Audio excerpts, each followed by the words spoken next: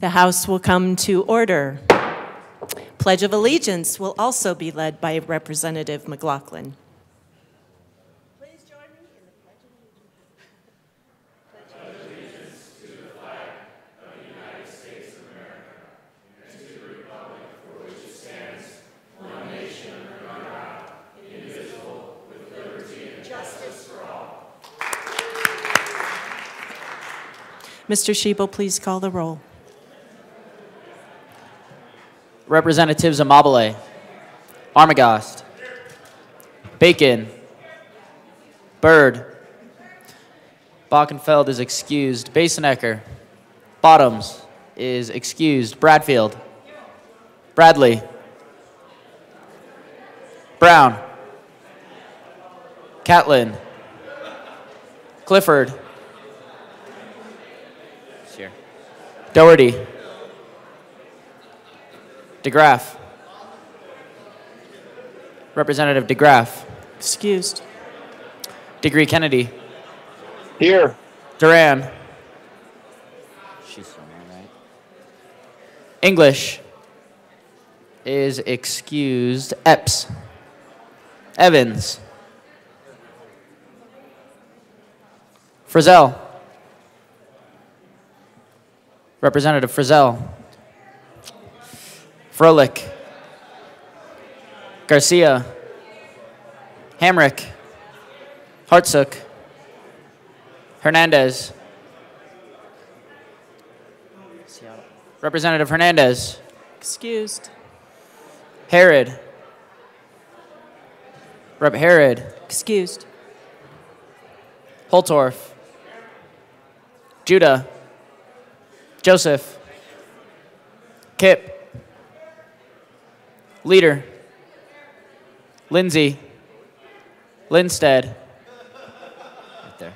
Luck. Lukens. Lynch. Mabrey. Marshall. Martinez. Marvin. Mauro. McCormick. McLachlan. Ortiz. Here. Parenti. Pugliese. Ricks. Rutinel. Sirota. Snyder. Soper. Representative Soper. Story. Taggart. Oh, Taggart's excused. Titone. Valdez A. Velasco. Here. Vigil. Weinberg. Weissman is excused. Willford. Wilson. Winter. Woodrow. Young. And Madam Speaker.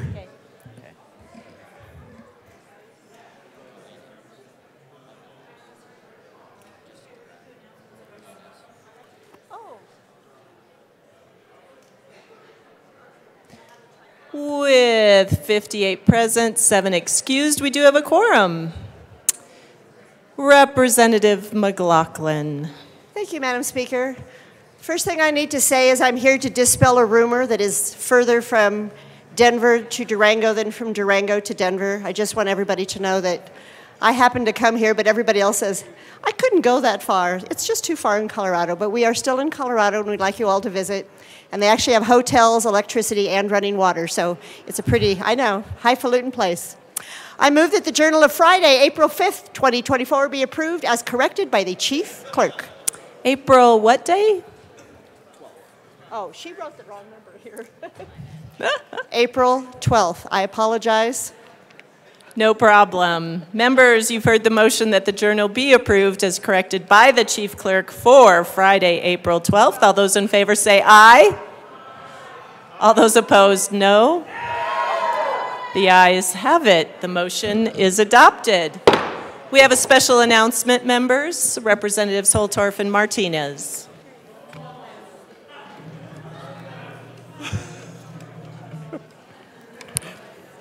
Representative Holtorf. Madam Speaker, I'd like to make a very important announcement. Today, Yes, please.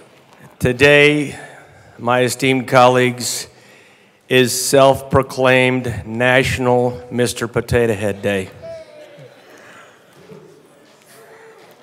Rep Martinez. Thank you, Madam Speaker. And we want to thank you all for showing the, the honor and respect of the self proclaimed Mr. Potato Head Day today. Monica, Monica, you can take our picture. Representative Holtorf. Thank you, Madam Speaker. Uh, We are very, very pleased because of the rile and revelry and excitement of the potato bill and to truly honor the magnitude and importance of the potato bill. Um, we have been gifted and been graced with Mr. Potato Heads at our desk this morning. So thank you to my colleagues who did this for us to really seal the deal on this spectacular moment. Awesome. Representative Marshall. Colleagues, I apologize for the delay, but rather than getting up on third readings, I thought I'd just make the quick comment because our colleagues had brought up the subject of our potatoes. Coming from Highlands Ranch in the suburbs, we didn't think we had anything to do with the potatoes whatsoever. And my I know my constituents, and I know they think they have a God given right to put anything they want in their property, in their ground, even if it's a Frankenstein potato that will spew spores that will infect the entire human race and turn us into zombies. That is the price of freedom. And the government shouldn't tell us what to do, except make sure they tell my neighbor not to have an ADU. I've heard that. But then I had two constituents show up and make the case. And they made the case in French, English, and Spanish with the instructions they brought, and pointed out that potatoes can come in all shapes and sizes, different genders, even different marital statuses. And it impacts upon all of us. So I am going to vote today for our two reps from the rural areas to bridge the rural urban divide coming from suburbia on steroids for the potato bill. And the only thing I have to worry about now is trying to explain to my wife why I keep telling her I'm doing so much important stuff, I can't work in the yard, but I'm sitting there screaming about how I can put this arm on this goofy toy last night. So thank you. Thank you, Representative Marshall. All right, members, our next order of business is third reading of bills. Madam Majority Leader. Madam Speaker, I move House Bill 1313, House Bill 1292, and House Bill 1152 to the beginning of the third reading calendar. Seeing no objection, the bills will be moved to the beginning of the third reading calendar. Mr. Shebel, please read the title to House Bill 1313. House Bill 1313 by Representatives Woodrow and Jodeh, also Senators Hansen and Winter F., concerning measures to increase the affordability of housing in transit-oriented communities. Madam Majority Leader. Madam Speaker, I move House Bill 1313 on third reading and final passage. Representative DeGraaf.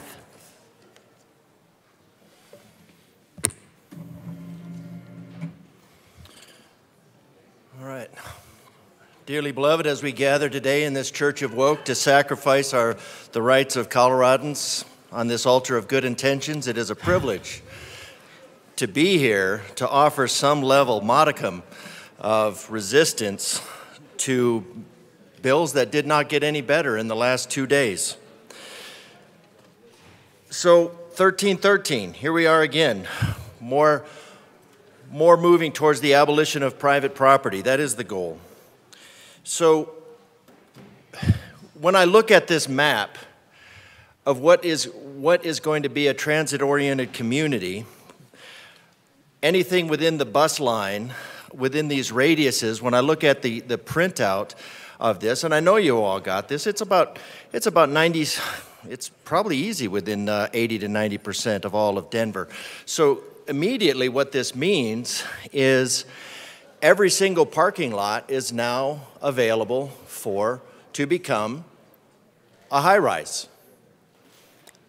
So we're going to immediately, possibly, remove any parking. And, and one of the reasons that we like Colorado is we like the open spaces. And you, have a, and you bring a bill like this in to eliminate open spaces.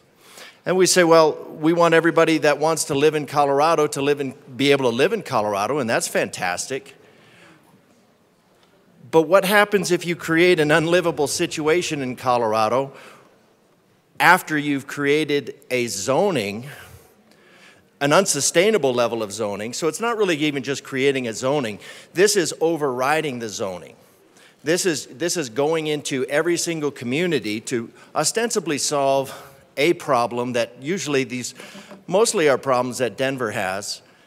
And then we legislate to impose a in this case, a really bad solution on the rest of the, uh, on, on the rest of the state. So if we think about any of the parking lots around here, why would they not become immediately high-rise apartments?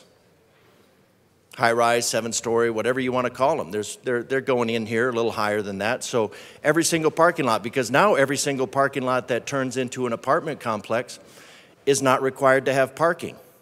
And if you do offer a limited level of parking, that parking can be offered as a premium. When I was in Colorado, uh, when I was in New York City for grad school, those slots went for six or seven hundred dollars a month, just the, just the parking slot. So I don't see how we're solving a problem. And then our constituent last uh, talked about the, uh, you know, I didn't look at the volume of this, but the having to change the water lines out from 18 to 24 inches. Well, that's, you know, you think, oh, that's six inches, but if you go by the radius squared, pi r squared, that's a significant jump up in water volume that is required to support this. And then it's also required to support the, uh, the sewer. And then you also need to support the, uh, the electrical. Now, we know that the, uh, based on the, uh, the electrical plans that we have in the state, which are none, that there really is no agenda to have and this is and this is kind of proof this solves the problem because if you were to say that everybody would, was going to require an EV vehicle which lose on average about $64,000 per vehicle by way of subsidies from the government because they are such a bad idea. And of course, those are premised on the, uh, even that is premised on the slave labor of third world countries. So we have bad idea, compounding bad idea, compounding bad idea. And this is a bad idea in terms of what's the goal here? The goal is to make busing, to make mass transit, to make those traffic jams moving in the wrong direction at a lumbering speed, make them cost effective. And how do you do that? Well, in order to make mass transit, so now mass transit, now the people of Colorado are at the whim of mass transit. We want to make Colorado, this body wants to make mass transit viable. It is currently subsidized at over $2 per passenger mile. $2 per passenger mile, again, a slow moving traffic jam lumbering in the wrong direction. And that's a perfect analogy for the government this body is creating on a regular basis. So instead of creating a, a, system and saying, hey, maybe this mass transit isn't working, so we should do something about it, maybe we could, maybe we could make it more effective, maybe we could make it more desirable. In a typical fashion, in what I would suspect would be a in terms of policy that would be foisted on a state by statists that that view the state as the ultimate authority, that view the state as the ultimate goal, the, the me true measure of worship in a Hegelian sense, as we're here today, that instead of creating something that people actually desire to enter into on a free market basis in an exchange of good for good, what you do is you take it, you make it a matter of coercion. So you make it a matter of coercion and you say that the people of Colorado will be taxed, and if they don't comply, if they don't submit, if they don't yield, if they don't buckle, if they don't bend the knee to this agenda,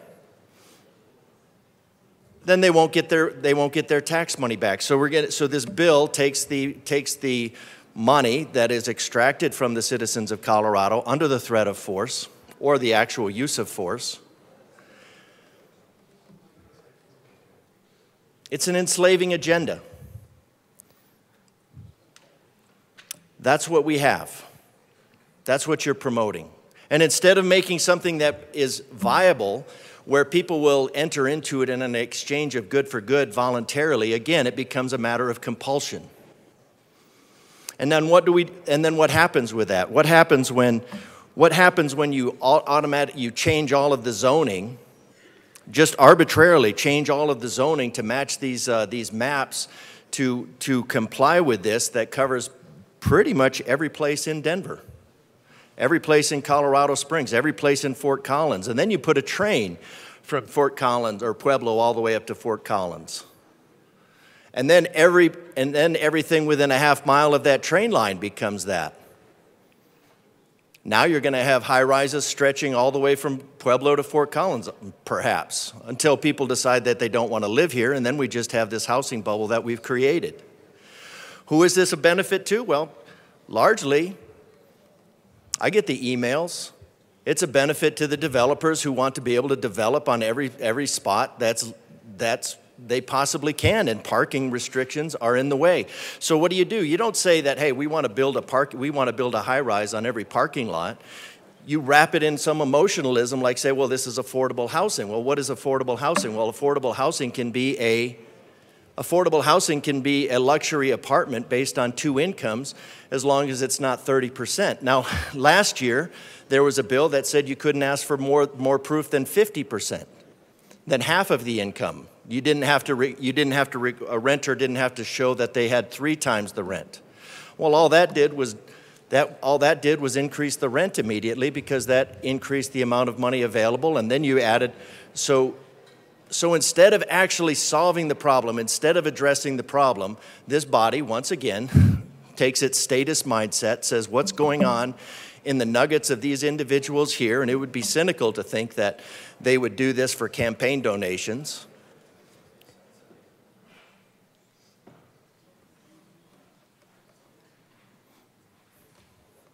but this is going to make the problem worse. You don't have the infrastructure available. You don't have the water infrastructure. You don't have the electrical infrastructure.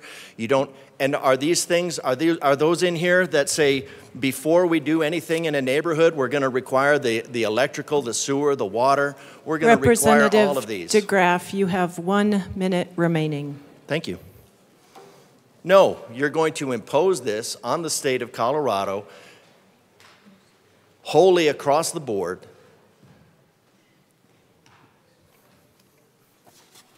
Create a zoning nightmare, all for the good intentions of what you call affordable housing. This is going to make the problem worse, just like most of the other things in this body make the problem worse. Address the actual issue. The issues are the cost of energy, the cost of regulation those are what are driving people out. Thank you. AML Bacon. Good morning, members, and uh, thank you. Didn't mean to take too much time on this bill, and I'd also like to just start by asking just for a little bit of latitude um, from you, Madam Speaker, if you if you give me give it to me. I just wanted to ask ahead of time. I just wanted to say thank you all for being here on a beautiful Sunday. I know we, some of us may be in church. We were just opened with welcoming to be here in the Church of Woke. I just want to say to you all on behalf of the community that coined that term, the term wokeness is about opening up your minds so that you are able to understand the space that you're in to make conscious decisions and also have conscious awareness of how you might have been socialized to inferiority. And so when I hear that word woke, I do hope that we are able to use that mindset here as we talk about bills and debate them. But also, I just want to note that the opposite of woke or being awake is to go back to sleep. And that is not something that my community opts into doing, and I do not appreciate it being used as a term of derision, particularly as we're debating policy. Thank you for the grace. Thank you, AML Bacon. Representative Holtorf.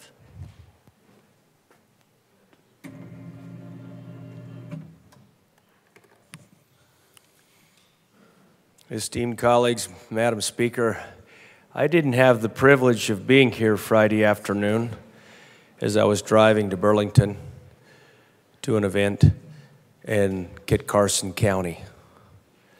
But I did have the benefit of participating remotely um, in that two and a half hour drive within 10 miles of the Kansas border.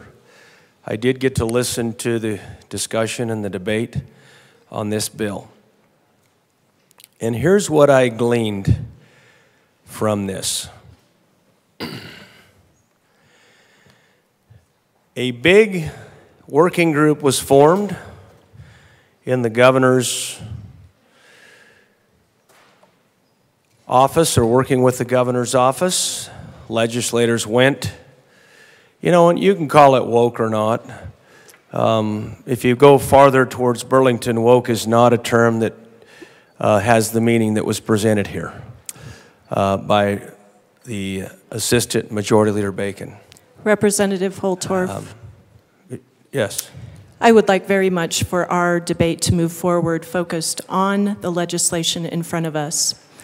I, I would like to get us back to the bill and not earlier commentary. Thank certainly, you. Certainly, Certainly, Madam Speaker. Appreciate that. Um, she did have a little latitude, so. Um, yes, and maybe, she asked for it, Representative. Okay, Holtorf. well, I will I'll ask you to move back to the bill. Thank, Thank you, you, Madam Speaker. I will not expect the same latitude then at this time, and I will focus on the bill. Um, and I will not mention what woke means in eastern Colorado at this time. So let's get back to the bill. What came out of this as I drove farther and farther away from the Denver Metroplex is the governor and legislators and others working together are going to take this legislation and superimpose their master plan upon every municipality county, and Planning and Zoning Commission. Let me say it the other way, because it starts with the Planning and Zoning Commission, which I have the pleasure of serving on in Washington County for a term. So I understand what that job is, and so do others in here that have served on Planning and Zoning Commissions. Because the municipalities and the counties want to take care of their people. That's actually their job. So this bill takes top down mandates and says you will build these multi unit buildings in these places. Now remember, they listed the places, and they're all Denver metro area counties for the most part, from Fort Collins down to Dugco, Castle Rock, I believe. And the, the bill says that if you don't do what we say, you don't get your tax. You're not getting it because we're not going to give it to you. If you don't do what we say, and I think the magic number was 40 units and an acre. As I drove towards Burlington, Madam Speaker, I started crossing the plains, and I realized as I drove that one size doesn't fit all. For you legislators from District 2 or District 1 or District 3 or District 4 in the concrete jungle, that is your city, what you're saying with this House Bill 1313, Housing and Transit Oriented Communities, is that you will do this or else. Well, I remember the British did that back in the colonial days. You will do this or else. Yeah, it's a real thing. Study history. But there were the or else's that said, no, we won't do this. We will reject your mandates. We're not doing them. You need to understand that the more you try to underwrite the liberties and self determining destiny that is the foundation of this country, you will get the or else. In some measure, maybe sooner than later. So, as you all sit there around your big wooden tables, talking with the governor's staff, writing legislation, you need to really think about what you're doing. Now, when I did get to Burlington, Kit Carson County, around the kind of people that I like to hang out with, real salt of the earth people, who believe that their liberties should not be infringed and they should not be told what to do by the state or the federal government, by some dictator or some ruler or some pontiff or some emperor who knows better than everybody else. I thought to myself, it is a shame that we in this chamber are promoting rules, statutes that will become rules that tell everybody how to live.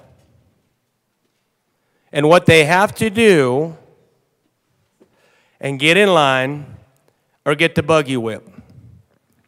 Now, the buggy whip is denying them the taxes that come from their tax base, that is their money that they give to the state, but now you're going to take the people's money that they gave to the state and you're going to punish them. Now, yeah.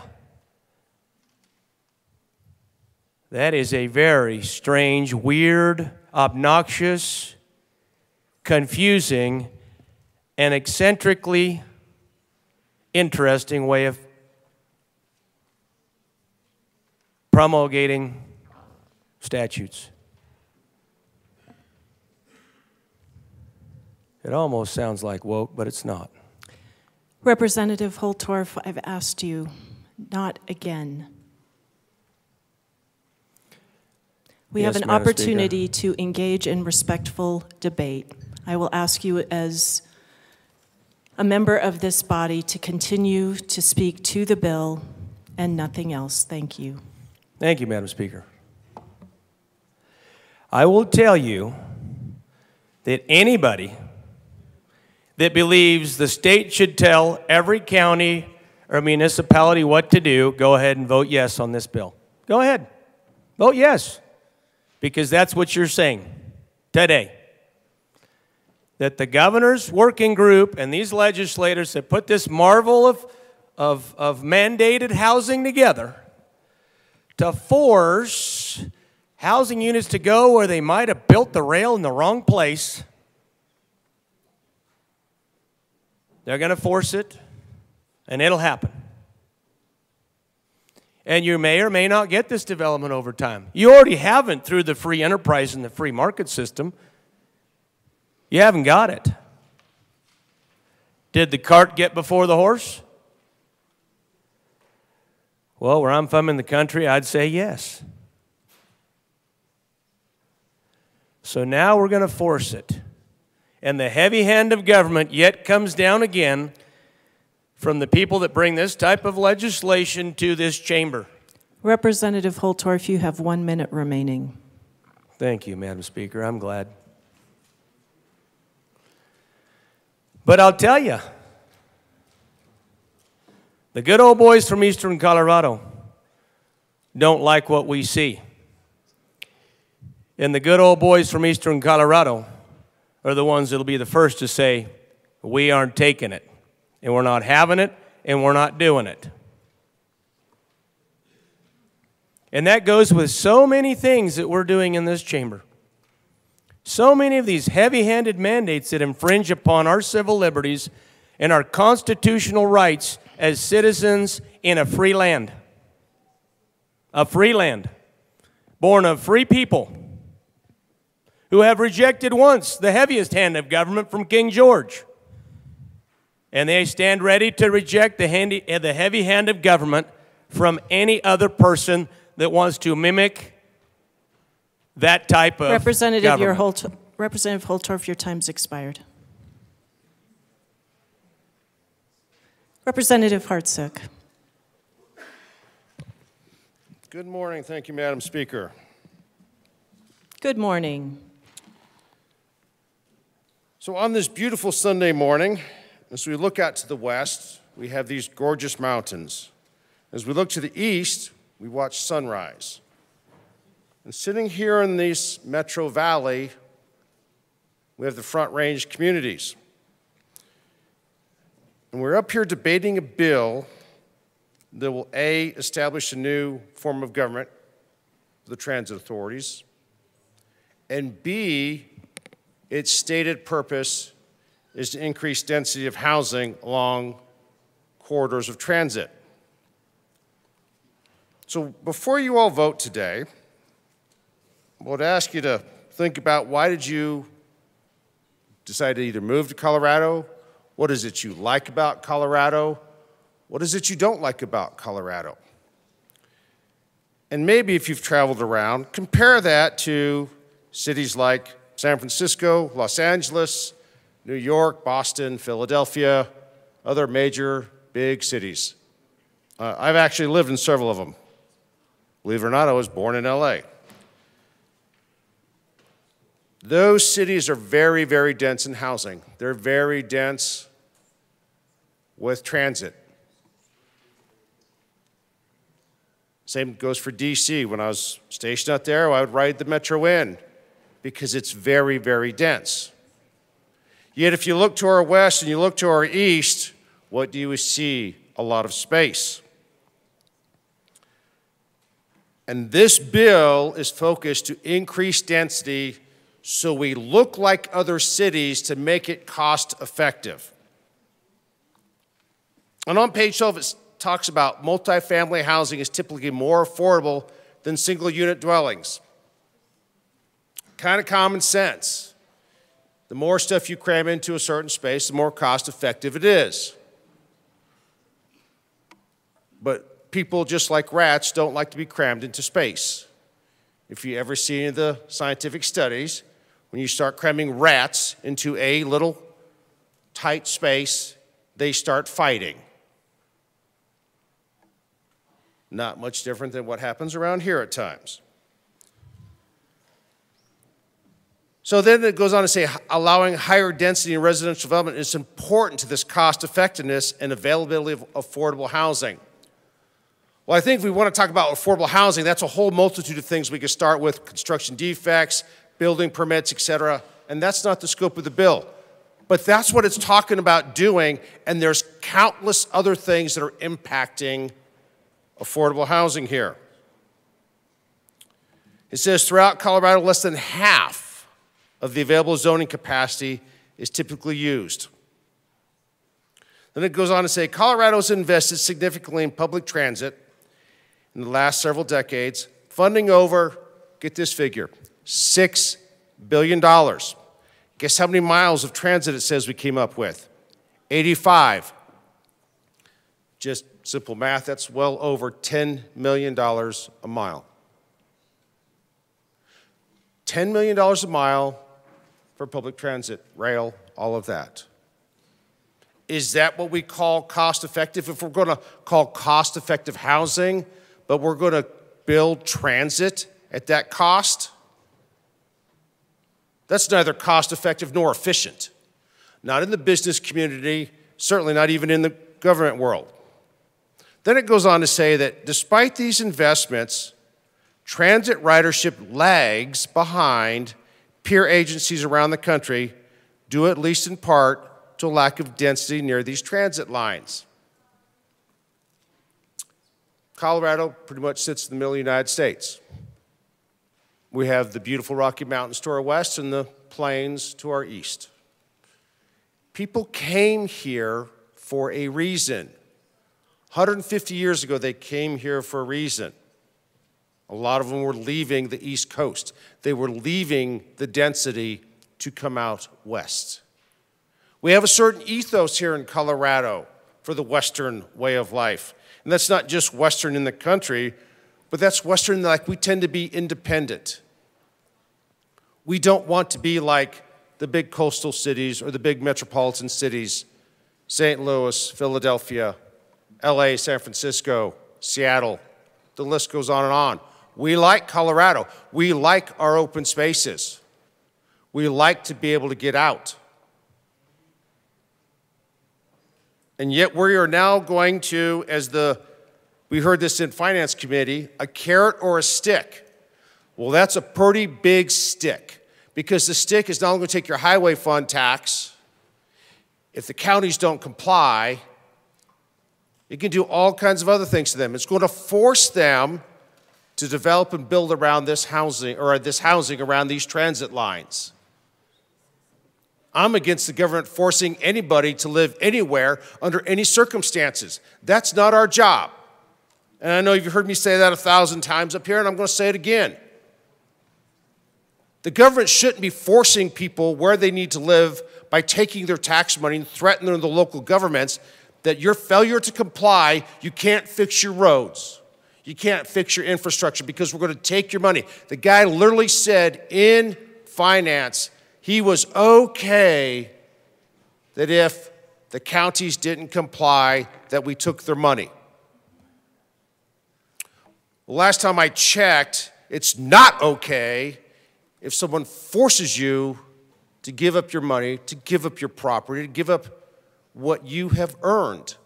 That goes for local governments and those of us that are taxpayers in those local governments. Yet, this new transit oriented communities are going to force counties and municipalities to give up their road and tax money. Why do we like to live the way we do? Because we're different. We like these beautiful mountains to our west, the beautiful skies. We like being out in the open. If we wanted to live in dense housing, you could either move up to Denver or you could move to a different city. You could move to a city that has skyscrapers. You could move to a city that everyone gets crammed in together. I don't think that's what we want. I don't think that's why we live here. I don't think that's our intentions. Yet we're going to say it's cost effective to build these communities and we talk about the exact numbers that are sitting here in the bill that are talking about 10 million a mile.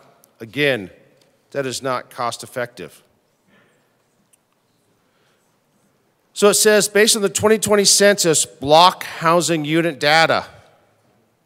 Block housing unit data. Is that what we want to build in our transit oriented communities? Block housing? Do we want this to look like everything else? Cinder blocks stacked up, and everyone looks the same. There's 65 of us, give or take, in this chamber, and we all look differently. We drive different vehicles. Do we want to all live in the same block housing? I don't think so. Let's talk about quality of life. Are we going to cram everybody into because they have no option, unless they want to live way, way out in the suburbs? Are we going to cram them into block housing through the coercion of threatening to take their tax money, threatening them with, if they don't comply, and take their cars. Representative Hartsook, you have one minute remaining. Yes, ma'am, thank you.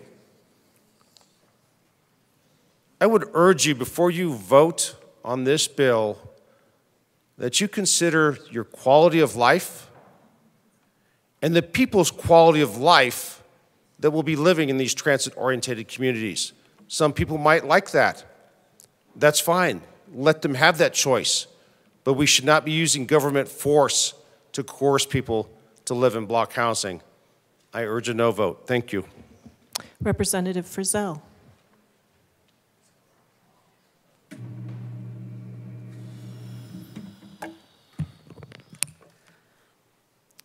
Good morning, Madam Chair. It's an honor to serve with you. It is an honor to serve with you. Thank you. Members, we've had a lot of conversation around this bill, and we're going to have more.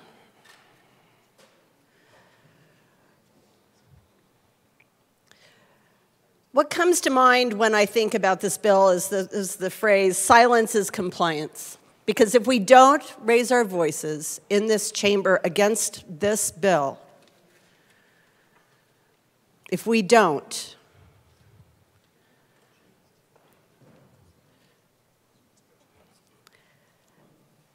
what we are saying is that it is the role of the state to preempt our municipalities. This bill pits this legislature against the cities and towns of Colorado. We ran on Friday a large number of amendments, trying to find some middle ground, trying to ensure that the voices of the municipalities and the citizens that live within them are heard. We ran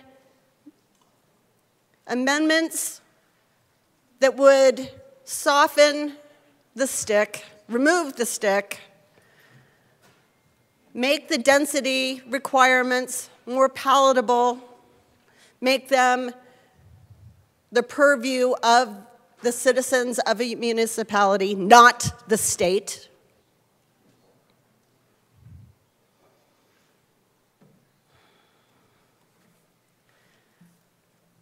And exactly zero were accepted.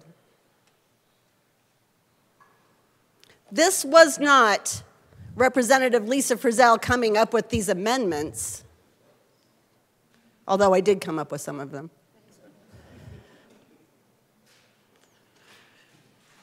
This is coming from the people. This is coming from the people who represent the cities and towns of Colorado.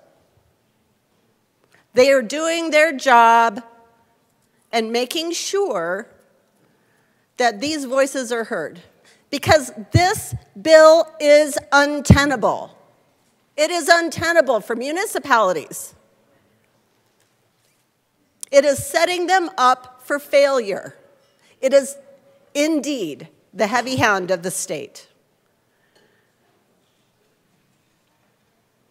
You, you heard me on Friday, and I mentioned this a couple of times, and I'm going to mention it again because I think it's important.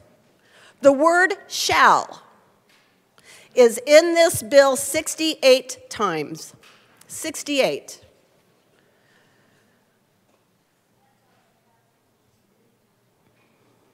There is nothing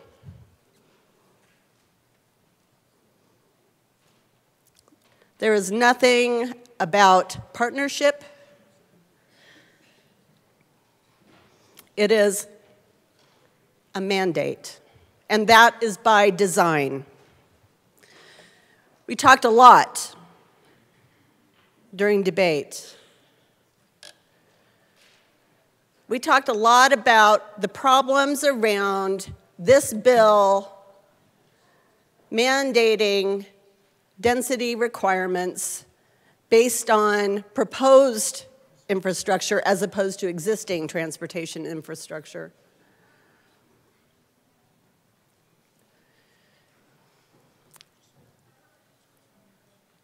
We talked a lot about highway users' tax funds being diverted. And I think that's an important conversation, so I want to I want to talk about that again. Where do dollars in the Highway Users Tax Fund, HUTF, come from? They come from the taxes you pay when you fill up your tank at the gas station. They come from vehicle registration fees. They come from faster collections, road usage fees. and the ever popular retail delivery fees. Everybody loves those, right? That's, that's where HUTF funds come from. So they come from our citizens. They're paying into this so that they can have at least a portion of their transportation infrastructure locally paid for. That's what it's for. We talked about the dollars that go to these municipalities, specific municipalities. And it's a lot of money. It's a lot of money. In Colorado Springs alone, it was probably around $20 million just last year. That's a lot of money.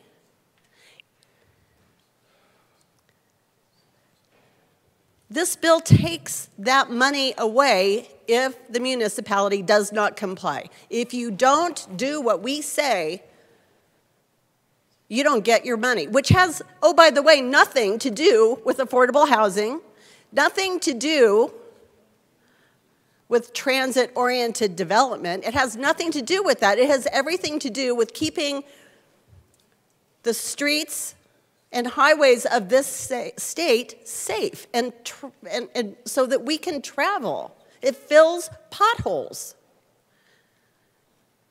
It builds bridges, it repairs. It has nothing to do with transit oriented development. Ran several amendments trying to change the housing opportunity goals, just to modify them. 40 units per acre is not always going to be possible. It's not. This bill completely ignores the fact that development standards they vary. It is not the same throughout the Front Range or the Western Slope and this bill completely ignores that. Density housing opportunity goals should be determined locally. They should be determined based on infrastructure. They should be determined based on water availability and capacity. And this is nothing more than an unfunded mandate on those municipalities who don't have those things in place in order to accommodate this development. The state should be seeking partnership, partnership not preemption. We should be seeking to be partners with our municipalities and counties in this building.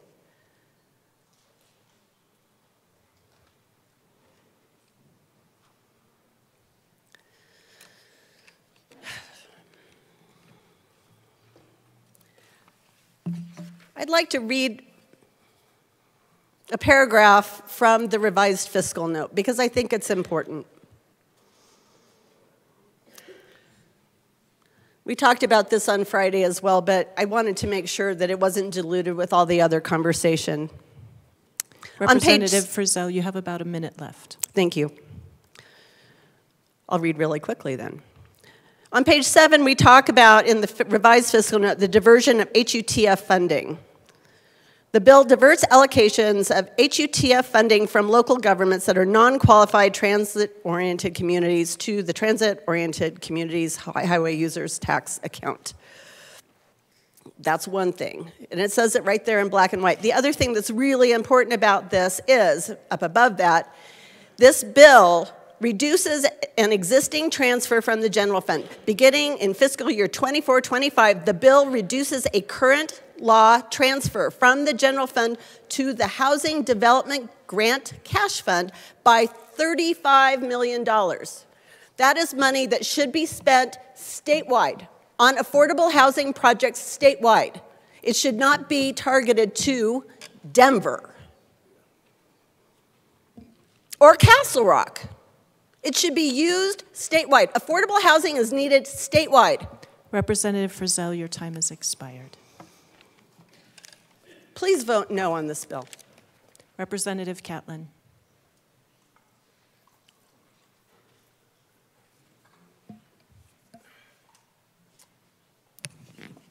Thank you, Madam Speaker. It's an honor to serve with you. It is an honor to serve with you. Thank you. I needed to get a drink of that Western Slope water that we slid over to you before I got started.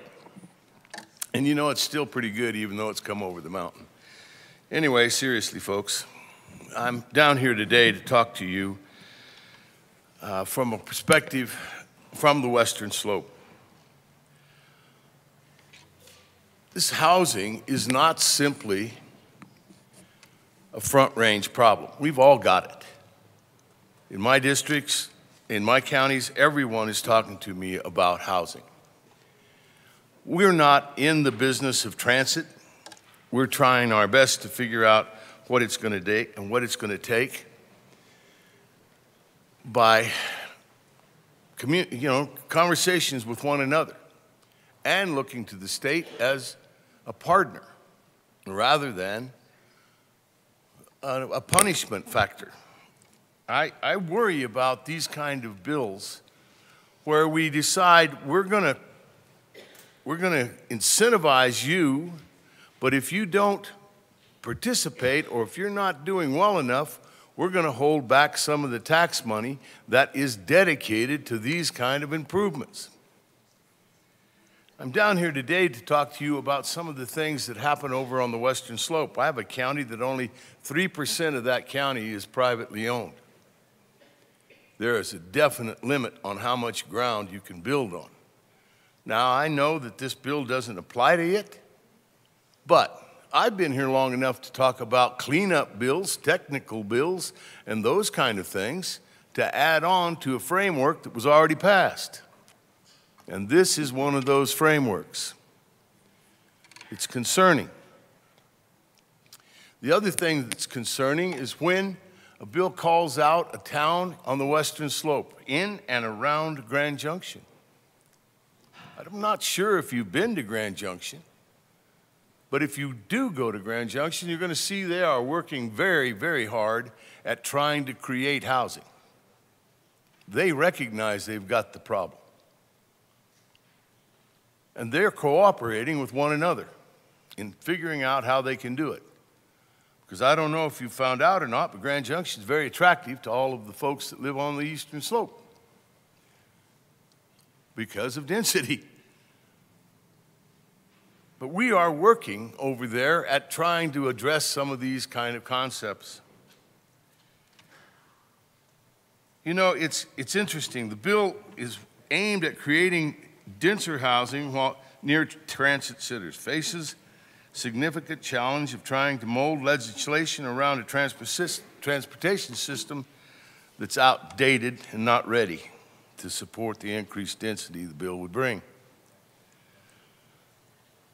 You know, as just a common, uh, as just an observation, I thought that if you were going to propose a development somewhere, anywhere in the state of Colorado, that you would go through planning, and part of the things that you would look at are the water mains that service that community or that area, and the electrical service, and the sanitation services, sewage, transportation for, for uh, trash and all.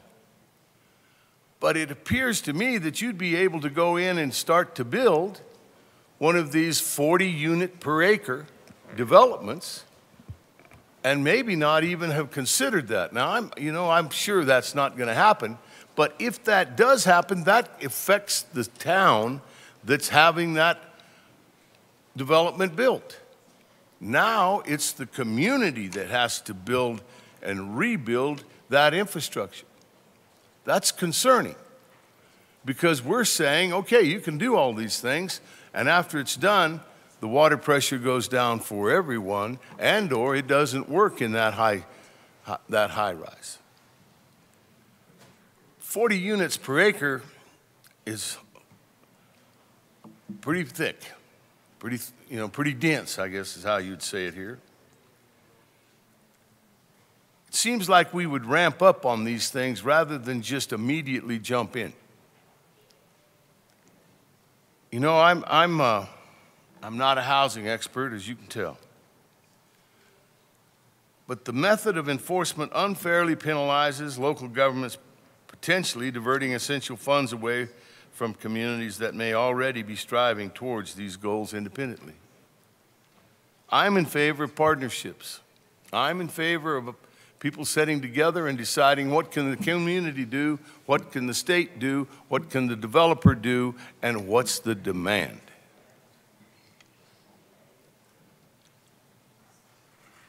Changing behavior is going to take a long time.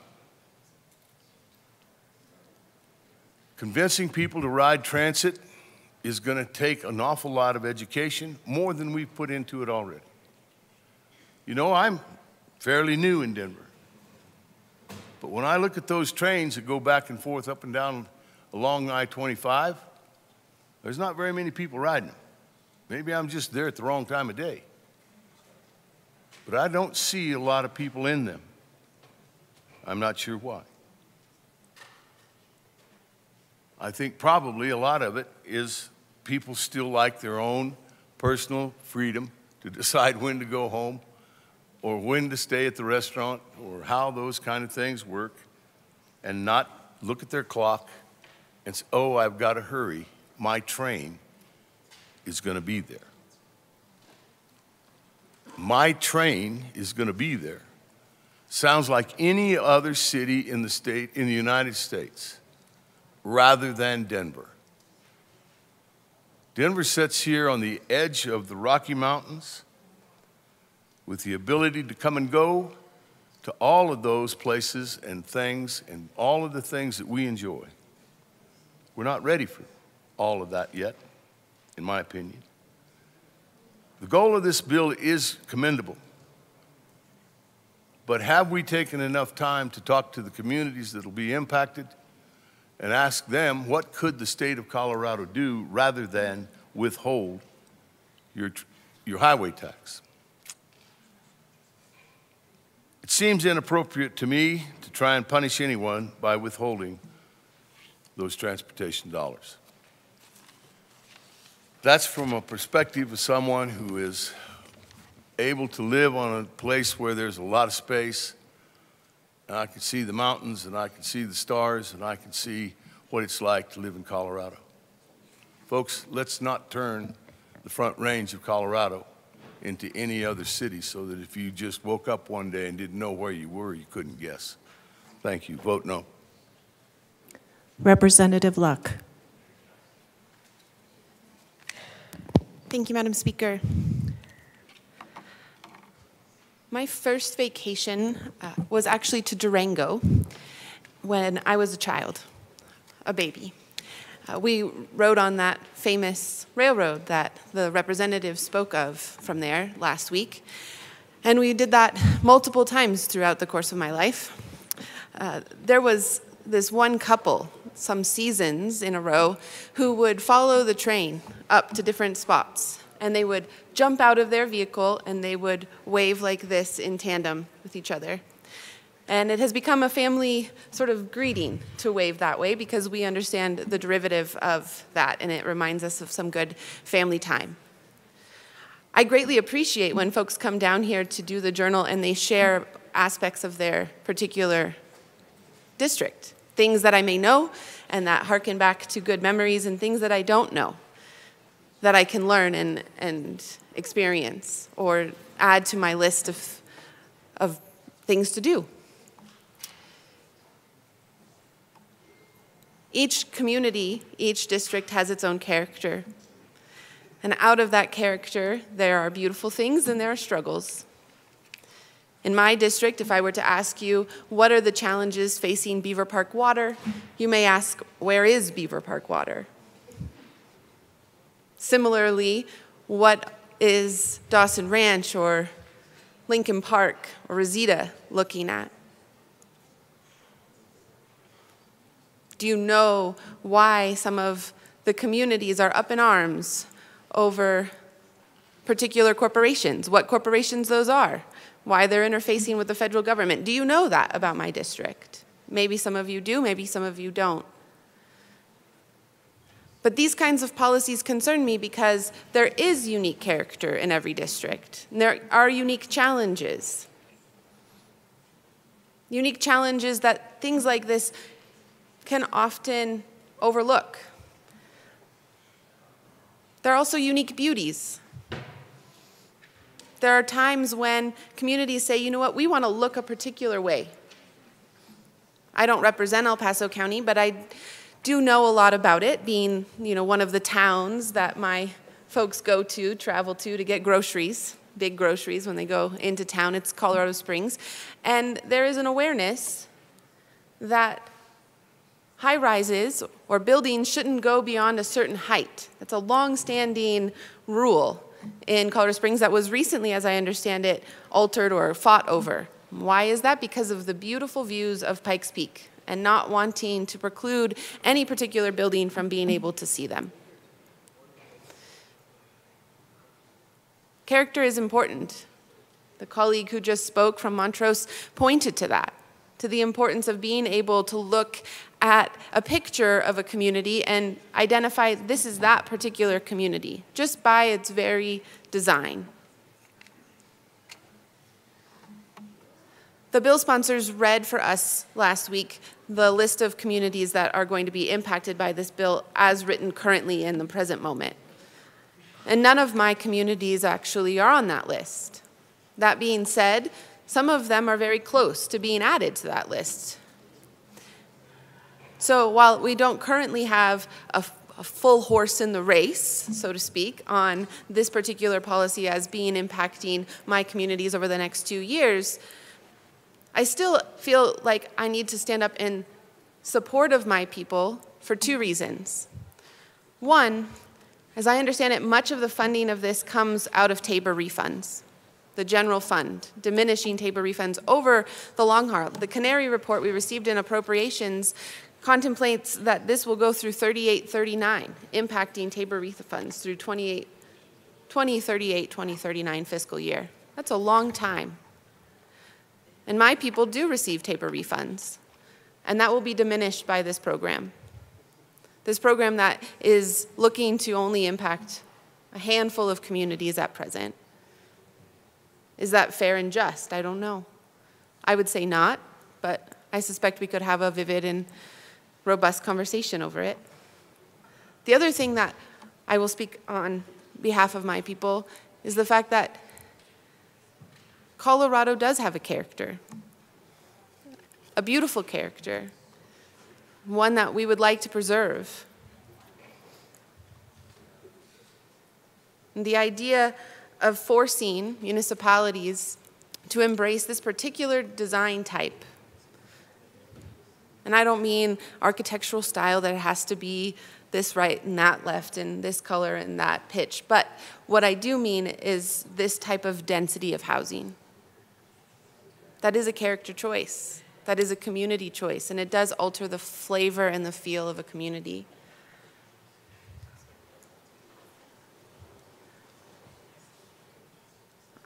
I would say that those decisions should be left up to the people who are closest to it, who know not only the challenges, but also know what identity they are trying to project on the world. Pueblo is one of my communities and I hear from folks in other parts of the state, oh, that's a dangerous place, or what's good in Pueblo? And I would say it is a diamond in the rough. It is a beautiful city, full of arts, full of creativity. And just down the road, where I live, is an equestrian town full of innovation. We have some of the most innovative businesses, including Estes Rockets and equine digit support system that creates horseshoes for all over this world. Each one of my communities has its own unique identity, its own unique name, so to speak, right? Not just a name, but identity, feeling, sense. I would hope the same for all of your communities, that you could say that, and that you wouldn't want just one place to look exactly like the next, exactly like the next, exactly like the next. And so I would encourage you to vote no on this bill, not because affordable housing isn't an important conversation, but because the people who are governing your cities and your counties know that. They know that their people are struggling. They have these conversations day in and day out with the actual people constantly in that predicament. As the assistant minority leader often says, in the grocery store. Let them be the determiner for how to solve this problem in their way, in their unique culture, with their unique challenges, with their funding and partners. Unleash the innovation there and be part of that conversation. But don't force them to adopt this. Don't force them to embrace one way.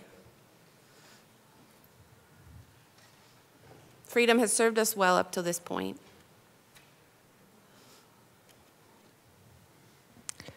Representative Marvin. Thank you, Madam Speaker. Colorado is in a housing crisis. We all know this. It's too expensive for regular people. Adults can't afford rent, families can't afford to buy a home, seniors are getting pushed out. And I'm so grateful to everyone in this chamber who's been working on this problem. And I also want to thank the sponsors for how hard they've been working on this bill in particular and all the stakeholding that's been done. There are a lot of really great things in this bill that I like. I really believe in housing goals, and I also appreciate that this provides the flexibility for how municipalities meet those goals and has also identified sources of funding. However, I've heard from my city council that they have many concerns about taking away the HUTF funds um, and are worried that it would result in major losses for the city and make our roads unsafe for years to come. Amendments were offered yesterday, and I'm sorry they didn't pass because if they had, we could have removed a huge barrier for our municipalities to support this. Addressing our housing crisis is important, but I feel like this bill does need some work. I'm going to be a yes vote on this today, but as it moves to the Senate, I expect these conversations to happen to address the very legitimate concerns that city councils like mine have, and I hope it can be worked out and come back to this chamber, um, and I will be a yes vote today. Representative Snyder. Thank you, Madam Speaker. well, this has uh, been a, quite a journey. Um, this bill we heard in finance, and uh, I was encouraged. I was reluctant, but I voted it through to the floor, and here we are on third reading, and the offensive parts of the bill are still in there. It puts it makes it really a difficult decision for me because I support transit-oriented development. In this case, transit-oriented communities We've got a historic opportunity to bring down federal funds to really put in, the, for the first time in my time here in Colorado, a chance to put in a light front range passenger rail. I think that could be transformed. I've seen transit-oriented development work in many cities, including DC where I grew up. I used to ride the subway every day. We have mayors across the state, as divergent as Mayor Coffman in Aurora, and Mayor Mobolade down in Colorado Springs, where I'm from, who support transit-oriented communities.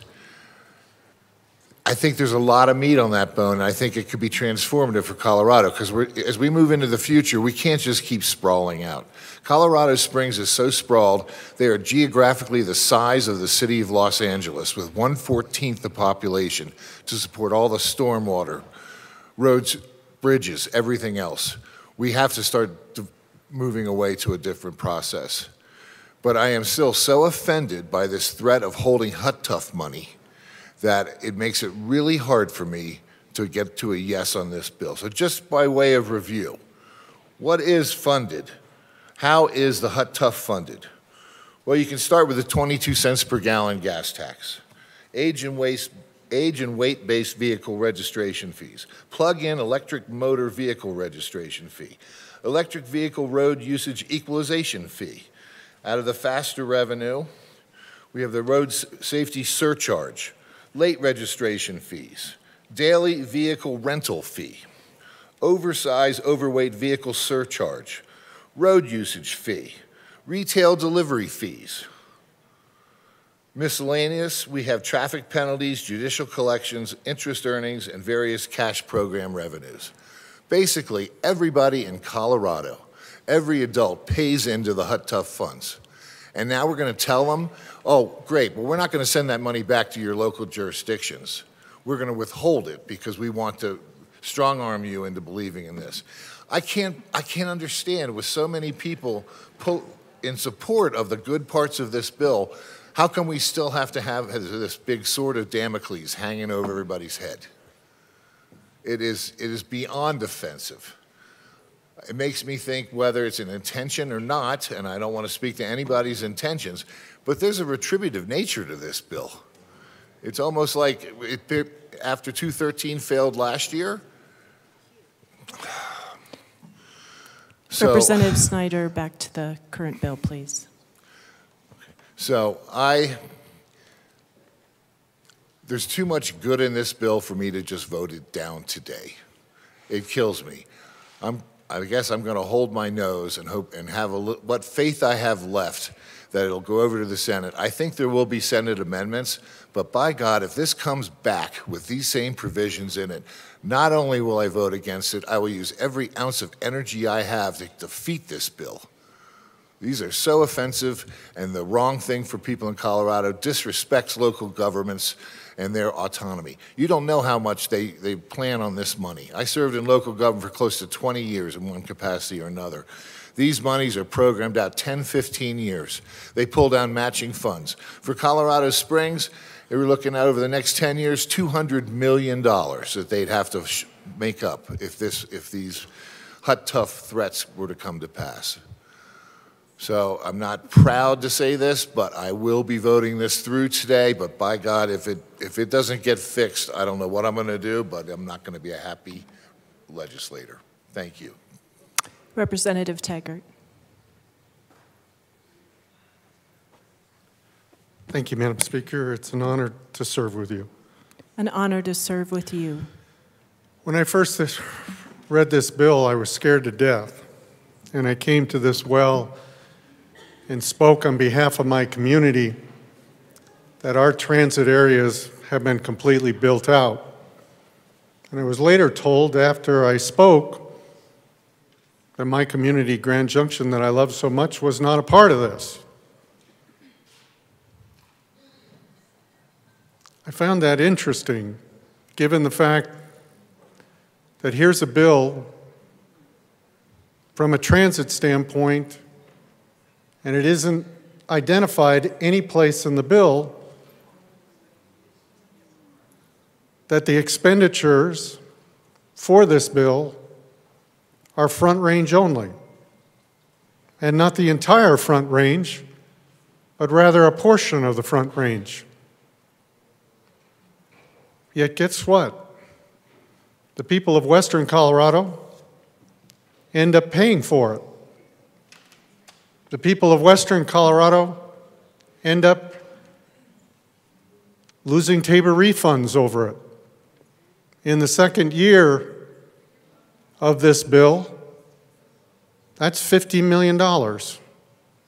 And that $50 million gets bigger and bigger and then comes back down a little bit over a period of 15 years to the degree of a half a billion dollars almost.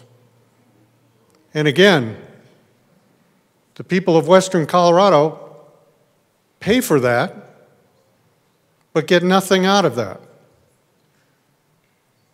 Now, I understand we have to support a state as a whole and the needs of the, of the state as a whole. But I would like to see some bills from time to time that are focused on the needs of Western Colorado and rural Colorado. And quite honestly, I don't see those. I'm worried about this bill for the folks of, front, of the Front Range.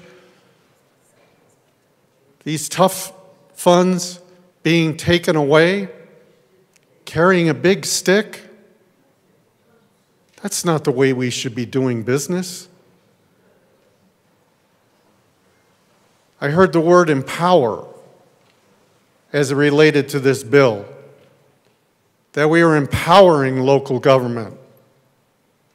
I have never heard that word used when there's a penal, significant penal part of this bill. I've never empowered anybody from a business standpoint and then turned around and slapped them on the head. That's not how you do business. That's not how government should work. So, my problem with this bill is A, is strictly front range. And I know there may be some folks that probably haven't spent much time in western Colorado. But we have needs too. So I have a problem in that respect because you're asking us to pay for this. But equally so, we are approaching local government not with empowerment, but punitive measures. I can't vote for a bill that does that. Thank you. Representative Titone. Thank you, Madam Speaker. Uh, I don't, don't come down here too often on third reading, uh, especially to oppose uh, one of my colleagues' bills, but um, I represent two cities that need the HUTF money. They need that money. And in particular, uh, the parameters of this bill for the city of Golden, and I don't know if you've ever been to the city of Golden. Uh, if you haven't, please visit. It's very beautiful.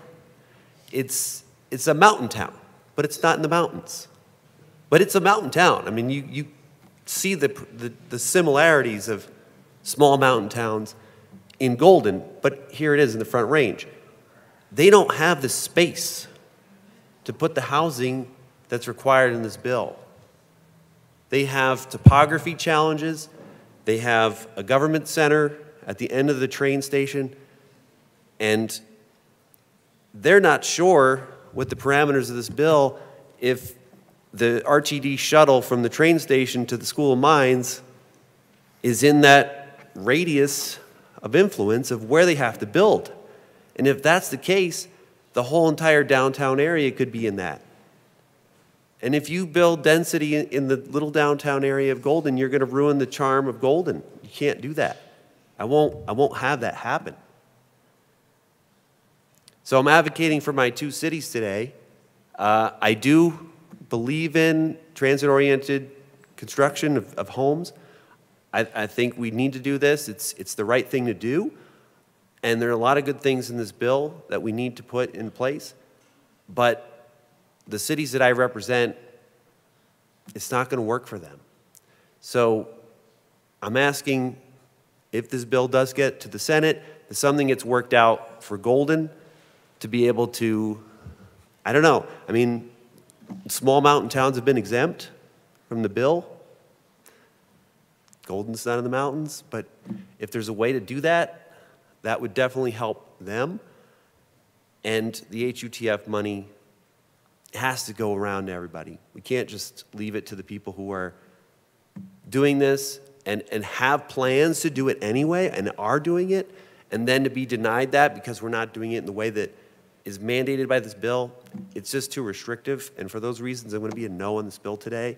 Uh, I do thank the sponsors for all their work. I know they've been working really hard on this, but it's just, my cities just can't handle this. So, thank you. Representative Bradley. Thank you, Madam Speaker. I too come down here to fight for my county. I love how we talk about local control when it's good for us, when it supports our bills. And then when it doesn't, we regulate against it. This bill regulates against local control.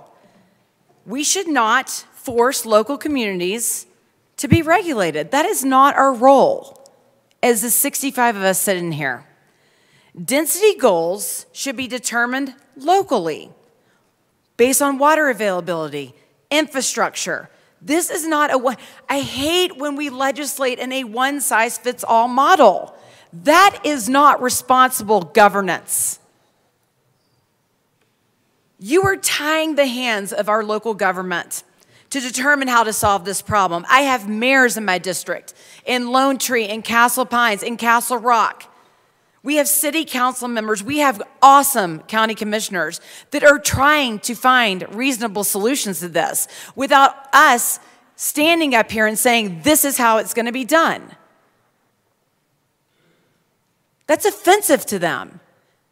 They want affordable housing in our districts. But just throwing a bill down and telling everyone to follow it is not the way that we should be doing government. This is going to have a huge impact on the I 25 corridor in Douglas County. We don't want this. We don't have the infrastructure to do this. And we talk, you know, the head of the Colorado Municipal League said it best to me. This proposal might actually generate more outrage from local officials than 213, and I agree. I think it has. The only difference is that got shoved down our throats the last day of session. Many cities, including Denver, promote denser housing near transit already, so go live there. Don't make my county do this. Go live in Boulder, go live in Denver. If you want to live by transit, then go live in one of those cities. But you don't get to muddy up my county because you believe this one size fits all is what we should do. That is horrible governance. He also argues that the state could achieve its goal by partnering, whoa, what a concept, with local governments to address their housing needs rather than punishing those who don't follow the state's lead. We're going to punish the counties that don't follow this. It's inappropriate to try to punish anyone by withholding those highway dollars. And we have heard representative after representative, Democrat and Republican, come to this well and preach that.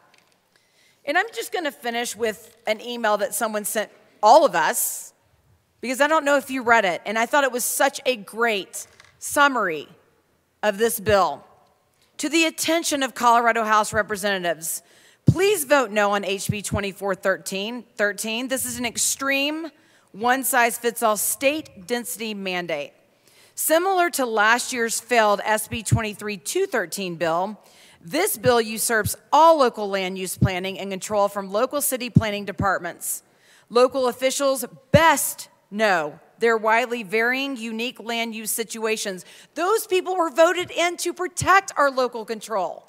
The same constituents that put us here elected them. Colorado is a state county partnership. Each county has fully developed land use plans, health and human service departments, housing authorities, and this takes away local control to address local issues in a way that will lead to success. HB 241313 should be voted down just like last year's bill. Mandates that increase housing units to 15 to 40 housing units per acre is extreme. That's a three times to 10 times increase over existing density. We're not going a one fold increase, we're going a 10 fold increase. Horrible governance. Our existing infrastructures are not built for this density. We all saw what happened with Xcel last weekend. They can't even handle adequate oversight of current demand. Cities don't have anywhere near the infrastructure needed to support this much density increase this fast. Again, we're going from a one fold increase to let's go tenfold. We have water and sewer capacity issues, roads and bridges. I mean, we all drive in here. Our roads are a mess overly clogged highways, underfunded and overstretched city and county departments such as fire, police, sheriffs, parks, recreation center, and libraries. And I ran an amendment for an evacuation model. We see what happened in Paradise. We, we saw what happened in the Marshall Fire. But the goal is just to build and build and build and not give anyone the opportunity to get out when a fire happens, because it will happen. Poor legislation. Our existing parks and rec centers are aging. In my neighborhood and city, we have failing 60 year old sewer and water systems, potholed roads, traffic jams, parking issues, and all the other issues that come from too much density. HB 241313's one size fits all approach is far too extreme and lacking in sensitivity to cities' unique situations and challenges. And lastly, the bill's punitive withholding of state transportation funds that we pay into for non-compliant cities is completely unacceptable. Those funds are used by cities for road maintenance, safety, and stormwater drainage. We have all paid our state taxes, and it is dirty politics to blackmail cities and counties like mine into compliance through heavy handed punishments. This is not good governance. And for the people who came up here and said that we hope the Senate will amend this, stand for your constituents, stand for your communities, stand in this House and say, absolutely no. My constituents have spoken. They have put you in office to protect Representative them. Bradley, I'll just urge you, caution here. Don't want to be accusing members of uh, taking action, criticizing their comments in a way that are disrespectful. Please proceed. Thank you. We were placed, we were elected, just like our mayors and our city councils were elected by the people. We come up here to represent the people.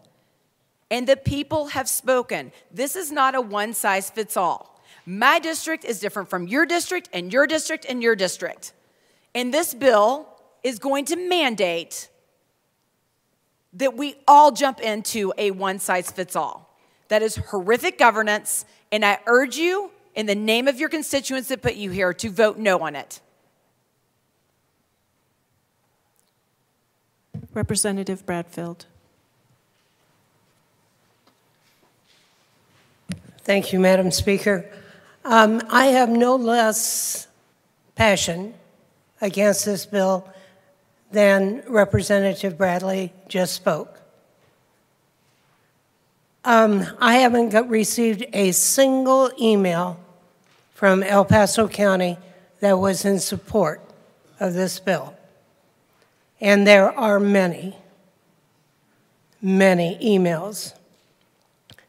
This isn't good legislation. Those of you who feel that it is may not be in contact with the people in your communities. Think about that. What does your email stream say?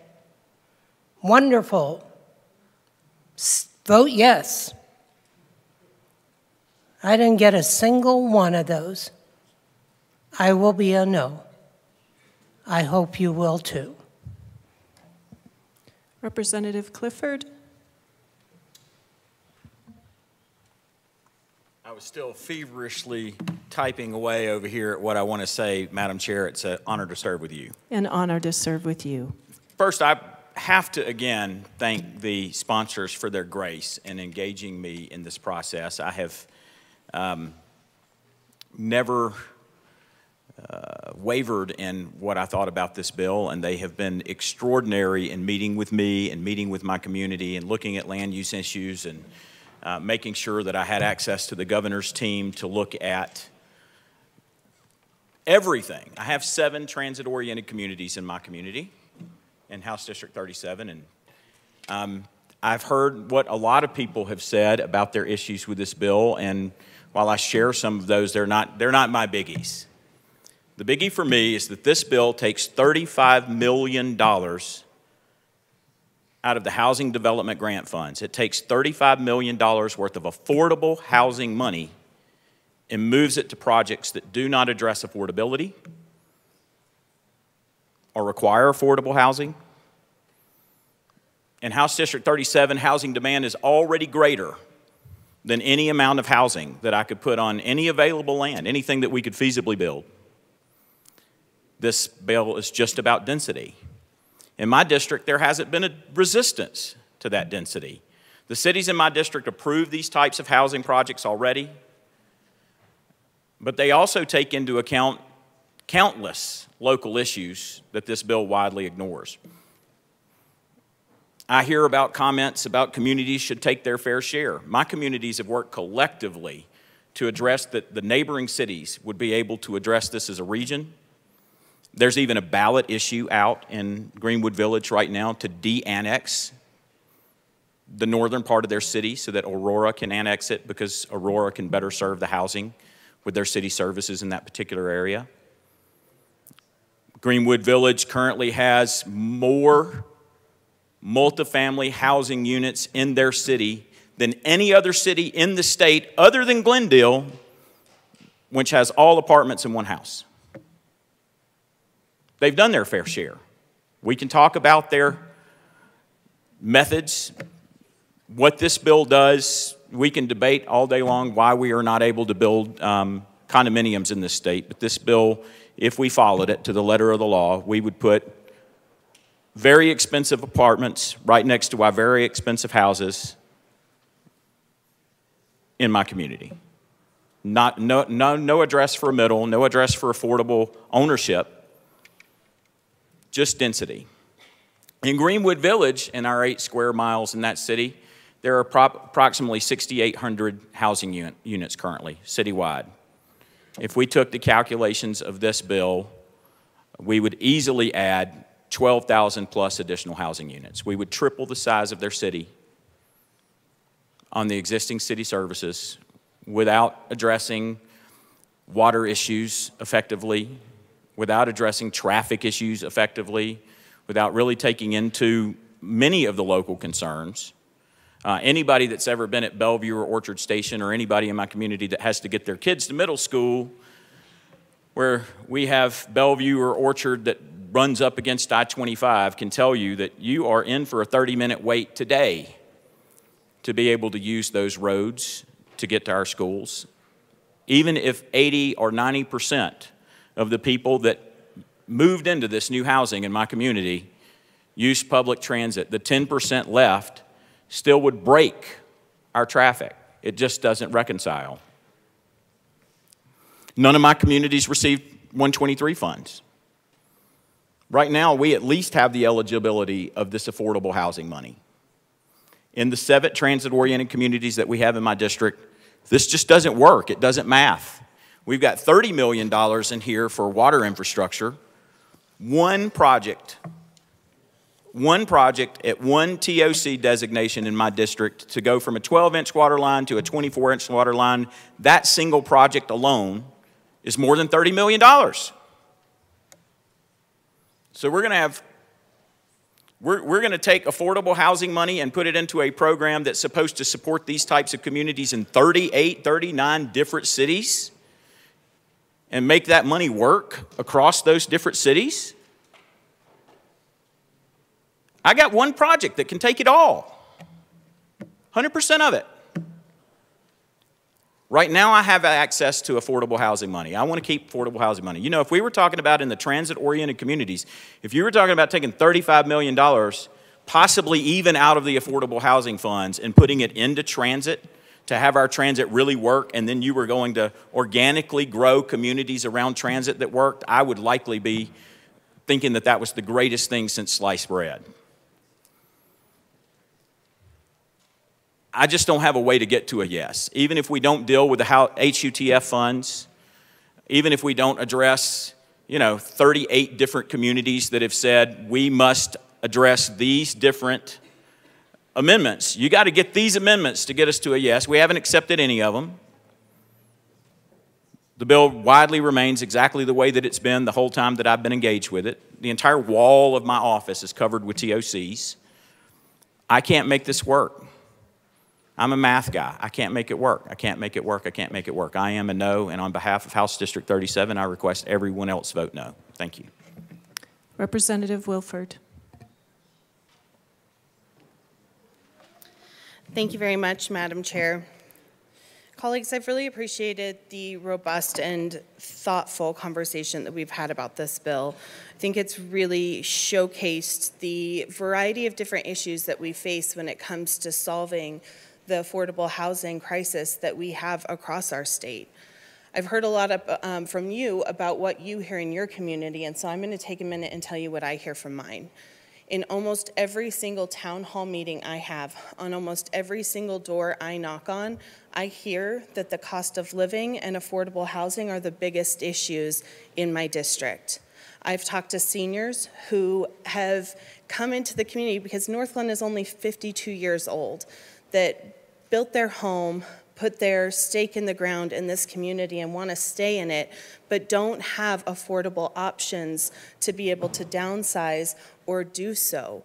Instead, they're having to look at leaving their safety net, their community, in order to move out of state, um, to find something that's more affordable, to find another housing option where they're not having to drive um, miles upon miles and they have access to public transit. And I think that's a real travesty, especially when you've built your community in that neighborhood, especially when you've raised your kids in those neighborhoods. And I, for one, am very invested in identifying ways in which we can solve this problem. So, you all know the city that I represent is a seven and a half square mile city. And when you're that geographically small, you rely on the region to be a partner with you because we're only as strong as we are together. And that means that when you have one community that is carrying the water for all of those in the region, it means that those partners that are supposed to exist in neighboring communities aren't carrying their load. And so you think about I think about a community north of me that said, "We don't want to do any more affordable housing. We don't want to see any more density. We don't want to approve projects because we just don't like them." That means that everybody else is having to deal with the impacts of the rising cost of living and the lack of development that's happening. And frankly, that's not fair. We need everybody to be engaged and involved in a solution to address this problem.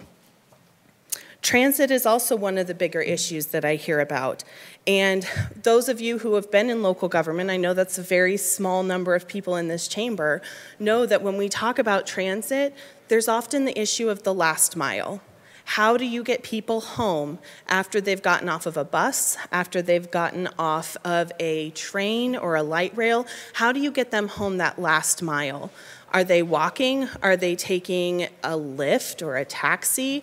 Are they taking a scooter? Is somebody else picking them up? How are they getting home? Bills like this help solve that problem, especially when you have housing within half a mile or within a fourth of a mile from transit. I heard a representative talk about how her community has old rec centers that are falling apart roads that are falling apart, sewers that are dilapidated. And I would say to that, I would say to that issue, that is not that is not an issue for the state to solve. That is a result of poor city planning, poor county planning. The cost of sprawl is also a cost to taxpayers. When you think about sprawl, we're talking about the response time for first responders. We're talking about more city services, more infrastructure like roads and sewers to maintain. So let's not pretend like the sky is falling here. This bill offers reasonable, targeted, and flexible options for local governments that will improve affordability and will improve our air quality in summer months. Cities only qualify if they are in a metropolitan planning organization and have a population of more than 4,000 people and more than four, or 75 acres of transit areas. 30 jurisdictions banding together to solve the affordability issue. As far as the HUTF piece, I too, I don't, I don't love that piece. I'll be perfectly honest. My community uses that money to be able to regularly plan for how we're going to improve our city's PSI. Um, that's our, it's our pavement um, or our, our road conditions. Um, we always prioritize the roads that are in the worst disrepair first. Um, but we rely on that money to be able to plan and uh, move forward projects that are important to our community. And so I, I don't love that piece. And frankly, I was a little surprised on Friday that after all of the amendments, that the one that would have simply excluded that funding did not come forward again. Um, but this is our process, members. We introduce bills. We have many conversations throughout the committees, throughout this floor process. We send our bills to the next chamber, and they do the same thing, and then those bills come back to us. And so, for any of us to think that we're going to send this bill to the Senate and there will be zero amendments, I think is just a little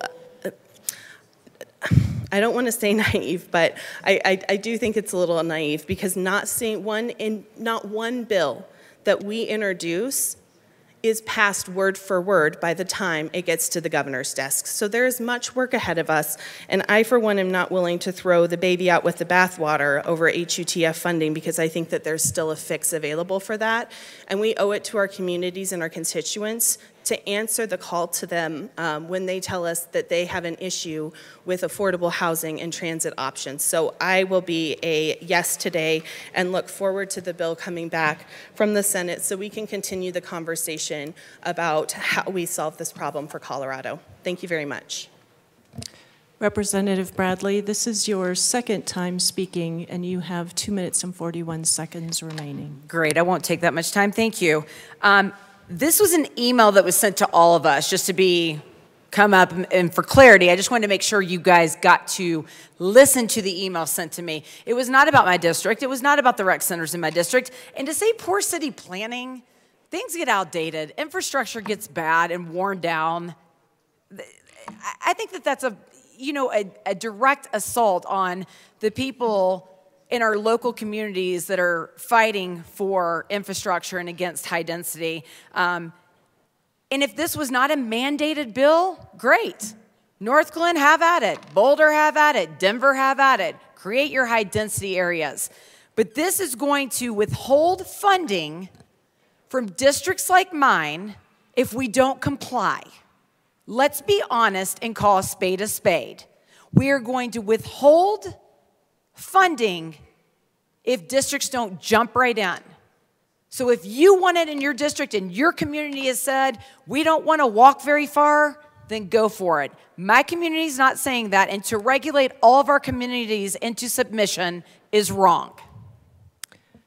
Assistant Minority Leader Winter. Good morning, Madam Speaker. Good morning. Morning, colleagues. For me to get up here and talk about high density housing wouldn't be serving my district very well because, as you know, in my district, there's not very much high density housing. And that's a beautiful thing about my district. But the issue I take is with the money, the $35 million. This fund is a statewide fund, and this will redirect dollars out of House District 47 and push them to transit oriented communities alongside the Front Range in the metroplexes. It's just not good for House District 47. And the problem is, is my counties and communities see this over and over again. They see money pulled out of their district. They see unfunded mandates. And we're fighting to survive in rural Colorado. We're fighting to survive. We are fighting to save our communities. And by pulling more dollars for them based off something they couldn't even do in the first place, I mean, we need affordable housing everywhere, as well as in House District 47. And we've seen it over and over again. We're going to see it with this bill. I'm going to bring up a bill from last year, you know, the uh, tax credits for electric vehicles. We don't even have the infrastructure for our constituents to even put in for that tax credit. So that is money that could have been used within my district that once again was pulled to the metro area where you have the infrastructure to do this. And I've heard it be brushed upon last year, not this year, that, you know, what do you as rural Coloradans provide for what you get back? Well, I'll tell you this much the people in House District 47, they know their worth. We sit up here and talk about severance tax all the time. It funds DNR. JBC sweeps it to fill gaps. Well, guess what? That comes from energy production in House District 47. Small business and working class families prop up not only this economy, but the nation's economy. And guess what? In House District 47, we're small business and middle class. One of the counties I represent, Pueblo, we've had people at the steel mill producing steel, producing income and jobs, helping build the world. And those people in House District 47, there's some of them that work at that mill, and that money comes from House District 47. What about food and fiber? Rural Colorado produces food and fiber, and guess where that comes from? That comes from House District 47. That matters. So, to pull more and more dollars from these communities, in a way, it's egregious and wrong. It's like we're being forgotten, like we're the stepchildren. You know, in Las Animas County, we mine the coal that built the steel that built this state. And I'm proud of that. And the farmers and ranchers turn the soil that feeds you all. And I'm proud of that. And guess what? I'll beat on it again. And guess what? We pull the gas out of the ground that keeps you warm in the winter. And I'm proud of that.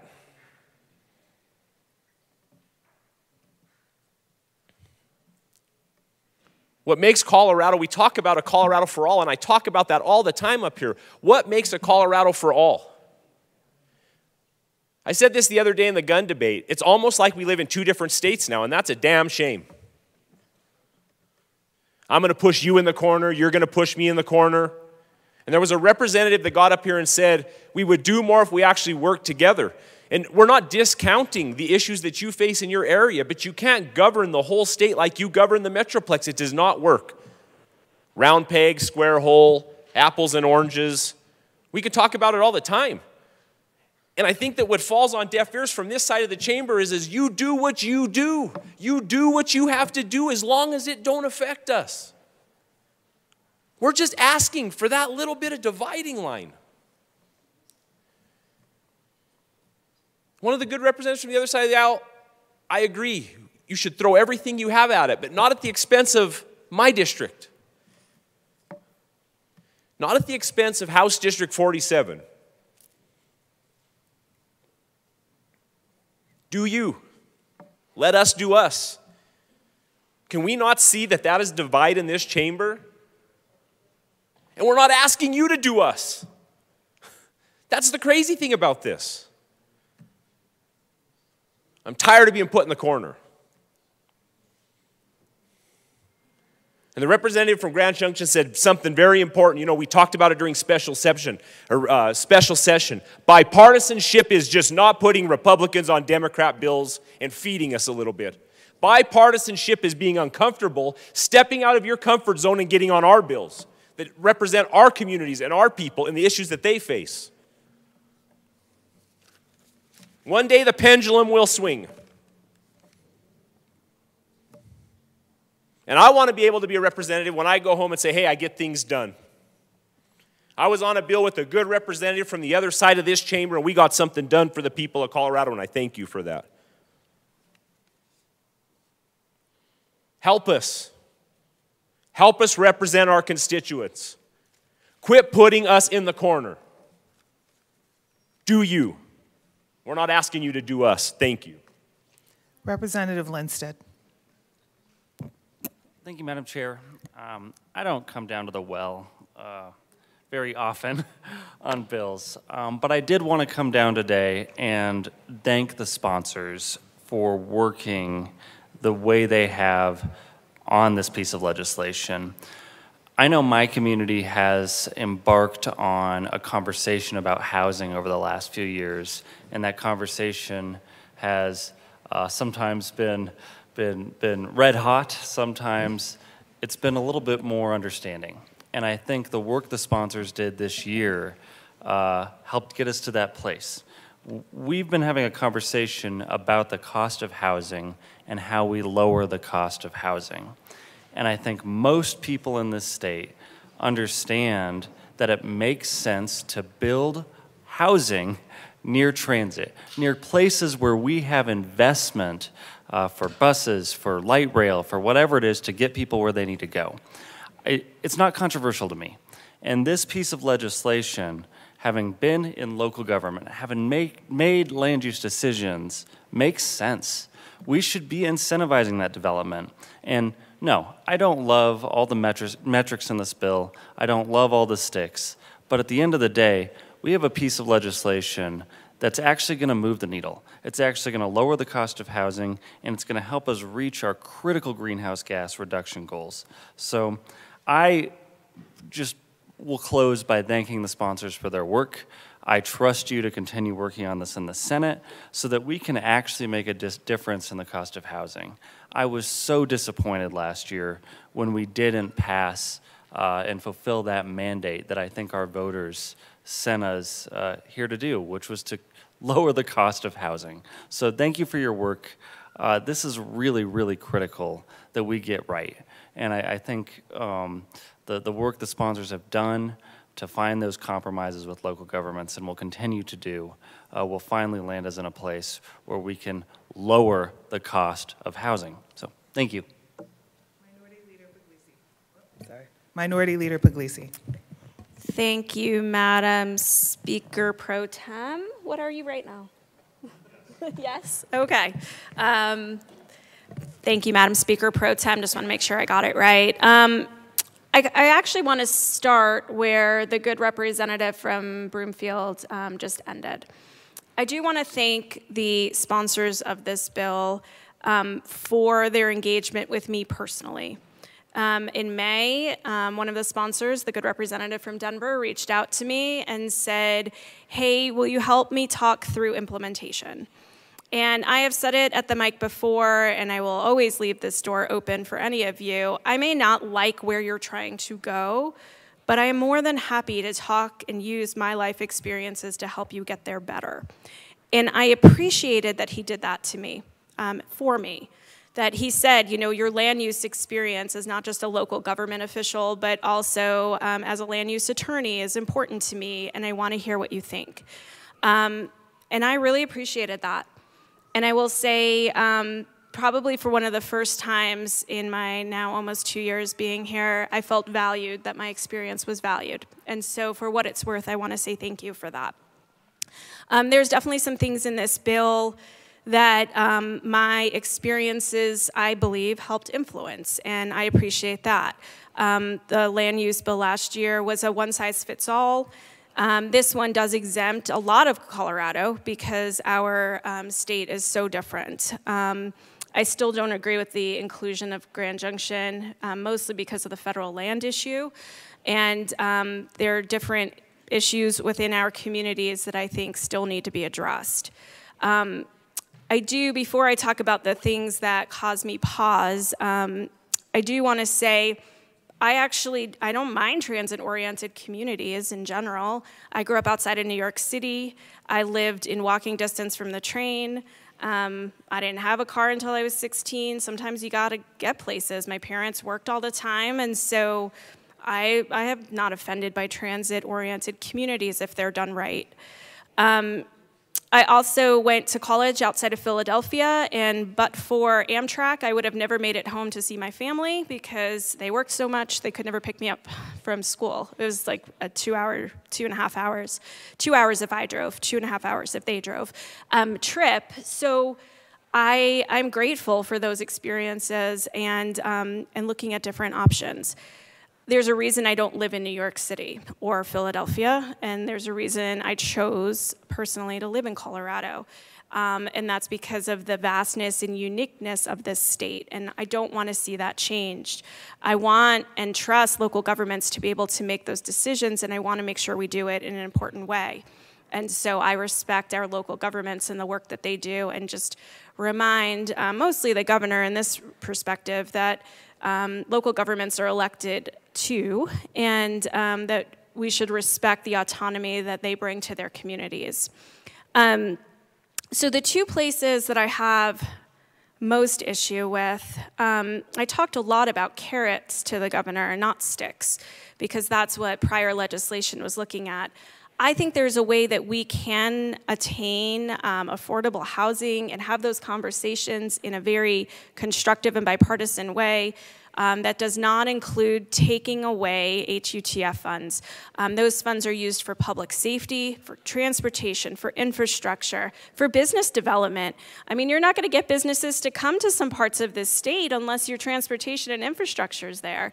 And so that's a real important part of this conversation because when one of us um, succeeds, we all succeed in this state. And I feel like that's getting a little bit lost in the conversation.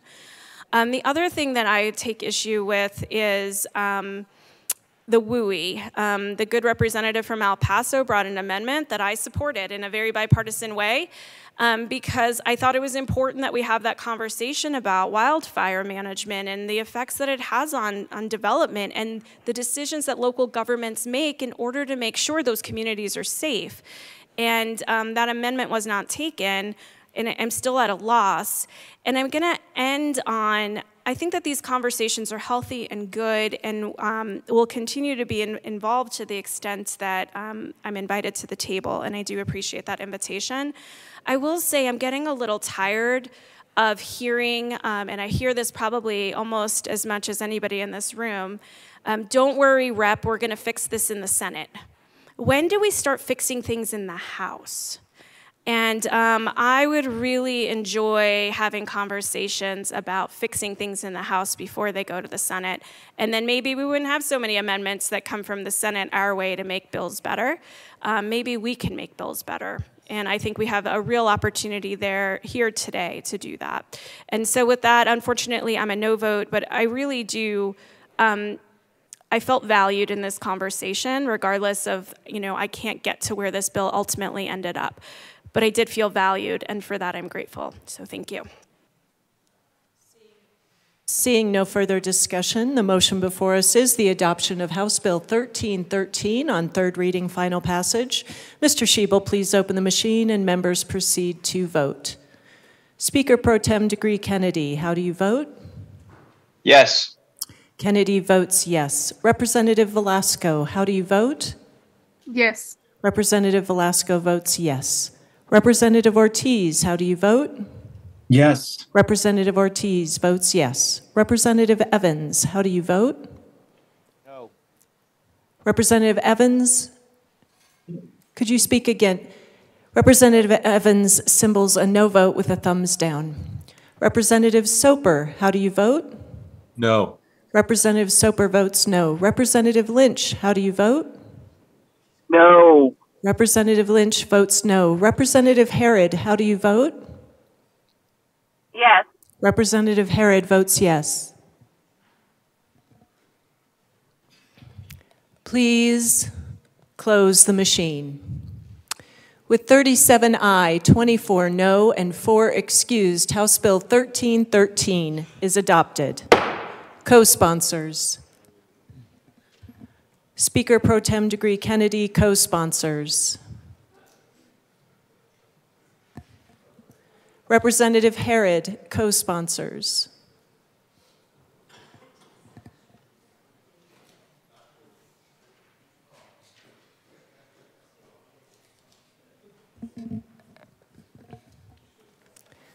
Please close the machine.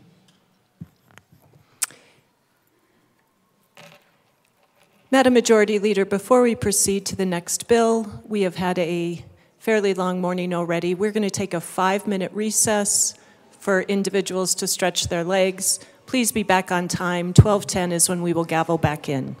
The House in recess.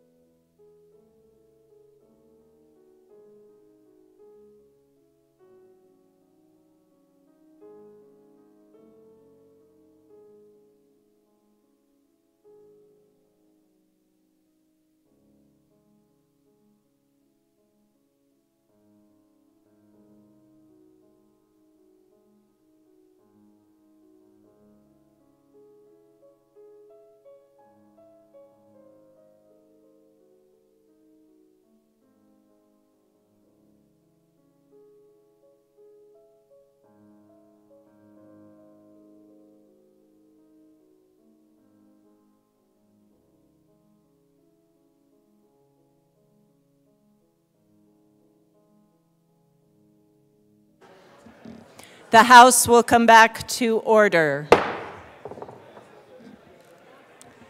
Members, I will invite you to take your seats.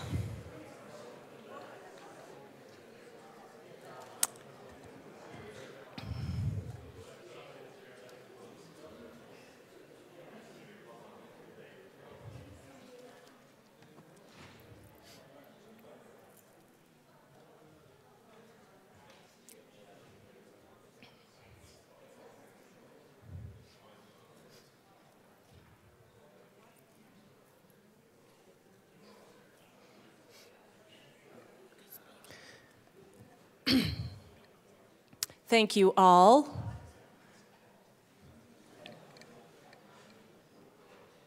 Members, as we begin our debate, I do want to call our attention back to our commitment to engage in civil and respectful debate.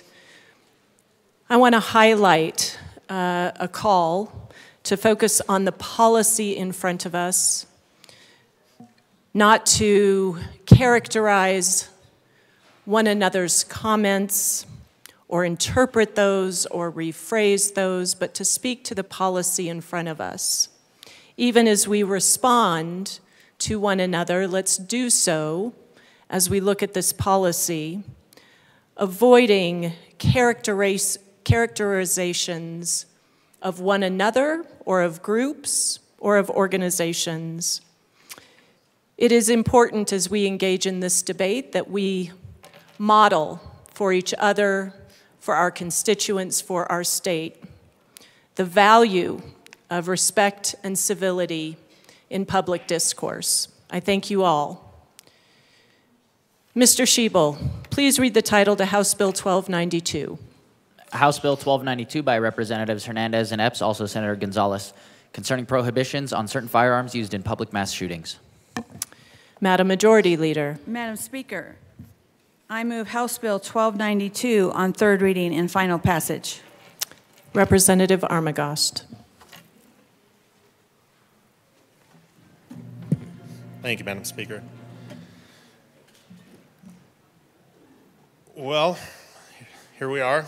Um, this has gotten a lot further than I, or anyone, I think, had expected it to go. Um, we're debating a bill that in the title and in the language of the title prohibits certain weapons used in mass shootings otherwise has been referred to as assault weapons ban uh, or assault weapons ban 2.0 however you want to look at it.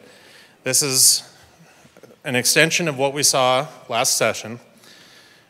Last session this bill was killed in committee after a strike below essentially was killed went back to the bill and the bill was killed um, this goes way further. Um, not, it doesn't, it doesn't close in anymore on the actual topics or the actual purpose that is identified by the sponsors in preventing gun violence or preventing mass murders, mass shootings, things like that. I will get to some points that are on statistics done by the FBI. I will get on some points that are essentially negating the fact that there's any level of prevention this bill is going to, to, to produce. I think the biggest thing that this bill produces is an overwhelming uh, burden, an overwhelming restriction on law abiding gun owners.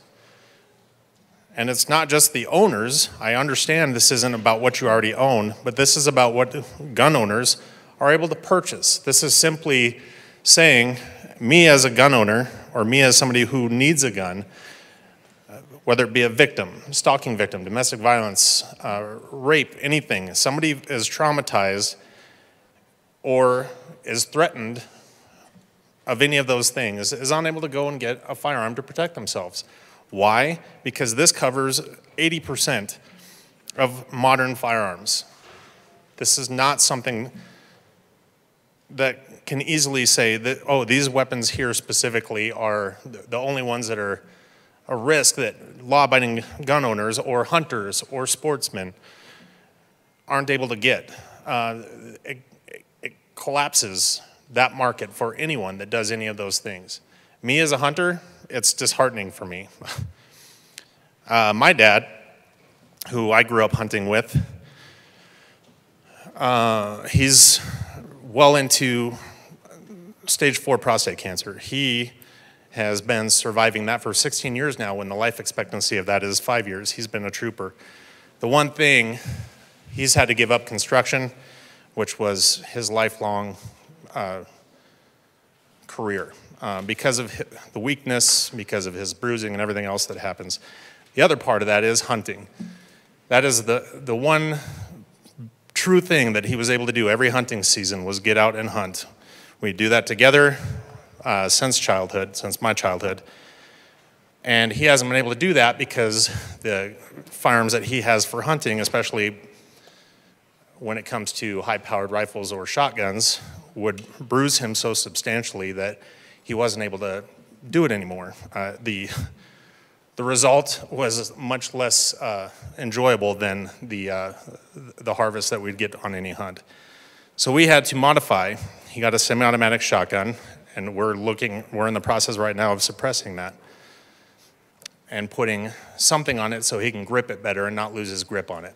So it would either be a thumb hole stock or a pistol grip.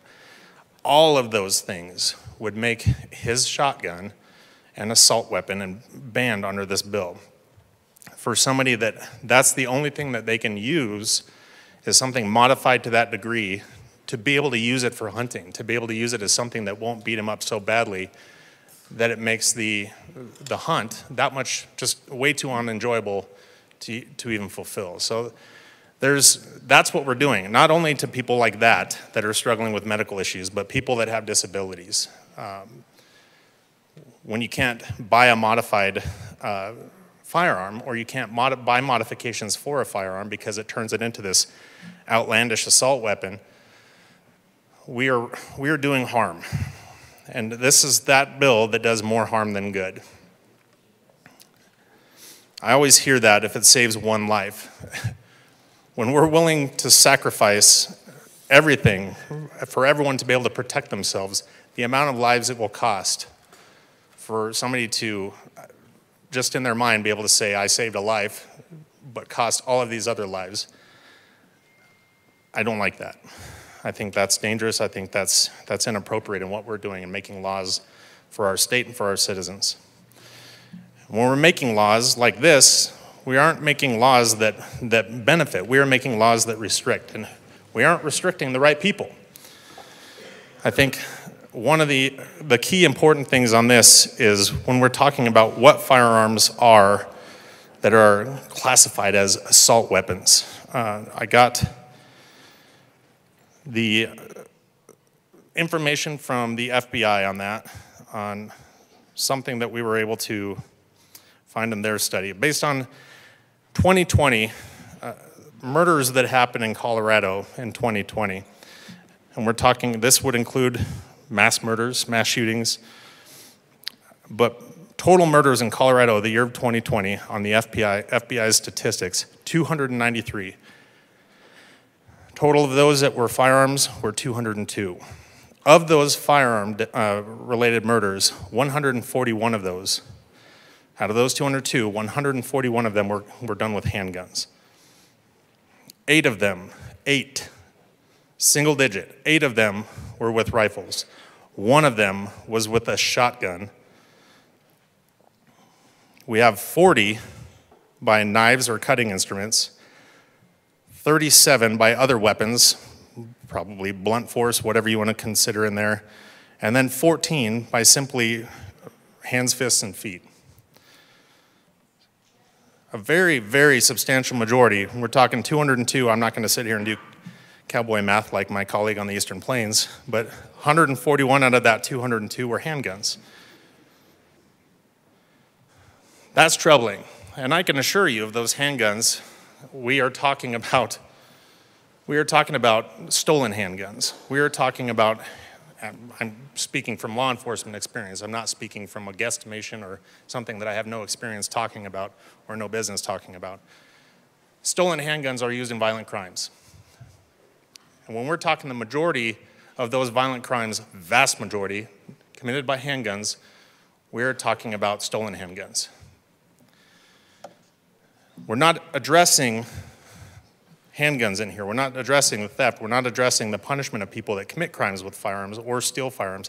We're talking about tools that people can purchase. And when we're talking about tools that people can purchase, we're talking about how we can take that right away for people to purchase a tool. Now, the glorified mass shootings that we see on the news, the ones that are brought up because it, it's clickbait, it's something that people hear, oh no, this happened again. Those are the few mass shootings that, are, that actually make the news. And those are done with weapons that get the clickbait. Somebody did something with a long, black, scary looking firearm, and we need to get it on the news. What you don't see, unless you're paying attention to our nightly news here in Colorado, your local news station, are the countless, uh, just constantly seeing such, such and such, three people killed in Denver, shooting in Denver, two people dead. All this stuff happening right here in Colorado, right here in our neighborhood that we're working in on a daily basis. Those are handgun deaths. Those are gang involved shootings and otherwise robberies gone wrong. Representative home. Armagost, you have one moment, one minute from him Thank- remaining. Thank you, Madam Speaker. We're going the wrong direction. And I want to read another thing. When we're talking about the constant ideology in here where we- we can do this and this and protect, protect our own and let a house or let a bill get out of the House, the Senate will fix it for us. The fact that we're doing that is wrong, but especially when we know what's going to happen to this bill. In the Colorado Sun interview with Senate President Steve Fenberg, he would, he would not vote for the bill. The Boulder Democrat, I'm quoting, isn't sure House Bill 1292, which would ban the purchase, sale, and transfer of a broad swath of semi-automatic weapons defined in this measure as assault weapons, would be as effective as promised. And for those reasons, he doubts it will get through or get enough support in his chamber to pass if it makes it out of the House as expected. Representative Armagost, your time has expired. Thank you, Madam Speaker. Vote no. Representative Weinberg. Thank you, Madam Speaker. It's a privilege to serve with you. And a privilege to serve with you.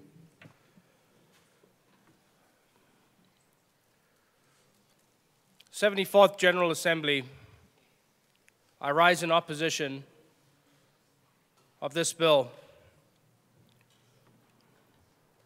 I'm sure, as you all know, I did not come from this country. I am born and raised in South Africa. And one of the reasons my family chose to leave was we were robbed at gunpoint. The only thing that prepared us to counter was having firearms.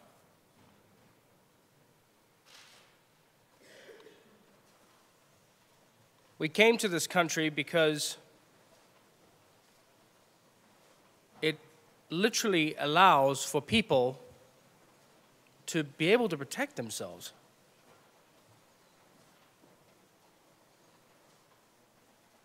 What's happening in our supermarkets and in our schools is horrific. But I'll tell you now, from everything I've experienced, an all out ban doesn't fix the problem. Because there is literally no way to ban illegal firearms.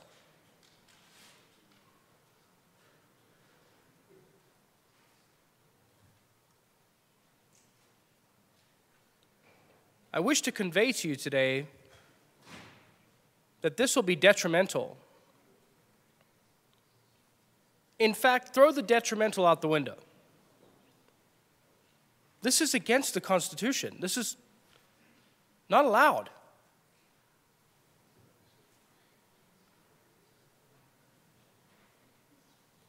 I'm clueless how we get into this chamber and dare try to pass a bill that is against our founding documents. I, I don't understand that. We swear an oath to the Constitution and then we write bills against them? It, it literally goes past my head every single time. I had to take the test to become a naturalized citizen of this country. A hundred plus questions of why and how this country is in existence. I would urge everyone to get a copy of the test. In fact, if you need me to print it off, I still have one. I am lost on nonsensical reason. Let me repeat that, please. Nonsensical reason to violate the oath and documents of this great country.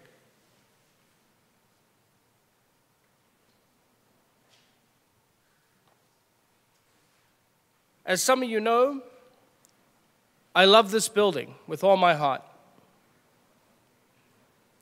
And I'm learning a lot about it. I show people around and teach people a few things. The Supreme Court that sits where it does now has pillars moving up to a tip, which faces the road, which faces the House chambers. Architecturally, that was designed, if any of you didn't know that. And when you pass it coming up, pay attention. The reason the architects designed it so that the tip faced the House of Representative chamber was so that they were always watching us and would hope that unconstitutional law would never be put into practice.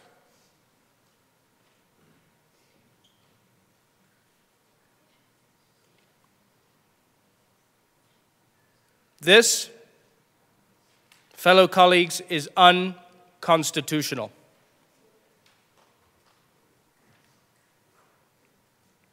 And a naturalized born citizen such as myself would beg you to reconsider such a nonsensical bill. There is literally no reason to putting in place anything that would hurt innocent and protect criminal. And that is literally what this does. You are not going to ban the weapons that were stolen. You are not going to ban criminals from being able to get one. When we had East High protesters come in this building last year, and I sat with them in a, with them in a room on the third floor, and they showed me how easy it was for them to attain a firearm. This bill does not ban them from attaining a firearm.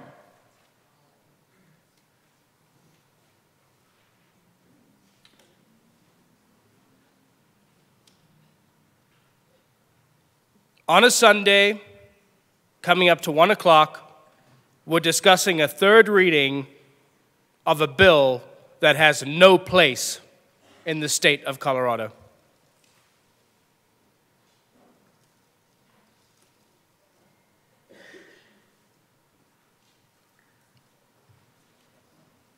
I am trying deeply to understand your motives.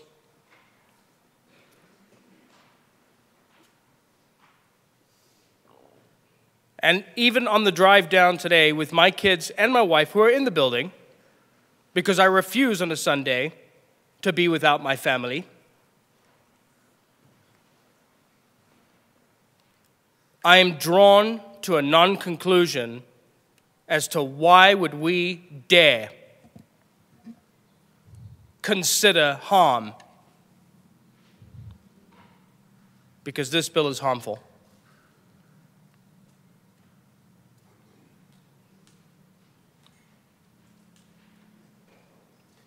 We are put in this chamber by people. And they expect us to abide by the oaths we took.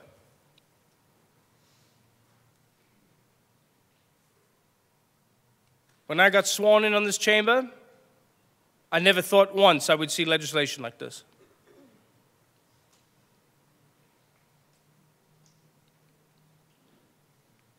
And today, Congressmen and Congresswomen, I am appalled.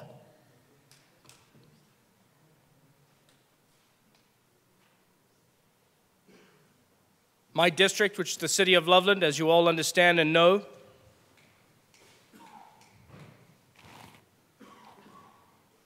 does not accept this bill.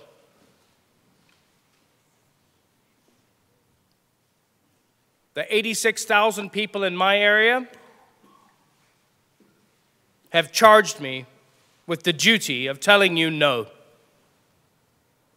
Democrats, unaffiliates, Republicans alike. Representative Weinberg, you have one minute remaining. Thank you, Madam Speaker. I plead with you, as I've done with other things. This is not the business of this legislature. And with all due respect to your ideas, this is unconstitutional, and we should stop wasting Colorado's time. I urge a no vote. Representative Joseph.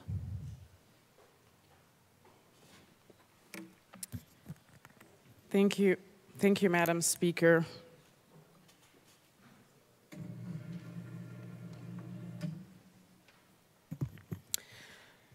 Members, gun violence prevention save lives. HB 24 1292, which prohibits certain weapons used in mass shooting, will save lives. HB 1292 will not eliminate all gun violence, but it will curb, curb mass shootings. As someone from the Boulder community who has been touched by mass shooting, we need this bill to protect lives in our communities. I ask all my colleagues to support this bill. Two years ago, two years ago in Boulder, we had a mass shooting, which took place on March 22, 2021. We are still recovering. 10 lives too many were taken that day. And today you have this opportunity to vote yes on this bill, HB 12, 1292 to show to the families, the families of the victims, that we heard them and that we're working to curb gun violence in our community. In honor of these lives, I ask you to please, please vote yes. And I wanted to respond or add to some of the narratives that I heard earlier today and also Friday. Last year, there, were, there was a group that came here to the Capitol, and it was a group of nurses, and this bill was being heard that day. And I ended up in the basement, and I was talking to one of the nurses coming from Boulder. And as we were discussing a very bill similar to this one, which was the assault weapons ban from last year, bill from last year, that community member who works at the Boulder Community Hospital told me that these type of weapons are not used for hunting. Because when hunters use these type of guns, the meat is not edible. So again, why are these type of weapons, why do they exist in our community or our communities? There was a comment made earlier about not being born in this country, and many of you, if you didn't know, you can hear my accent. I have an accent. hmm And I was born in another country. I was born in Haiti. And many of you also are fully aware of what's going on in Haiti. And in Haiti is another country. We're legislating here in Colorado, that's for sure. But the thing is, the experiences that we've had in other countries around the world also help us show up as who we are as legislators. And I can tell you, as Americans, as Coloradans, there's no other country that we can run to. So that means we have to ensure that our community is safe for all of us.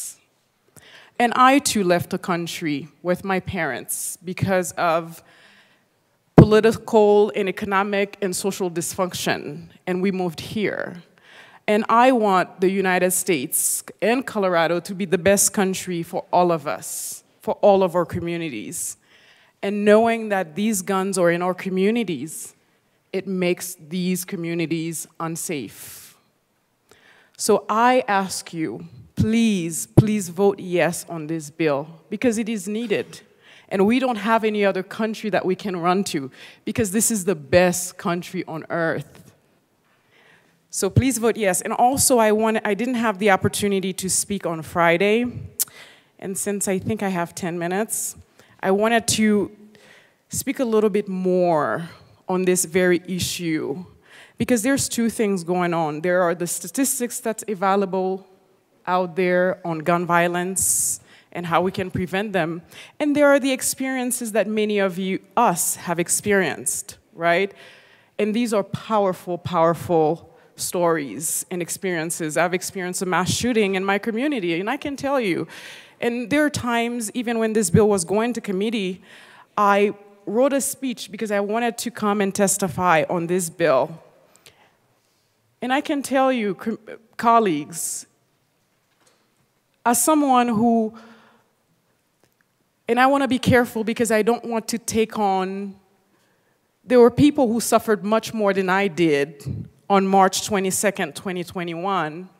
But I can tell you, being from the Boulder community, there is some vicarious trauma or community trauma that I have experienced, even till today. When I go to grocery stores, I think about what happened on March 22nd, 2021. Because I know, even as a legislator, this badge would not protect me. What would protect all of us is this bill. So please vote yes.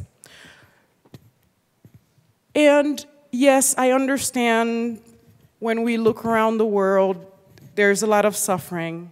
But gun violence and the way that we experience it in our community is an American problem. Last Friday, which was we just passed, I wanted to tell you we had 223 shootings in the United States that resulted in either an injury, death, or both. And Friday morning, two people were killed in Colorado Springs. If we define a mass shooting as three or more individuals being injured or dead in a single shooting incident, Colorado had 16 mass shootings in 2023. 16. There have been so many school shootings incidents in the gun violence archive have been recorded that you have to go to page 32 to reach Colorado. Just in 2024, there has been 107 mass shootings, nine, nine mass murders, 4,481 people dead by firearms, 7,999 people injured by firearms, 381 children under the age of 18 died by firearms, 933 children under the age of 18 injured by firearms. As an attorney in this country that has given me so much, so much. I mean, the life that I lead here in this country is, is, is, is my dream. I'm living my dream. But I also understand the responsibility of what it means to be an American. And I want to leave you with this.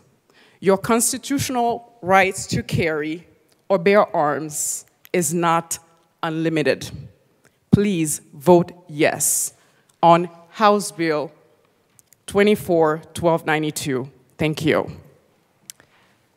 Representative Frizell? Representative DeGraaf? Thank you, Madam Chair. The, that your rights are not unlimited is, they're certainly limited by responsibility, but they're not to be infringed. And that infringement is what we're talking, not just infringement, we're talking about a gross infringement today. And I do appreciate my colleagues' uh, perspective. I appreciate knowing what's going on in the world. Uh, but what we have is we don't have, we don't have a gun problem. What we have is a culture problem. And you're trying to, you're trying to pave over a culture problem by creating a bigger problem by calling it a gun problem because you're not going to get to the root of the problem. Because if your culture, if your community has a problem with shootings, it has a problem with life in that it does not value life. So we should probably get to the point where we look at why do we have communities that don't value life? Because yes, we would all like to prevent mass shootings. And the, in the time, I'm not going to take the time to run through the statistics about the millions of about the millions of crimes each year that are prevented by having somebody having a weapon, brandishing a weapon if need be. I have friends that that's happened to. Somebody is approaching them, they bring out their concealed carry tool of self defense, and the situation is diffused. Because a firearm is a force leveler. And it, and it prevents and it prevents the tyranny, and imposition of tyranny by one person upon another or even a government upon another. And that is what is built into our Declaration of Independence as to why it shall not be infringed. And when the and when you and when we look at why every time that these what you would call reasonable infringements are reasonable, well, if you go back and you say, well, every time they happen, they have not solved the problem. The problem has become worse. You can look at cities like Chicago, Boston, Los Angeles, you could any any place that has what? Oh yeah, high density housing and a low regard for life. You are going to have a problem with those types of illegal activities, and those are illegal activities. Shooting somebody is illegal. So you're not dealing, but this, again, this bill does not deal with criminals. This does not deal with criminal weapons. This does not deal with criminals. This deals specifically with law abiding citizens. This only deals with law abiding citizens and turning them into criminals. So, if you want to look at history and why the Declaration of Independence would go into the fifth that, of the self evident truth that when any form of government becomes destructive to these ends, it is the right of the people to alter or abolish it, to institute a new government, laying its foundations and principles, organizing the, its powers in such form as to them seem most likely to affect their safety and happiness. Prudence indeed will dictate that governments, long established, should not be changed for light and transient reasons, and accordingly all experience hath shown that all mankind are more disposed to suffer while evils are sufferable. So, what does it tell me when a government says citizens cannot have a gun? And his, history shows, again, that when the government says you don't need a gun, you need a gun. And history really shows that when a socialist says you don't need a gun, you really need a gun. Because if we look at around the world and we say, 1911, Turkey disarmed the citizens. 1.5 million were slaughtered. Were those lives not important? 1929, Russia, citizens disarmed, 20 million Russians murdered. 1935, China, citizens disarmed, 20 million Chinese killed. 1938, Germany, citizens disarmed, 6 million Jews murdered. 19, and then obviously many more. That's only uh, one demographic. 1956, Cambodia, citizens disarmed. 1 million intellectuals killed. 1964, Guatemala, citizens disarmed. 100,000 Mayan Indians massacred. 1970, Uganda, citizens disarmed. 300,000 Christians put to death. Now we can add to those, we could add to those Cuba, Brazil, Venezuela. Millions. Now, it has been said that when one person is killed, that's a tragedy. When millions are killed, that's just a statistic. But each and every one of these people was a real human being. And the fact that they were all murdered in the name of social justice or in the name of social evolution doesn't make their murder less of a murder. Now, if you want to look at where the murders occur, put the impositions there. Where do they occur? Denver. Why are we looking at legislating across all of Colorado for a problem that is largely one of high population density and a very specific regulatory style? But instead of dealing with the actual problem, instead, it's imposed new restrictions, new,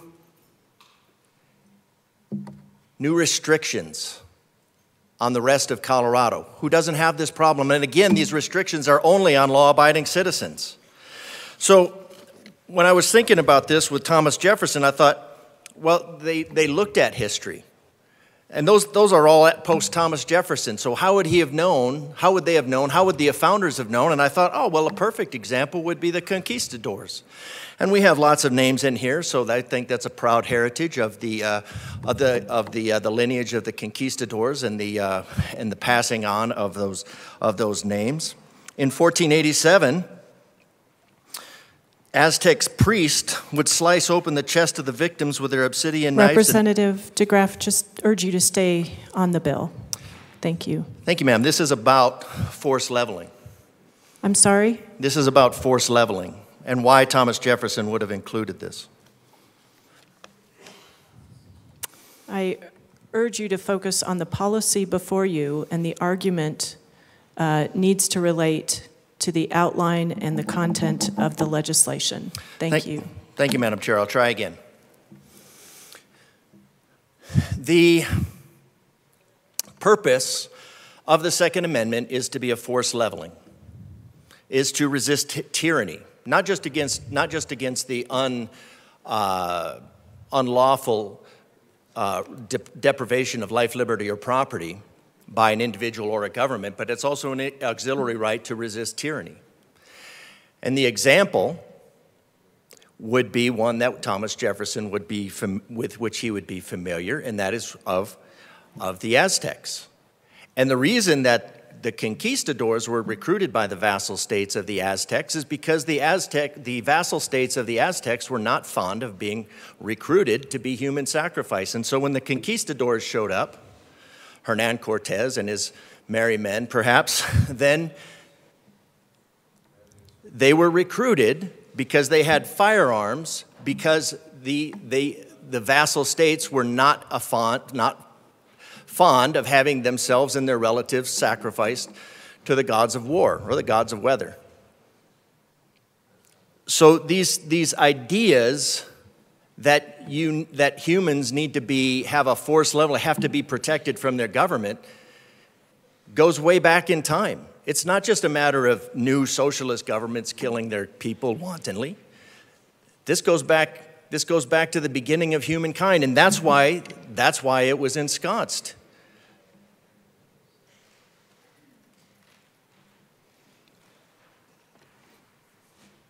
So I think that's an excellent example. Hernan Cortez leveled the playing field, removed all the people from the tyranny of the Aztec Empire, sacrificing the vassal states, people of the vassal states, for whim. Representative DeGraaf, you have one minute remaining. Thank you, Madam Chair.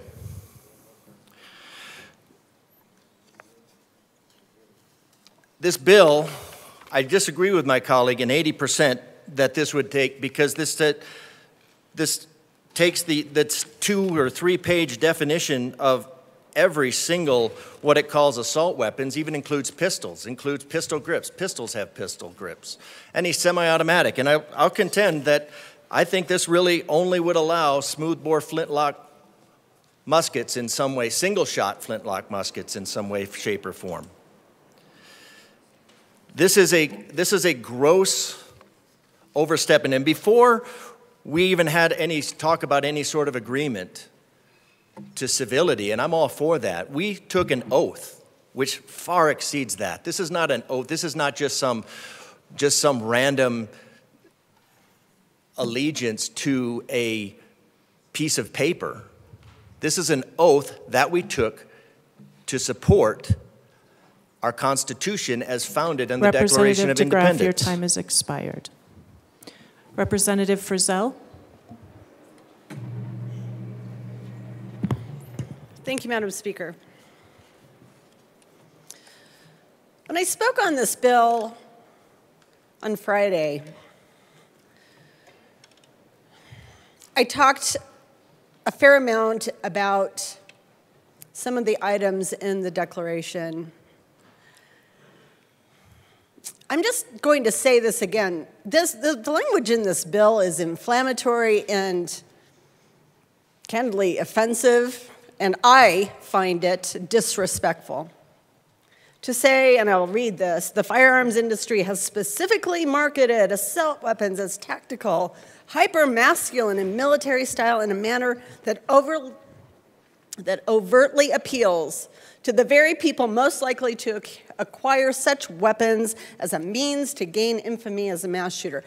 I, I think that that would be news to the millions and millions of gun owners who own their firearms legally.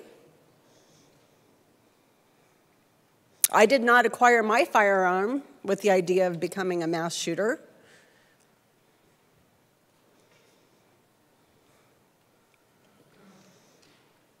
I don't find firearms hypermasculine. I think that I think that that's disrespectful. This bill does not address the real issues that we have in this state. It does nothing. It is criminalizing the sale of large swaths of firearm types. And what it is doing, what it is for sure doing, is reducing the legal inventory of legal firearms dealers. So I'm going to say this again. I said it last week. Let's be honest. Let's be honest about our motives. Let's be honest about the purpose of this bill and others like it. Let's be at least honest. You want to put these businesses out? You want, you want them to shut down so that the only place you can acquire a firearm is through a black market situation or across the state line? Let's just be honest. This bill is making law abiding citizens into criminals while giving the actual people breaking our laws those people who are making Colorado one of the least safe states in the country a complete pass. We're giving them a pass. We are saying it is not okay to own a firearm for safety, security, or sport. Um, I would humbly disagree with my good colleague from Boulder about these firearms not being useful for hunting. Uh, I lack the in depth knowledge and I do not hunt, so um, I believe that one of my colleagues will be addressing that later with more specific information. And I want to talk about one thing this kicking the can down the road of legislation that we appear to be doing in this session. The idea that we cannot fix bills or kill bills or at least make them relevant in this chamber is deeply disturbing to me. It is irresponsible. It is our responsibility to make a bill as good as it can be before we send it out of here. It is our responsibility. That's why we're here. It's not to kick the can down the road hoping the Senate's going to do something. Come on. Take responsibility. I have seen this time and time and time again sitting on the four committees of reference that I get to sit on of a bad bill getting laid over or a bad bill. We won't kill it. We won't kill a bill.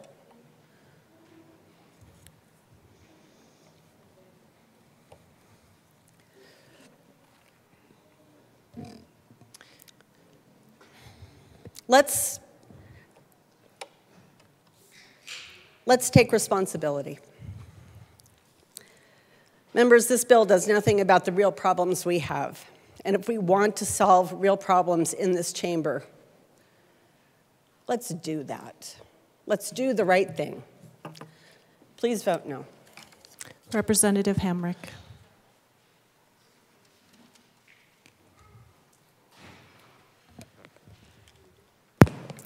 Thank you, Madam Speaker. It's a pleasure to serve with you. And a pleasure to serve with you. I want to thank the sponsors for bringing this very, very important bill. Columbine, Sandy Hook, Parkland, Uvalde, STEM School. I could read the rest of the schools that have experienced shootings, but my time would be exhausted. So I'm just going to remind you all that I've been a high school teacher for 32 years. Um, I teach in an area where we have active shooter events, not just drills. I was a teacher, high school teacher, when Columbine happened. And it was kind of before cell, most kids had cell phones, so it was all kind of a mystery about which school it was. We didn't know which school it was. And um, we had one of my friends, my office mate, his wife, worked at Columbine, and he had no idea if she was safe or anything. And um, as teachers, you know, most of us had kids, and our children were in other schools, and we didn't know if it was that school. And it was just, it was a nightmare. And, um, you know, as a teacher, your duty is to your students, and so, um, you know, we, we just sort of calmed our kids, our students, um, as much as we could, and, and waited for news and just kept them in our classroom all day. They didn't, no passing periods or anything like that. Um, and then afterwards, when we found out it was Columbine and the, the, the murders that happened there, um, the kids wouldn't come to school. We had really high um, absenteeism um, for a few weeks after Columbine. And then every 420, about a third of the kids for many years wouldn't come to school. The parents wouldn't send them to school for fear of them basically getting murdered. Um, and a lot of teachers were really nervous too, right? But you showed up on 420 um, and you, you know, kept your chin up and you taught your subject and you hoped that someone with an assault weapon wasn't going to burst through into your classroom where you'd have to figure out how to protect yourself um, and your students. My community also is um, where the Aurora 16 shooting happened. Um, and our students' leadership group was there. These were juniors, and it was in the summer. And, um, and uh, they were in the actual room with the murderer. And one of my kids, that's what I call my students, shielded a mother and a child from being killed, and he was shot in the back. Now he's survived, but physically he survived, but mentally, you know, uh, it, it, takes a toll. And as, as my um, friend from Boulder talked about, um, when a mass shooting happens in a community, it ripples out into the whole community. Everyone is affected um, by that. So thank, thank you for standing. I really appreciate it. Um, so since Columbine, there's more, been more than 370,000 students who have experienced gun violence in 404 schools, and who knows, it could be another shooting today. We're in the area of mass shootings. We're in the era of lockdown drills. Um, and when I speak with with parents and teachers and students, their biggest ask is a bill that addresses um, assault weapons. So let's look at the evidence. A growing body of research shows that states can reduce gun violence by prohibiting assault weapons and high capacity magazines. States with restrictions on magazine size experience mass shootings at less than half the rates without restrictions. According to Dr. Michael Siegel, a researcher at Boston University, whether a state has a large capacity ammunition magazine ban is a single best predictor of the mass shooting rates in that state. I'll read that again. Whether a state has a large capacity ammunition magazine ban is a best single predictor of the mass shooting rates in that state. A 2018 study found that mass shooting fatalities were 70% less likely to occur in 1994 to 2004 when the federal prohibition on assault weapons and high capacity magazines was in effect. Then, during the 12 years studied before and after the prohibition, researchers estimate a federal assault ban would have prevented 314 of 448 mass shooting deaths that occurred during the studied periods where assault weapon ban was not in effect. In Virginia, the assault weapon ban was associated with significant reductions in the share of guns used in crimes that were equipped with high capacity magazines, down to an all time low of 10% in 2004. When the prohibition expired, the share of Virginia crime guns equipped with high capacity magazines rapidly increased, reaching 22% by 2010. The, the, this legislation, these types of laws, they work. And so, as a parent and a teacher and a legislator, I urge you to vote aye on 24 12 92. Thank you. Representative Holtorf.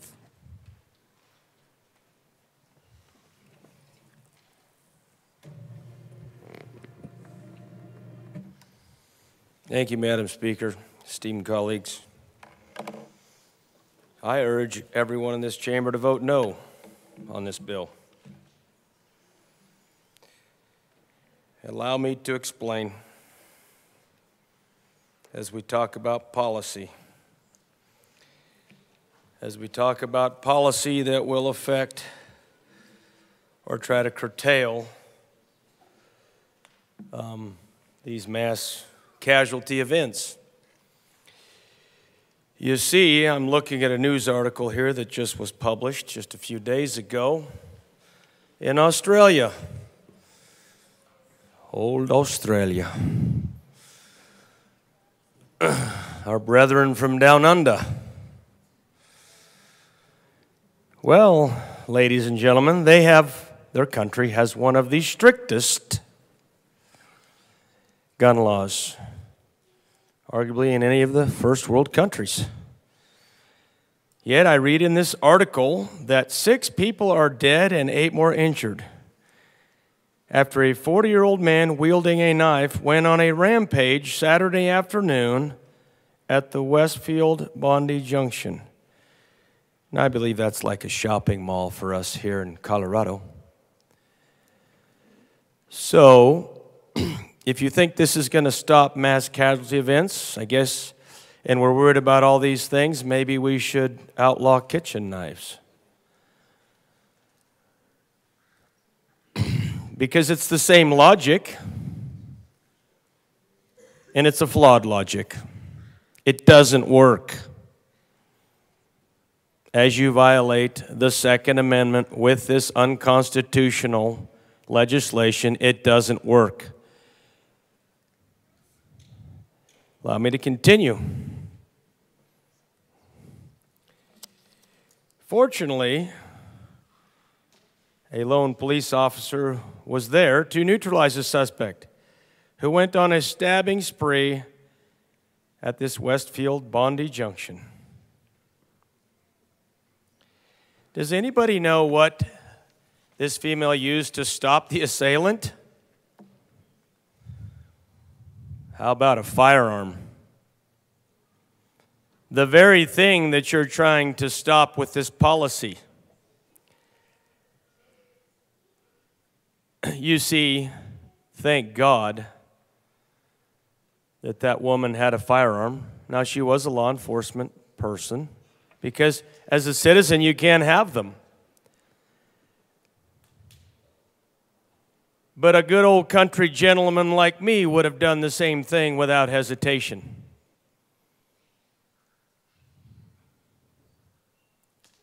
I know how to put three around a quarter in pretty short order. Yeah, that rhymes. You see, it's not the person, it's the spirit of the person and it even says in this story this person was deranged. He was on a killing spree, obviously mentally unstable. And see, that's the issue. Now, I do want to cancel out a myth stated by my colleague from Boulder that she said the nurse told her that if you use a um, this type of firearm in hunting that the meat's not any good.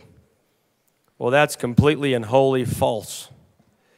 It doesn't matter what firearm Representative you use. Holtorf, just a reminder, we do not need to uh, characterize others' statements. Just encourage you to speak your own truth. Uh, well, ma'am. I'm going to speak the truth, but I want I won't talk about my colleague from Boulder. I'll just talk about the truth. The fact that and it doesn't matter what type of firearm you use. Okay? What matters is the projectile, the caliber of the projectile, and it doesn't matter if it's single shot, bolt action, lever action, semi automatic. It matters none. What does matter is the placement of the shot and how quickly you do the proper techniques to make sure that the meat does not get fouled after you put down the game. Those of us in the hunting world understand this. So it matters not and means not and doesn't mean a thing in hunting. Just for the record, that's the truth. Now, I want to talk about this bill. It's full of flawed assumptions, and I'll just start out with the uh, declaration here. And I'm going to substitute some words mass shooting for mental health. Because really, as we've talked about in this chamber, it is not the hunk of metal that you hold in your hand.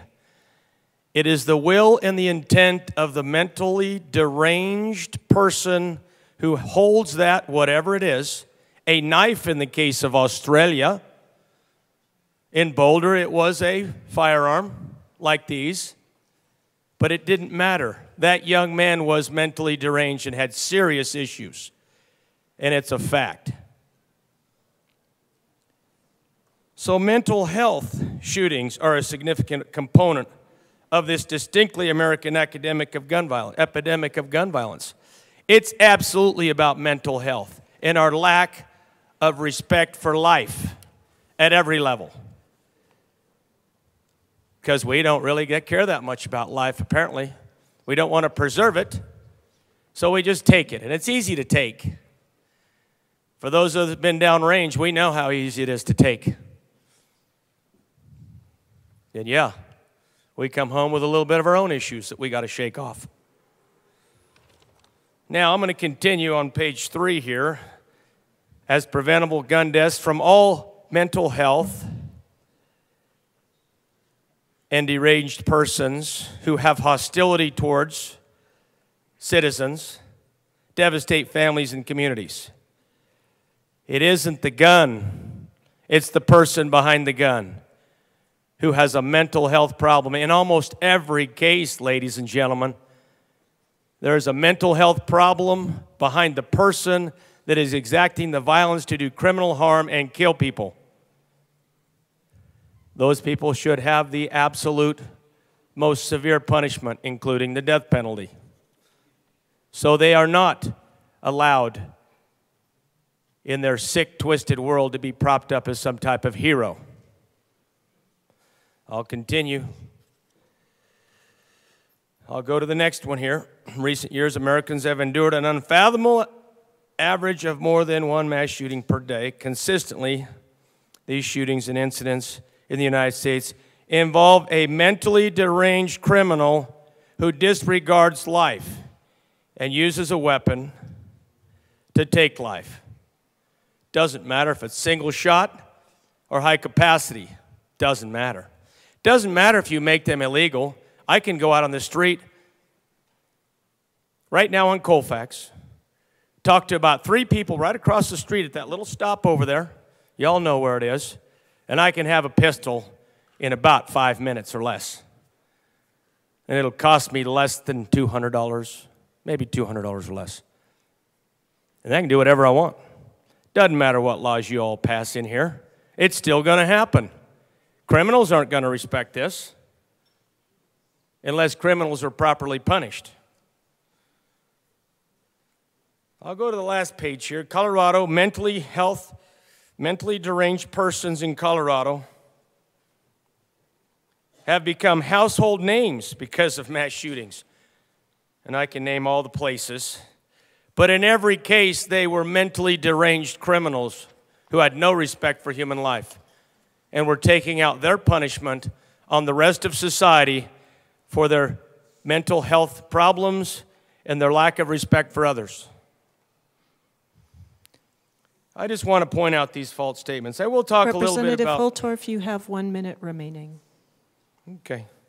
I do want to talk a little bit about gun violence. You know, we talked about Haiti, and um, Haiti has some of the very biggest restrictions on guns. But right now, ladies and gentlemen, they have a gang war going on, and their country has fallen into disarray. Despite all those laws, like this, like this very law you present, how is it that the country is falling apart? And yes, there's lots of violence gang violence, gun violence. It's lack of respect for human life Representative Holtorf, back to this bill and the and state of lack Colorado. of respect for life. So, all these laws in the world aren't fixing the problem. Y'all need to understand that. And the worst part about it is they're grossly and wholly unconstitutional. So, I'm going to vote no because it's not going to fix the problem that you purport Representative to fix. Representative Holtorf, your time has expired. Thank you. Representative Hartsook. Thank you, Madam Speaker. Good afternoon. Pleasure and an honor to serve with you today. It is an honor to serve with you. Thank you very kindly. On Friday, I spoke rather extensively on this.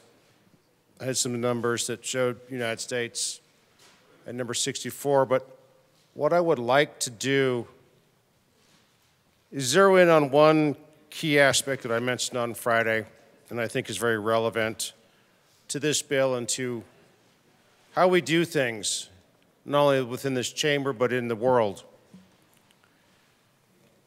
Two, three major emotions in life love, hate, fear. Of those, fear can drive people to do what all of us would consider insane things. Hate will do the same thing. This bill intends to criminalize dozens and dozens of weapons. The weapon is an inanimate object, it, it has no emotions, it has no capability of doing anything except used as a tool by an individual. And how that individual uses it will determine if it's good or bad. If it's through hatred or fear or love for self defense or for food.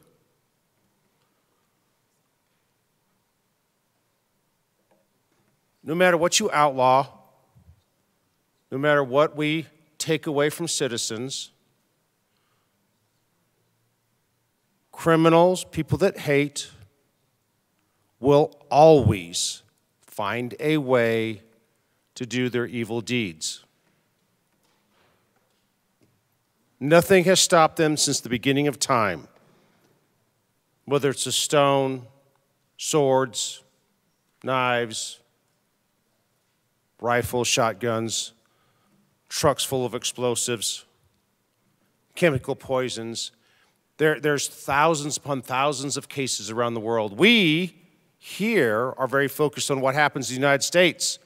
We tend to lose sight of it in comparison to everything else that goes wrong on around the world, where there's mass executions, there's mass chemical poisonings, And yet, through fear, we believe that if we get rid of these weapons, our kids will be safe.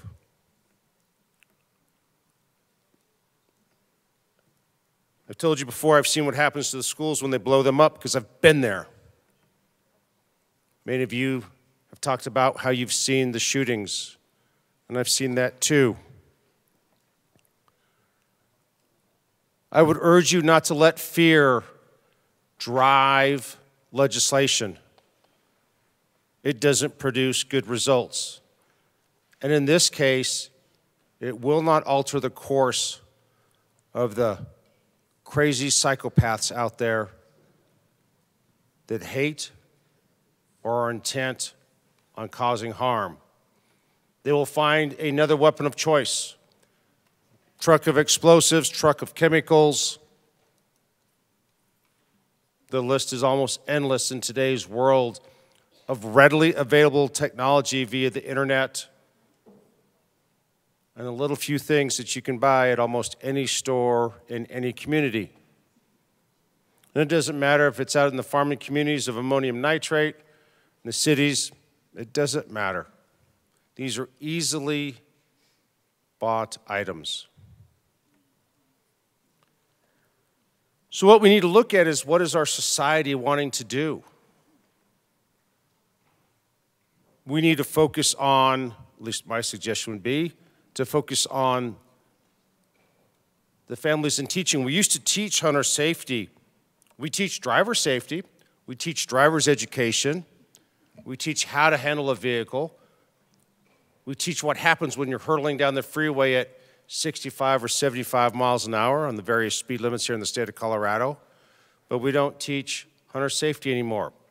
We don't teach discipline when it comes to weapons. I grew up with that. We don't teach respect anymore. Everyone wants their way. So then fear drives us to let's get rid of things, be it cars, be it guns. But we're not addressing the root problem. And until we address that root problem, ladies and gentlemen, the statistics are not going to change, only the methodology. I not only urge a no vote on this, but I urge we get back down to the table and look at how we address the root problem. Thank you. Representative Bradley.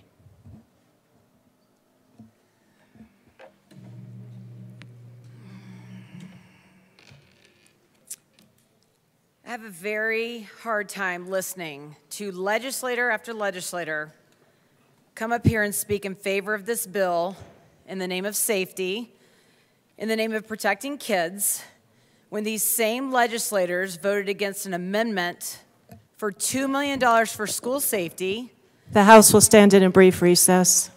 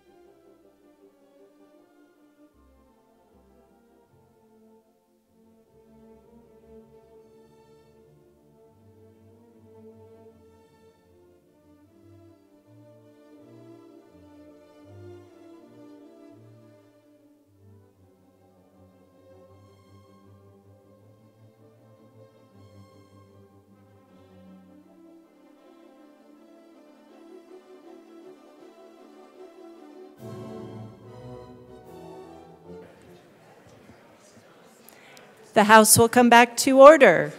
Representative Bradley, please proceed. Thank you.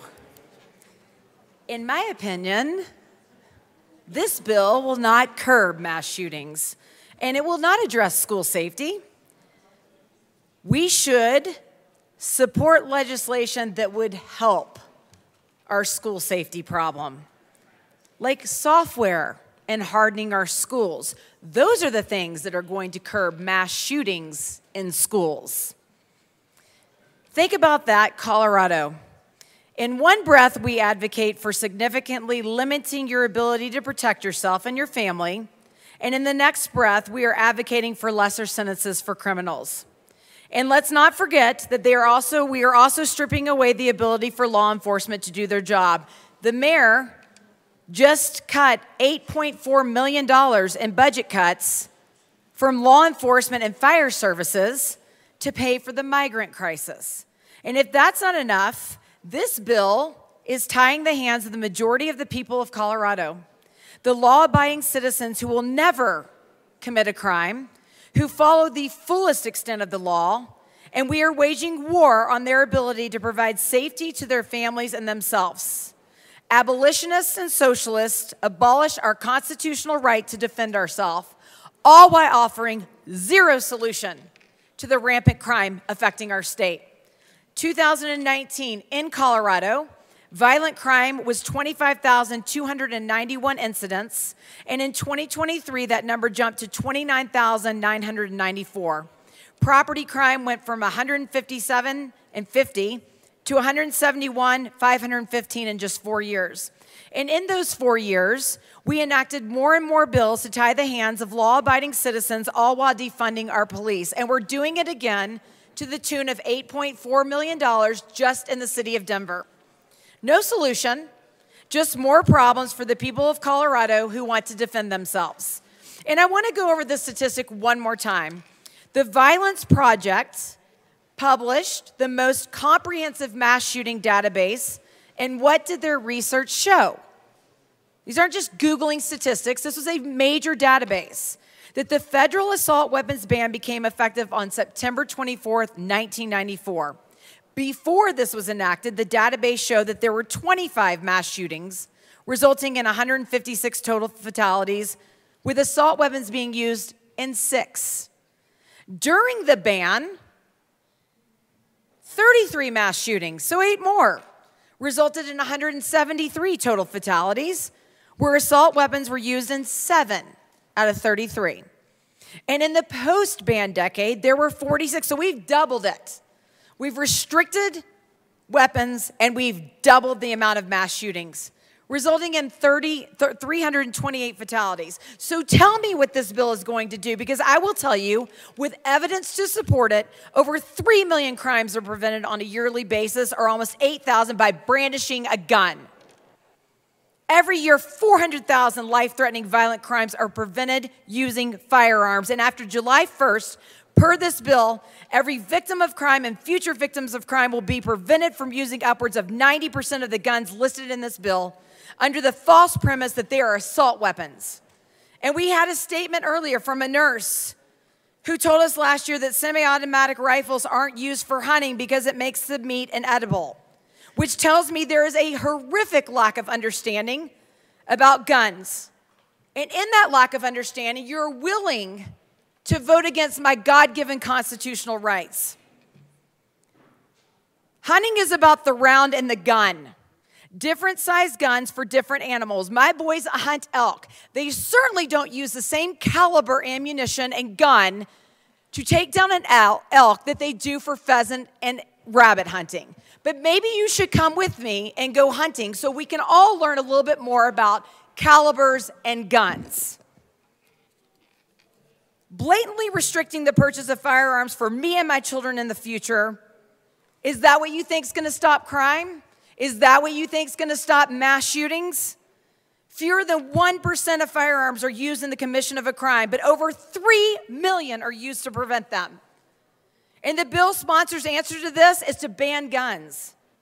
You're willing to make the majority of us, law abiding citizens, future victims. And if we're talking about assault weapons, then let's ban knives. The representative already came up here and talked about what happened in Australia. Six people died, horrific deaths, probably praying that someone would show up with a gun. And guess what? Someone did. Someone showed up with a gun, killed the person, so that no more lives were taken. And maybe we should ban forks. Maybe we should ban cars, because they kill more people every day than guns do. And let's talk about the fastest growing statistics of gun owners, and it's not white conservative men. It is women like me, minorities, members of the LGBTQ, and I find it appalling that this bill states that the firearms industry has specifically marketed assault weapons as tactical, hypermasculine, and military style in a manner that overtly appeals to the very people most likely to acquire such weapons as a means to gain infamy as a mass shooter. You're talking about my children who have no want or desire to participate in taking the life of anything. This is such an egregious and grossly inflammatory statement. Women like me want to protect ourselves, not hyper masculine. Give me a break. A Pew Center study in September of 2023 states that 40% of Democrats who don't own a gun said that they would consider owning one in the future will hurry before July 1st. 56% of black non owners, 48% of whites, 40% of Hispanics, and 38% of Asian non gun owners said they would be gun owners one day. But in Colorado, because of legislation like this, hurry. In 2012, the Pew Research Center conducted that only 29% of African American households viewed guns as a positive, and in 2015, that same survey showed a dramatic jump to 59%, where now a majority of African Americans see guns as not only a positive thing, but in many cases a necessity. And it also shows that single African American women are now one of the fastest growing demographic groups in the African American community who are purchasing guns for what? For protection. And you know why that gun ownership is increasing across all demographics? Is because people don't feel safe. And in Colorado, you shouldn't feel safe. You should own guns to protect yourself. Colorado is the fourth, fourth least safe state in our country, one of the highest for combined property and violent crime rates, according to the FBI. But let's strip our rights to be able to defend ourselves as of J- July 1st. Guns are the great equalizer. My ability to protect myself, my home, and my children will not be stripped. In closing, our constituents voted each of us into office at the very least to uphold the Constitution, the oath we all swore to protect. And I'll remind you, we put our hands, most of us on Bibles, others on other things. I do swear that I will support the Constitution of the United States, the Constitution of Colorado documents that protect us against tyrannical government, and I would now say against tyrannical legislators who call our Constitution just a piece of parchment paper. Democrats and Republican constituents. Representative Bradley, you just called us tyrannical legislators? No, I said, I, I, no, I said against. Against. I didn't, I didn't call anyone, I didn't impugn anyone. Against. Representative Bradley. You can take it, yeah. You have one minute remaining. I will ask you to wrap up your comments. In which part of the Constitution says that our right to bears arms, bear arms is limited? The law abiding people of Colorado will resist. We will not comply. We will not continue to let legislators make us victims while letting criminals roam our streets with less penalties for their crimes. And you can be elated now if this bill goes through the House, but understand that our fight is just getting started against anyone who votes for this barbaric and unconstitutional attack on our freedoms. Representative Vigil. Thank you, Madam Speaker. Privileged to serve with you.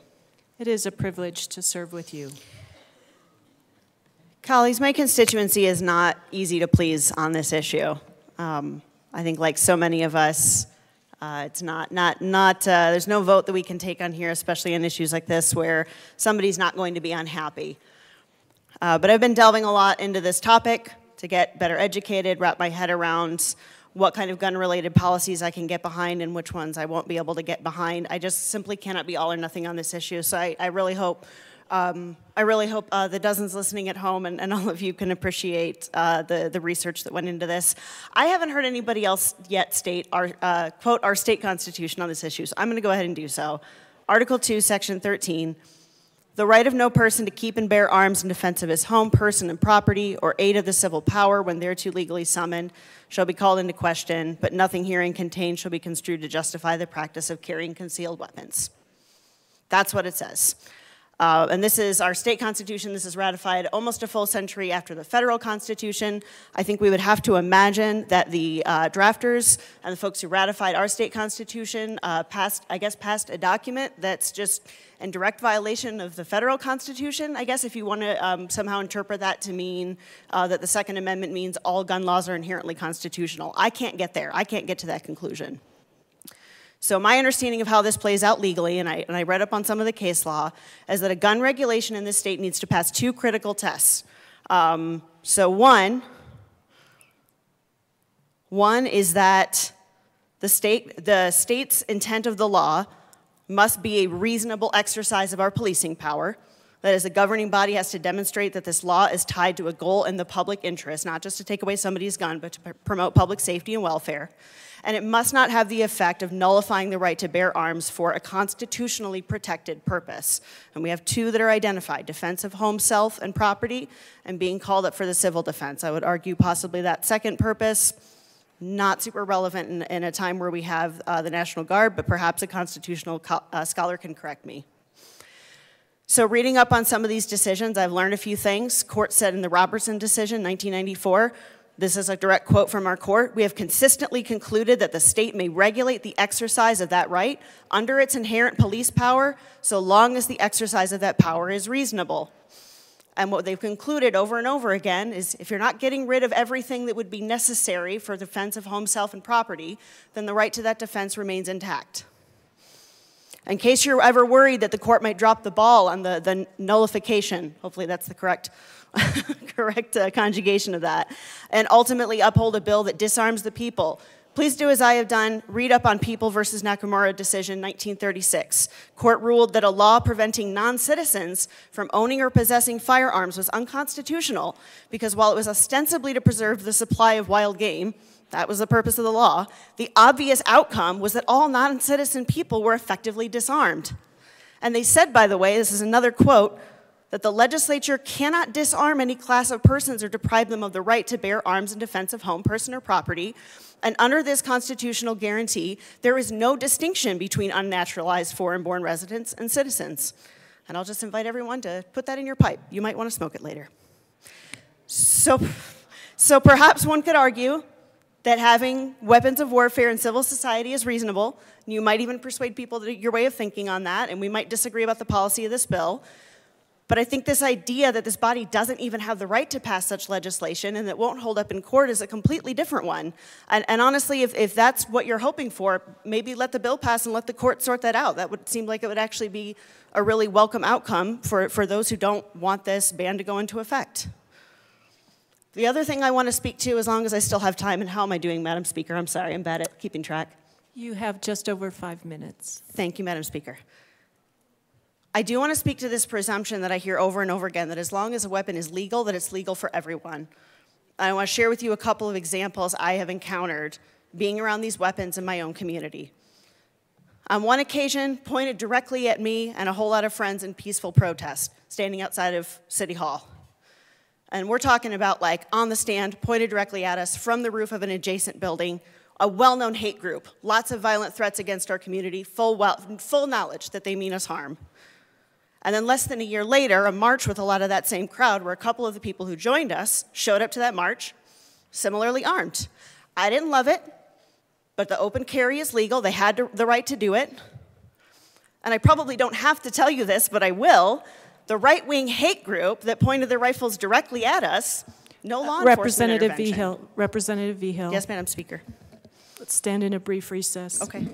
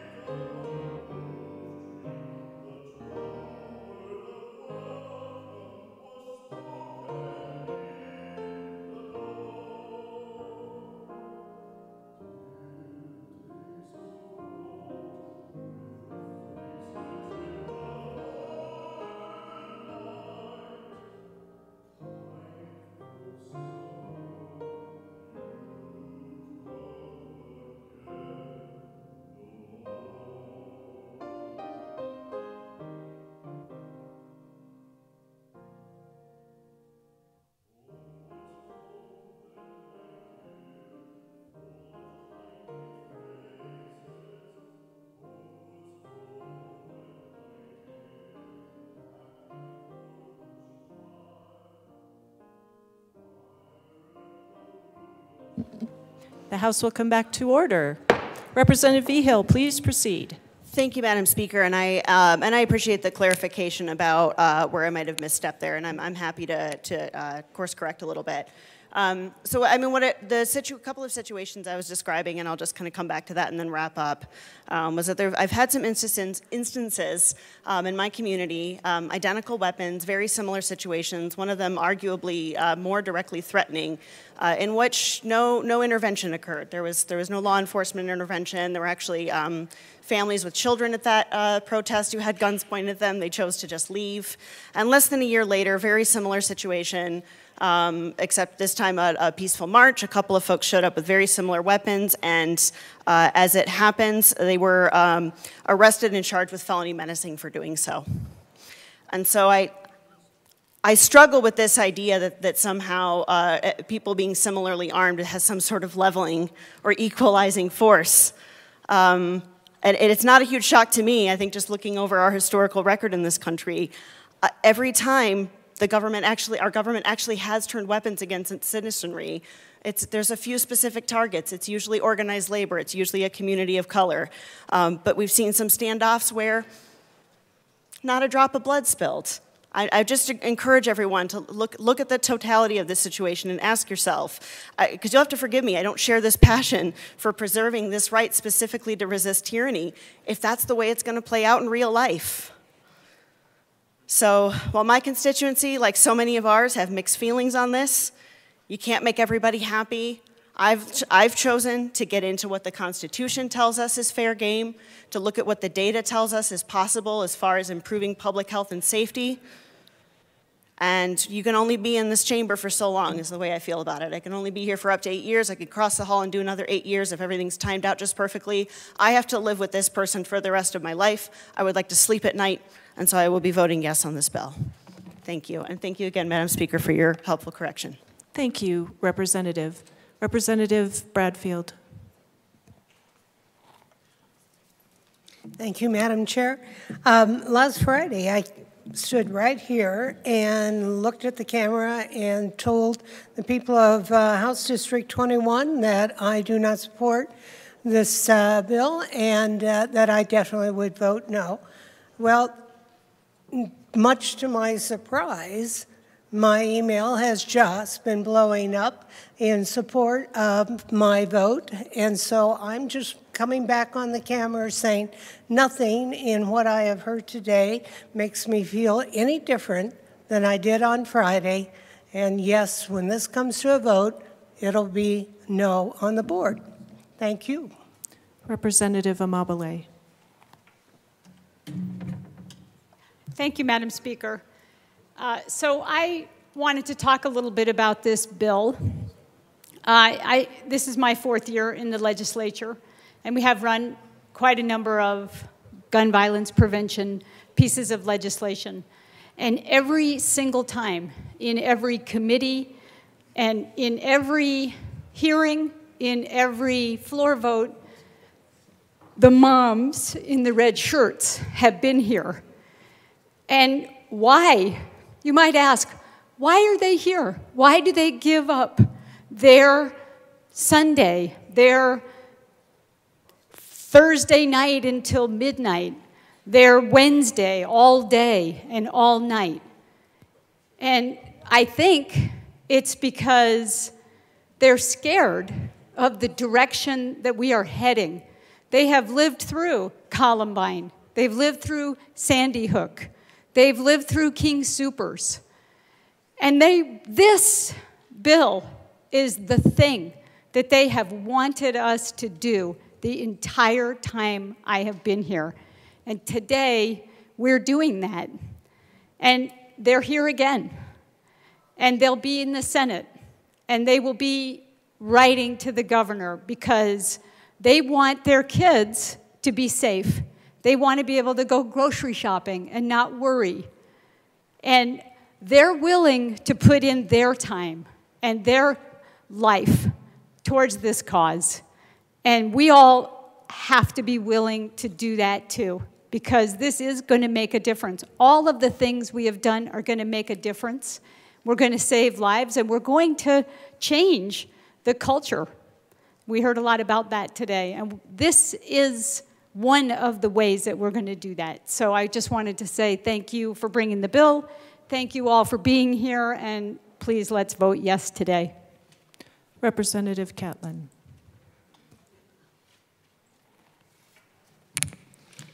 Thank you, Madam Speaker. It's still an honor to serve with you. It is still an honor to serve with you. Thank, Thank you.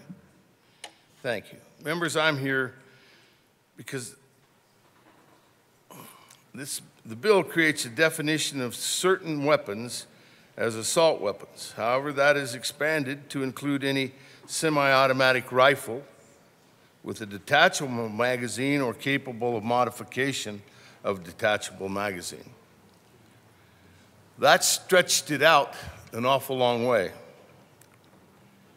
The other thing is, is that the statistics say that most of this is done by handguns.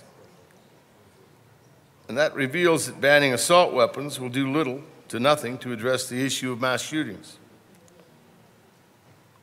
There's not one single uh, cohesive, cohesive definition of mass shooting that exists or that is provided within the bill. A mass shooting is defined by Statistica or Statista as a shooting where three or more people are killed. The state with the highest number of mass shootings is California. Yet they have the stiffest gun laws in the, in the Union. Where states with the lowest number of mass shootings, as Alabama, Iowa, and Arizona, also happen to have the most lenient to non existent gun laws. This gun law is not going to change what's happening. They can't demonstrate that it's going to make a great difference. And in my district, which granted is a long way from here, what we're talking about are AR platforms, turkey shotguns, semi automatic shotguns, and semi automatic hunting rifles. I'm still not clear whether or not an out of state hunter can have one. Can they bring it into the state? Those questions are still in my mind.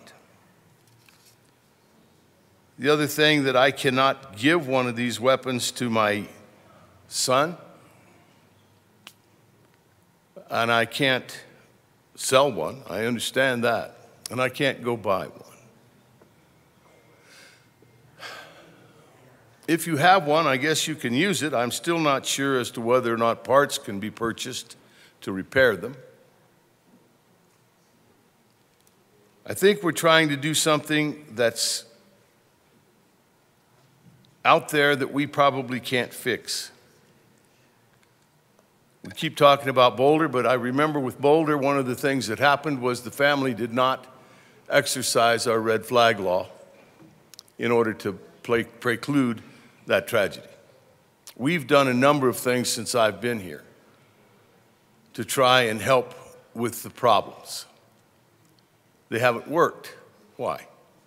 People don't participate, is why. We've strengthened red flag laws. We've done a number of different things. But we have not done anything about what goes on in the mind of those that do this terrible, terrible thing. We're not addressing or trying to find the individuals that may show tendencies to this.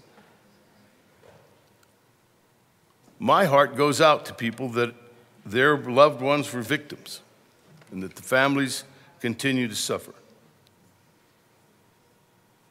But a broad brush on anybody or a, large sector of this state is not the answer.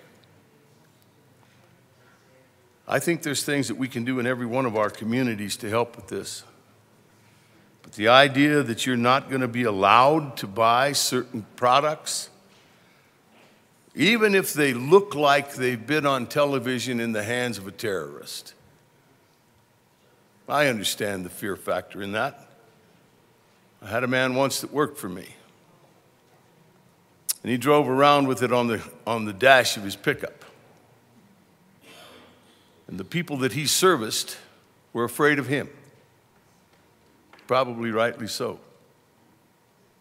One day he ended up in my office because there was a claim and there was, a, there was an accusation. And I asked him, you know, man, I, I guess I don't understand. These people are our neighbors. You tell me why you're afraid of them, that you think you need to have one of these on the dash of your pickup. I guess he had never really thought about that. He told me, I'm not afraid of them. I said, Well, you're certainly saying you are by showing it to the good people of this valley. If you have a purpose for it, I understand. Every man that worked for me had a rifle behind the seat of his pickup in order to take care of muskrats, beavers, and the other vermin that were interfering with how we took care of that natural resource, and that's water. There was a change in my men after that. They all put it behind the seat of their pickup. If they needed it, they took it out and they used it.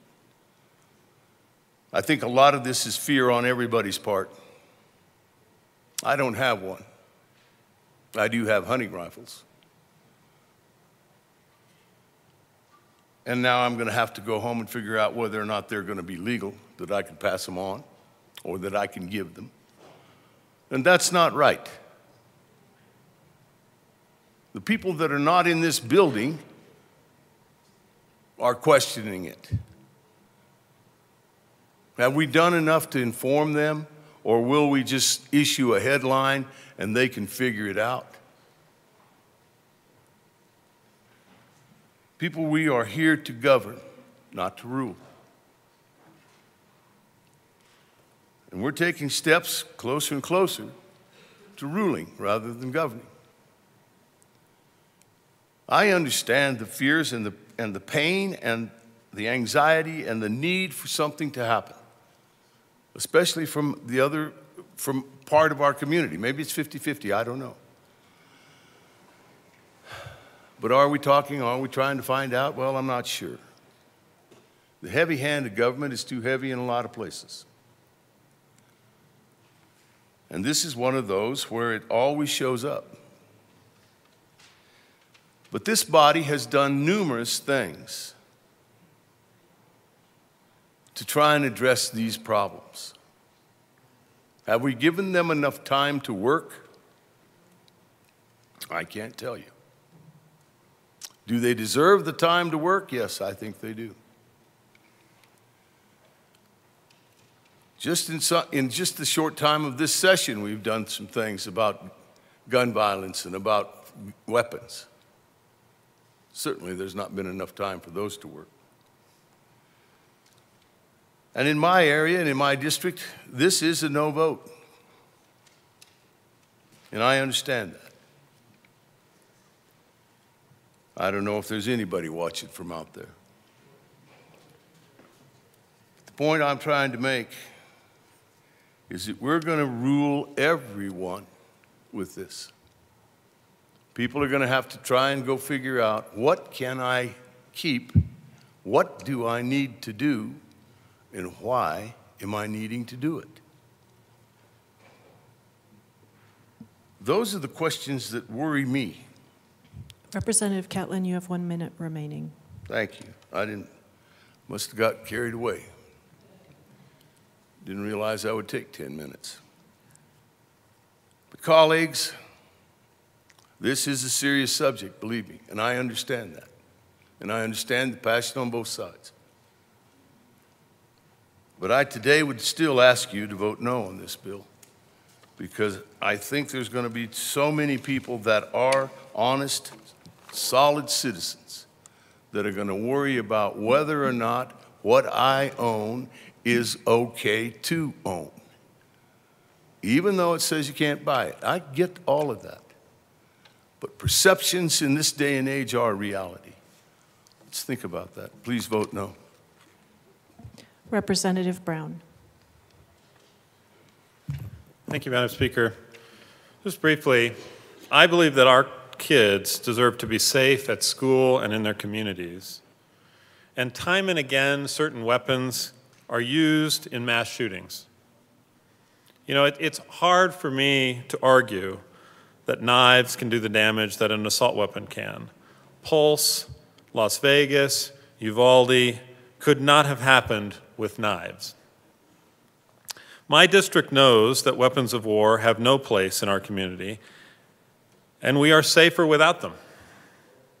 Two years ago, our communities joined forces to ban these weapons from our community. Regional efforts like this are important, but they are not enough. We need state action to protect our communities. I will reiterate that no right in the Bill of Rights is absolute. And in fact, the Second Amendment contains the words well regulated. So the state not only has the ability to act, but it has the duty to protect our kids and our communities. So I would ask for an aye vote on this bill. Thank you. Representative Taggart.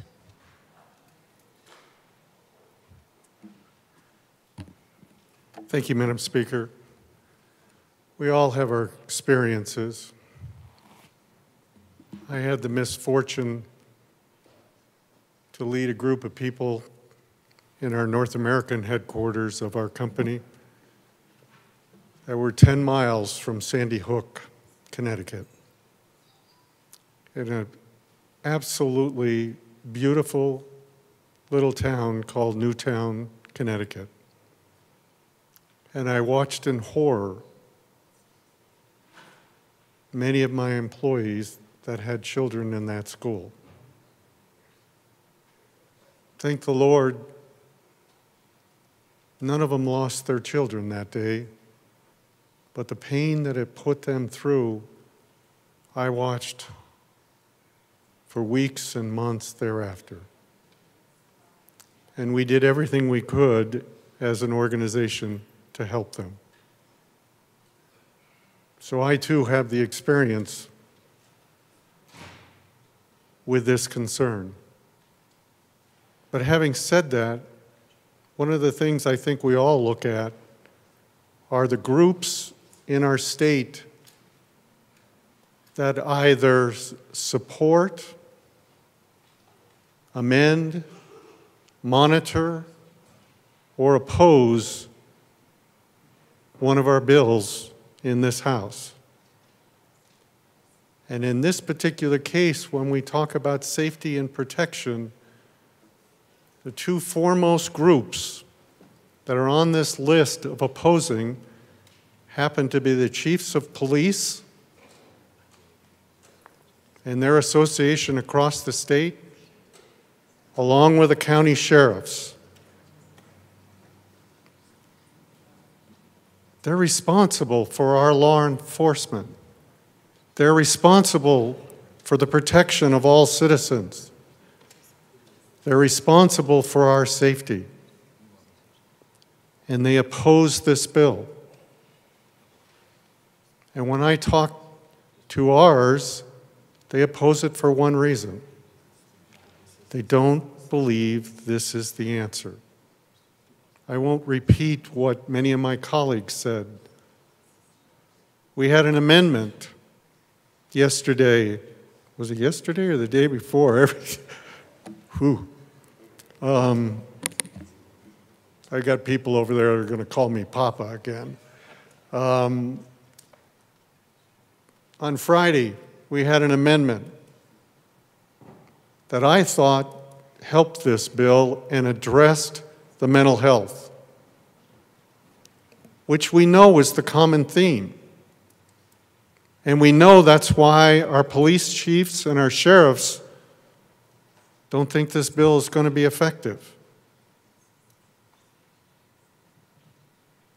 That amendment passed, and then I heard how Other associations felt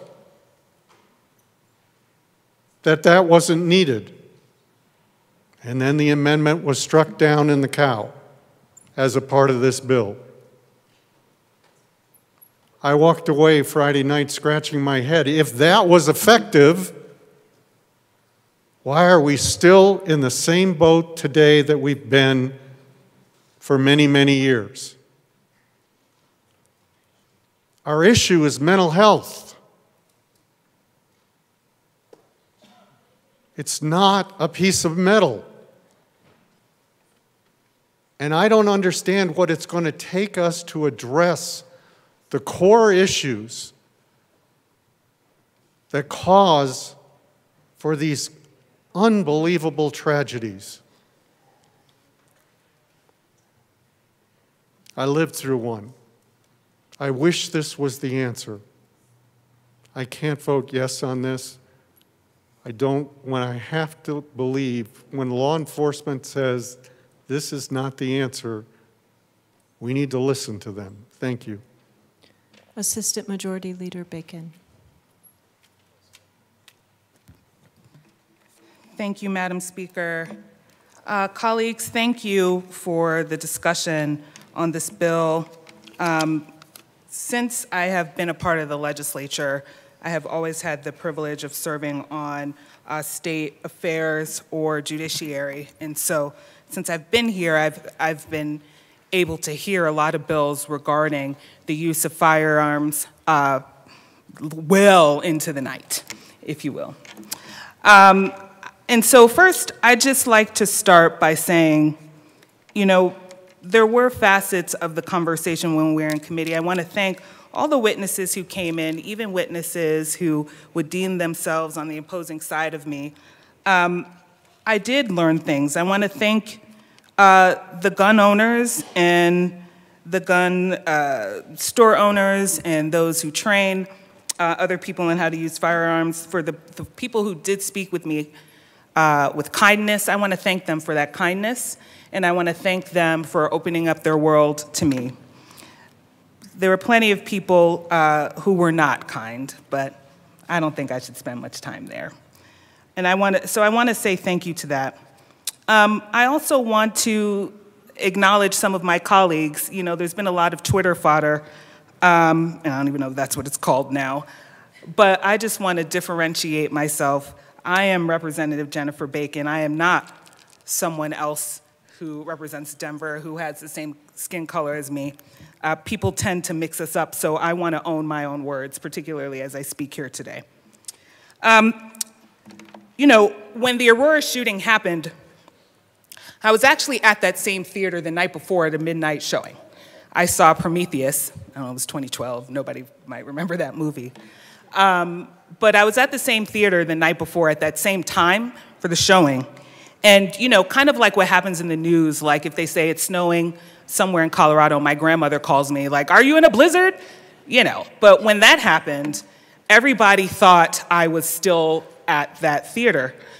And even though I wasn't there the night after, I had three students who were and a friend.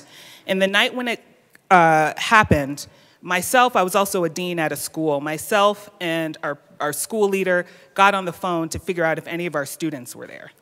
And that's how we found out that we had students were there. One of, one of them was shot, but she survived. Um, and a colleague of mine was also shot, and he survived. And then was the first time, because we had to figure out how to support our students, even though we were not in school, it, wasn't, uh, it was summer we had to figure out how to support our students through understanding what was happening. And that was the first time I was formally asked in any sort of authority position how can this happen? How can we do something to prevent this? And that was in, that was like 12 years ago.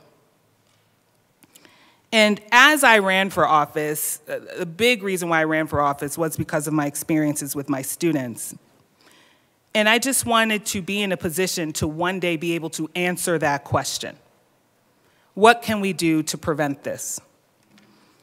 So I do want to talk about prevention because I've heard a lot today about force multipliers, or I, I, don't think I have it right, but hardening of targets. And, you know, we've heard a lot of history lessons and whatnot. And I have to say, I really struggle with that argument of, you know, meeting force with force because on the one hand, I can hear the arguments that force and having these weapons is how America became America in the sense of, you know, with the founding fathers. But I also can't help but think about how America became America with guns, particularly as we moved west and all of these other things that some people might have called manifest destiny, that people do say this country was won, and it was won with force. And the only reason I bring that up is because in committee, when we heard this bill, and you know, we're getting the statistics on people of color are buying more weapons and you know, women are buying more weapons. Most people who said that, I specifically asked, I said, why is it that you are arming yourself? And I don't want us to miss that in this conversation.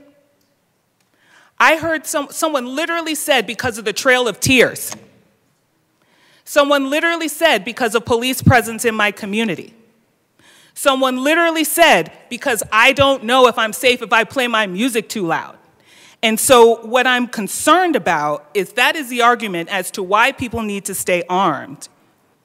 Then I would like to have discussions as to why people want to stay armed. Because when I bring it up, it's, um, it's called something, something, something theory, and books are banned.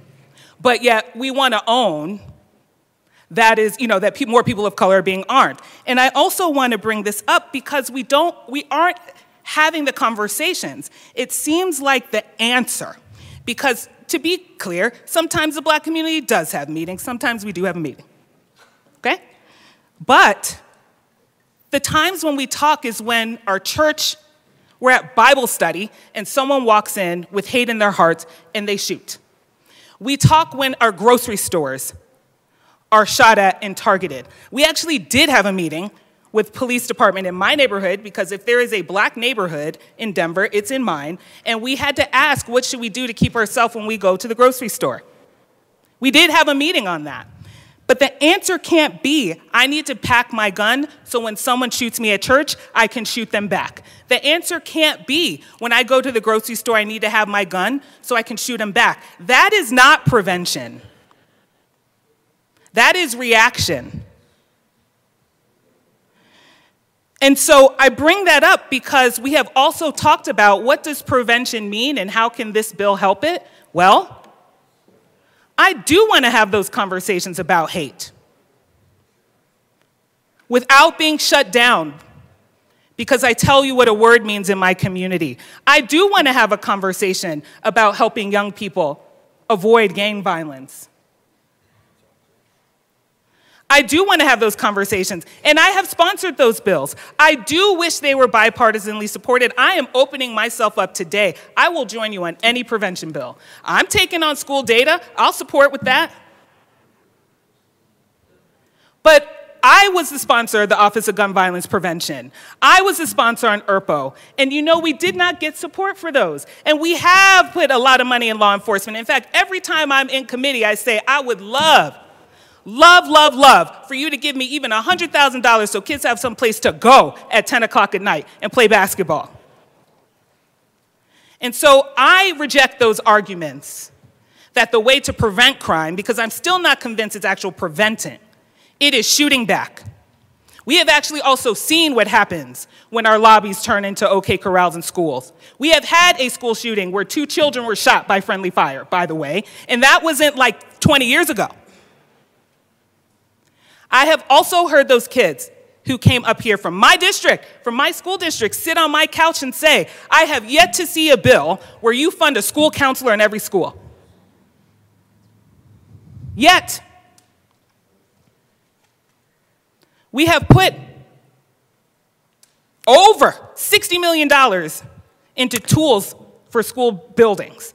That does include in that statute, by the way, funding SROs. No one has done it yet. AML but, uh, Bacon. But also, what we can fund, thank you, Madam Speaker, apologies. Thank you. Back to the bill.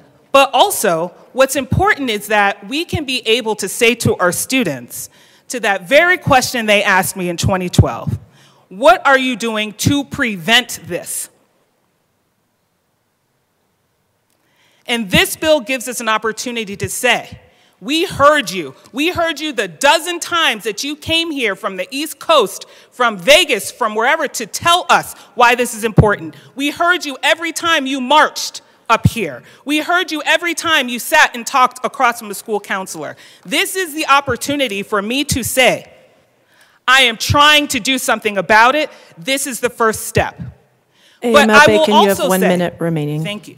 That is what is required. That is that we also need to have like authentic and real conversations about prevention. So I don't believe this bill is going to stop all gun violence. I don't believe this bill is going to stop crime, but I all the crime. But I do believe that this bill will help if we are also willing to talk about why people don't value each other's lives, how we can talk to young people about trying to solve problems different ways. If we can do that too, it will, and I will be proud to say I have supported a suite of legislation to get there, and I hope to be proud to say that other people, regardless of their party, are willing to do that too. So that when we come up here and have arguments, we have things to say that we also try and did. So thank you for the opportunity to demonstrate that I have an answer and that I can confidently go back to my young people in my neighborhood and say, this is what we tried to. AML Bacon, your time has expired. Representative Mabrey.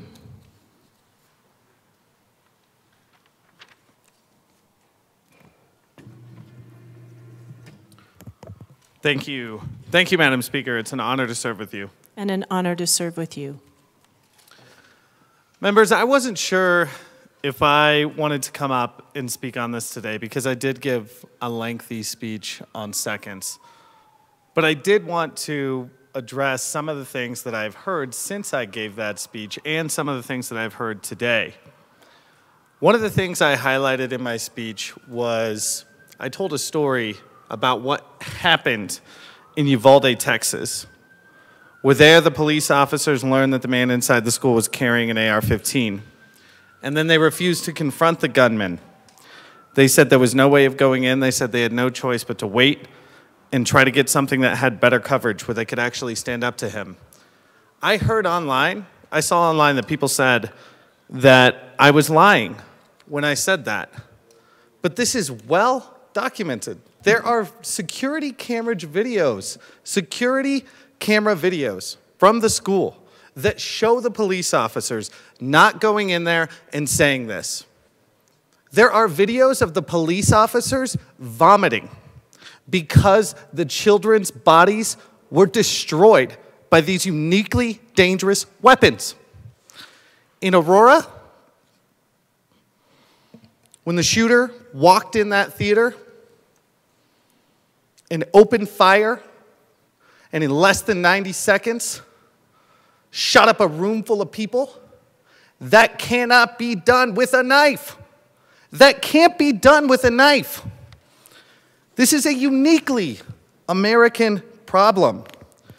A Seventh Circuit judge, when remarking on how dangerous these weapons are, said that they're uniquely dangerous when shot at children because the surface area of their organs and arteries are smaller.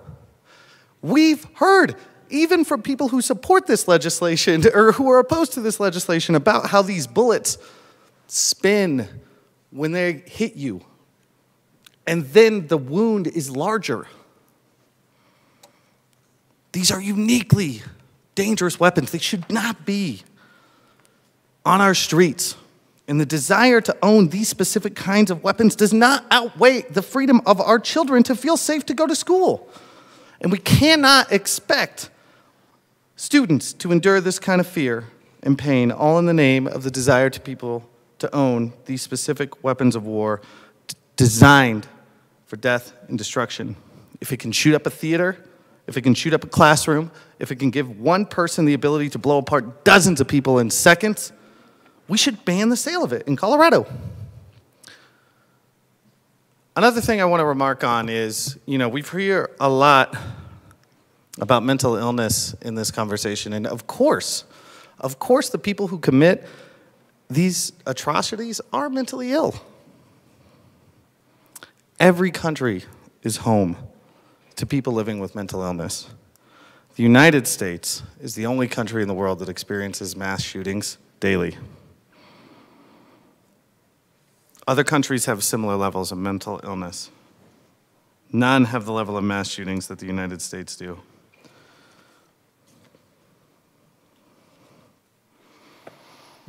I also just want to note, you know, there's been some commentary that other countries experience this like we do, but, and I've heard other members talk about their travels around the world. I've, I've also traveled quite extensively around the world, and one thing that is noteworthy to me is our reputation for being a country that has massive amounts of gun violence. In early 2020, before the pandemic, I worked in um, Nepal on a human rights project with some Nepali lawyers, and, and in getting to the, know them, that's one of the first things they brought up with me about living in the United States was our unique problem with gun violence. The United States has the highest level of gun violence across developed nations with a gun homicide rate 26 higher than that, 26 times higher than that than peer nations. Mass shootings in the United States account for 73% of all 139 incidents that have occurred in developed countries between 1998 and 2019. This is a uniquely American problem. We can't take our kids to school. They're not having mass shooter drills in Italy, the UK, Germany, France. They're also not having drills about mass stabbing events or people driving trucks through streets. Those incidents don't happen at the same level of frequency that mass shootings happen. This is the state where the modern era of the mass shooting began with Columbine. This week is the anniversary of Columbine. This should be the state where we stand up and join others like Rhode Island, Washington, Illinois, join the call of the President of the United States and the call of the vast majority of voters. I think the last poll I saw, the majority of Republican voters actually support a ban on assault weapons. Um, and we should stand up and adopt this common sense measure and ban the sale of these deadly weapons. Thank you. Thank you. Assistant Minority Leader Winter.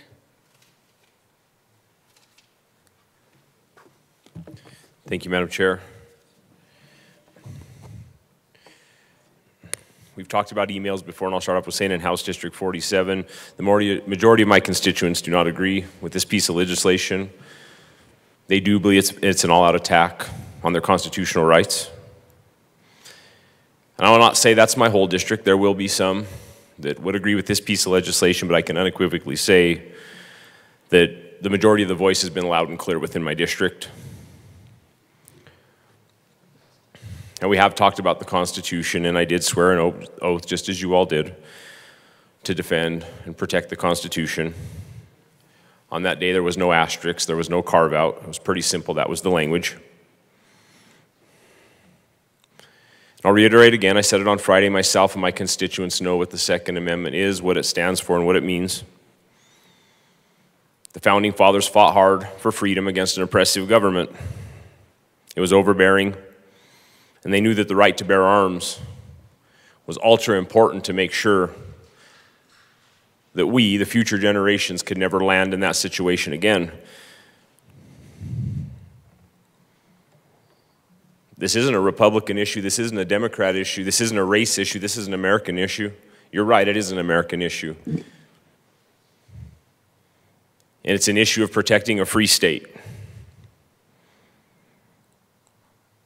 I've read history, and I think sometimes in America we're actually spoiled and we're naive to think that our government could not take a wrong turn.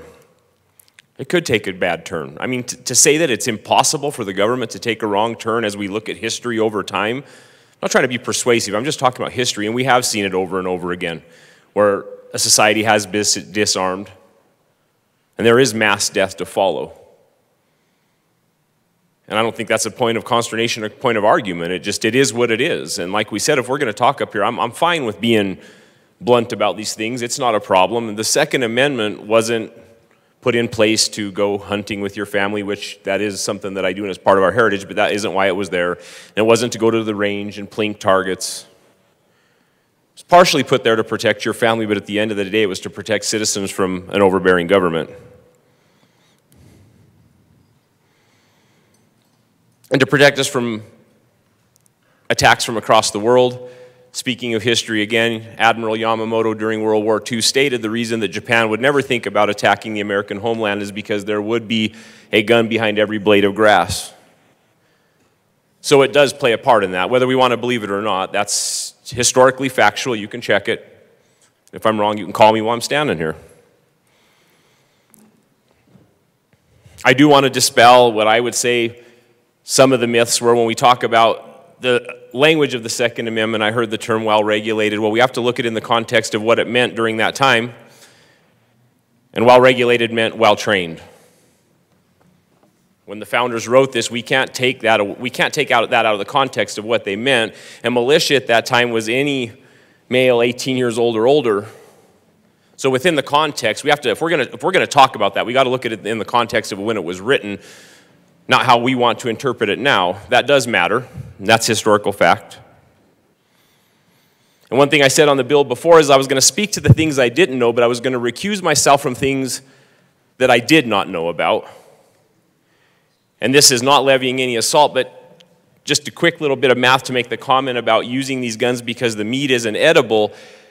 A common hunting rifle in Colorado to hunt big game, you shoot a 30 6, that's a 165 grain bullet.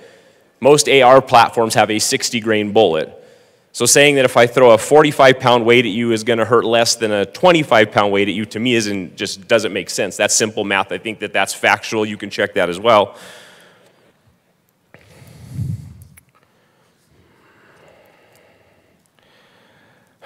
Another thing that's kind of frustrating is, is I do appreciate all the groups that come in here, but you all know Rep Winter's usually the first to show, last to go. And there's a lot of nights these same people that come here and lobby against gun asked armed state patrolmen to walk them to their cars because they have guns. And I reserve that right in my ability to protect myself. And also, one, one thing I want to bring up is, and I won't point out who, but on the day that we had a lockdown, there was actually members from this caucus that come over and said, oh, we're going to stand over here with you guys because we know we know. And that was said. You guys, I mean, you can figure it out amongst yourself, but it was said. We're going to go stand over there because we know. Um,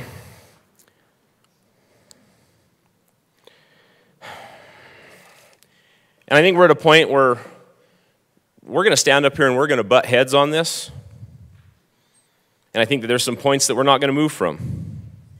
Now that I've done just a little bit of level setting and what I think is historical, like I said, I'll have this conversation offline with any of you on the kind of the things that I talked about to try to level set the argument because I think a lot of what happens is there are misconceptions. I've, I've heard it in other arguments that we lay out misconceptions or we may not be reading a bill correctly, but if we're going to level set and be fair, I have to be able to level set on those few topics that I talked about because if we are going to have good, healthy debate and discussion, we can't interject, you know, if we're going to claim we're not going to interject falsehoods, we've got to do it all the way around.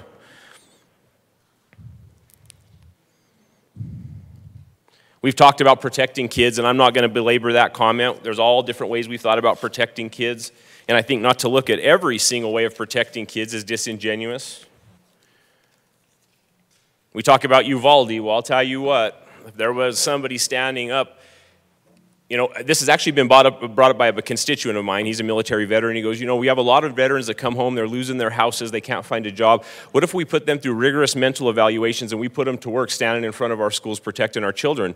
I think that that would have probably deterred some people when they come up and see some hard dude that had just served two tours in Iraq standing in front of that school.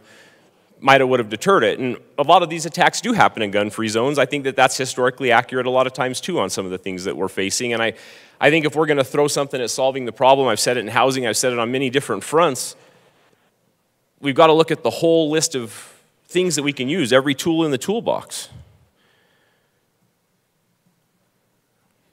And I think, in a way, instead of solving the problem, and this happens on both sides, we're speaking to single issue voters. And we're pushing the political football one way or the other. And then we talk about lived experience in this, bill, uh, in this building a lot. And the Second Amendment and the ability to, to use these guns are part of the fabric of my community and my lived experience and my heritage and our heritage in House District 47 and our rural way of life. And I just earlier said, you know, one of the representatives says, well, in our local community, we've already done this. You do you. We'll do us. And it almost feels, like I said earlier, that our heritage and our viewpoints and the viewpoints of our constituents are disposable. We don't hold the numbers, so it's disposable.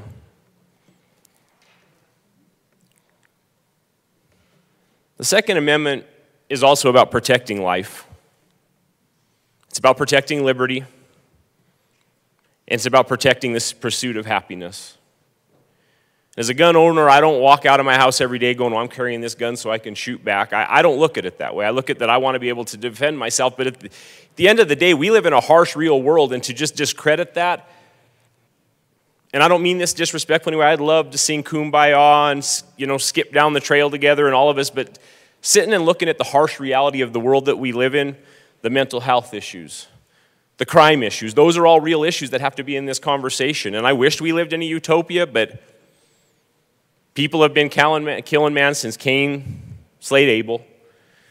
It's not going to stop. You remove one tool, it was said, well, you know, there's not that many stabbings, there's not that many vehicles used. Well, you remove the tool, those will increase. And if this bill doesn't make it out, it will be hit with a multitude of lawsuits, which will spend more of Coloradans' money. AML Winter, you have one minute remaining. Thank you. We talk about hypermasculinity and masculinity. Well, I appreciate the masculinity of Bunker Hill, Iwo Jima, Normandy, Antietam, Bull Run. God bless that, because that's why we're all sitting here today to be able to have this debate. This piece of legend, there's legislation, there's a chance it's going to pass. And the majority of myself, or my constituents and myself, we will stand for the Second Amendment and we will go 10 toes down protecting a piece of parchment. Thank you. Representative Luck.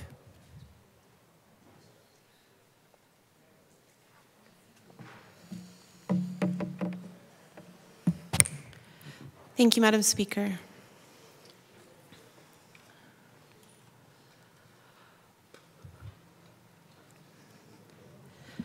This bill, as we all know, bans the sale, manufacture, transfer, of certain classes of firearms. We have heard that in banning that particular commercial activity, the firearms industry in Colorado will lose 80, 85, 90, 95% of its business. If the goal is to eliminate the addition, the legal addition of firearms into the hands of Coloradans, then this bill is perfectly crafted because it will eliminate the supply. It will.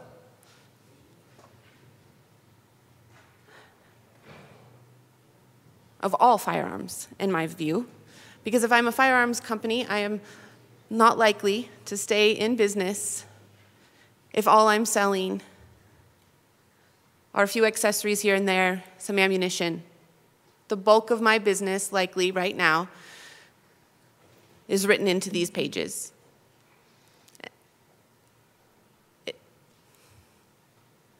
Ironically, though, in eliminating the supply, it is my belief we will be increasing the demand. When I was in law school, I helped to form an entity that monitored genocide and other human rights violations around the world. Why? Because it was our belief, having looked at different examples, that the more quickly, the quicker, we could inform the international community certain genocides starting to take place, the more likely it was that we could end them. So we monitored them regularly, day after day, all over the world. We sought to develop assets and folks who could help to inform us of on the ground activities even before the AP had notice. Since that time, I continue to monitor certain populations, certain groups. And I will tell you that even in countries where there are strict gun control laws, people are killed at high rates by firearms. Take the instance of Nigeria. Right now, you have hundreds of thousands, if not millions, of people who are being displaced as a result of criminal actors, tribes, banditos, different entities that are causing mayhem. And their nation has a very strict, very strict gun control ban, firearm ban. 10 years imprisonment. And yet, that nation continues to see the supply increase from three sources the manufacture in homes, private manufacture of them, the stealing from military armories, and the smuggling in. Their people are clamoring for the ability to protect themselves.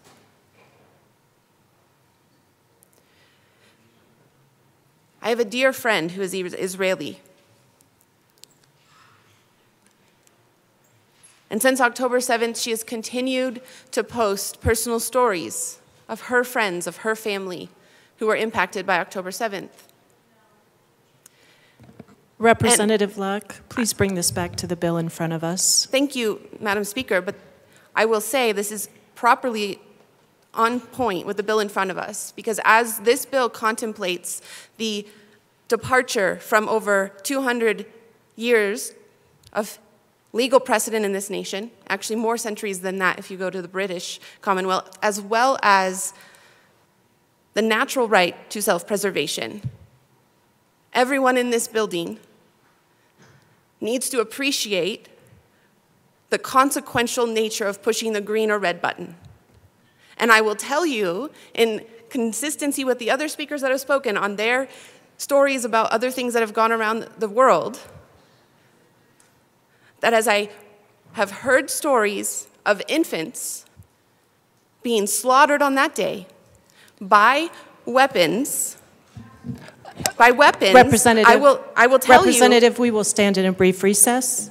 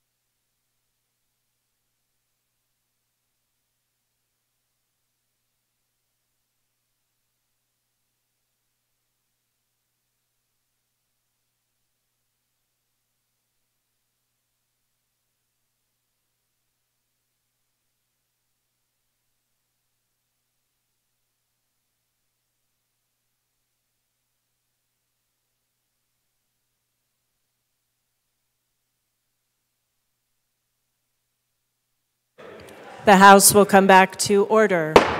Representative Luck.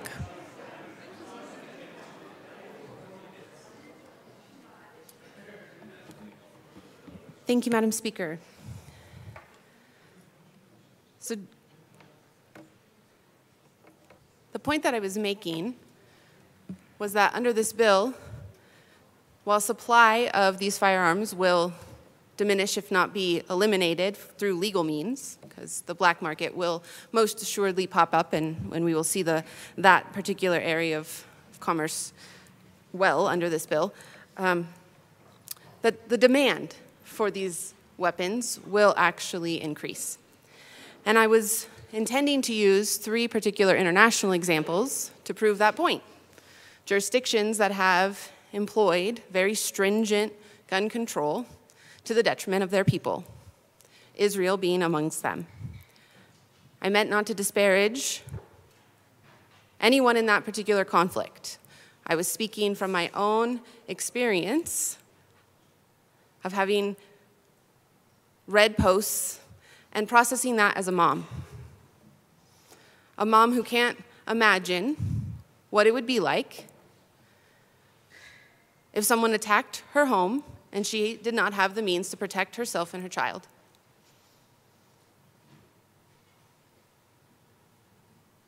No different than what we see in Ukraine with an invading force on a random Thursday in 2022.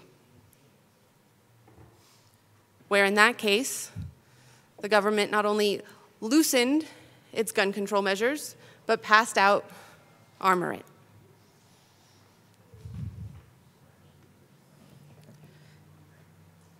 We have to understand that the people who drafted that document, that was those Bill of Rights that were ratified in 1791, they gave a lot of deep thought to this question of self preservation. They were willing to lose their lives over the principle of self preservation, hence Lexington and Concord. And they read philosophers like Hobbes and Locke. And they chose to abide Locke They rejected Hobbes. They rejected the Leviathan, the tyrannical government that dictated all of these things. But what they didn't reject was the idea of Hobbes that without governance, self or corporate, life is nasty, brutish, and short.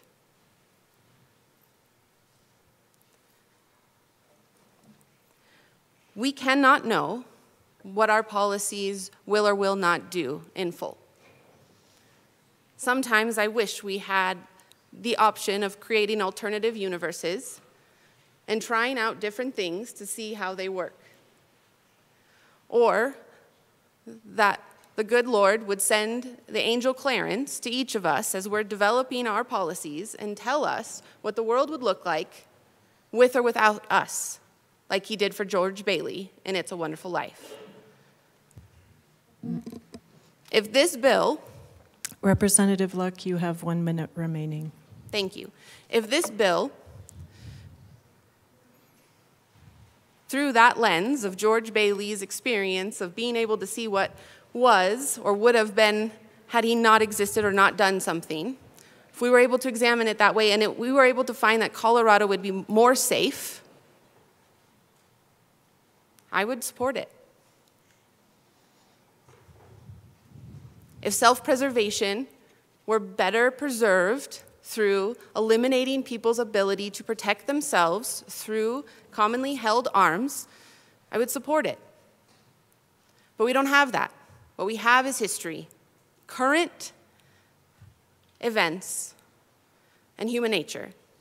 And all of those things tell me my experience tell me that this bill is just going to lead to more harm. That is my genuine experience. Representative Luck, your time has expired. Thank you, Madam Speaker. Minority Leader Pugliese. Thank you, Madam Speaker. Um, appreciate all the conversation around this issue. As you have seen, pretty much my whole caucus has been up here talking about their concerns about this bill. I share in their concerns. Um, I just wanted to bring up a couple of very quick points um, to the good representative from Fremont County's point about supply and demand.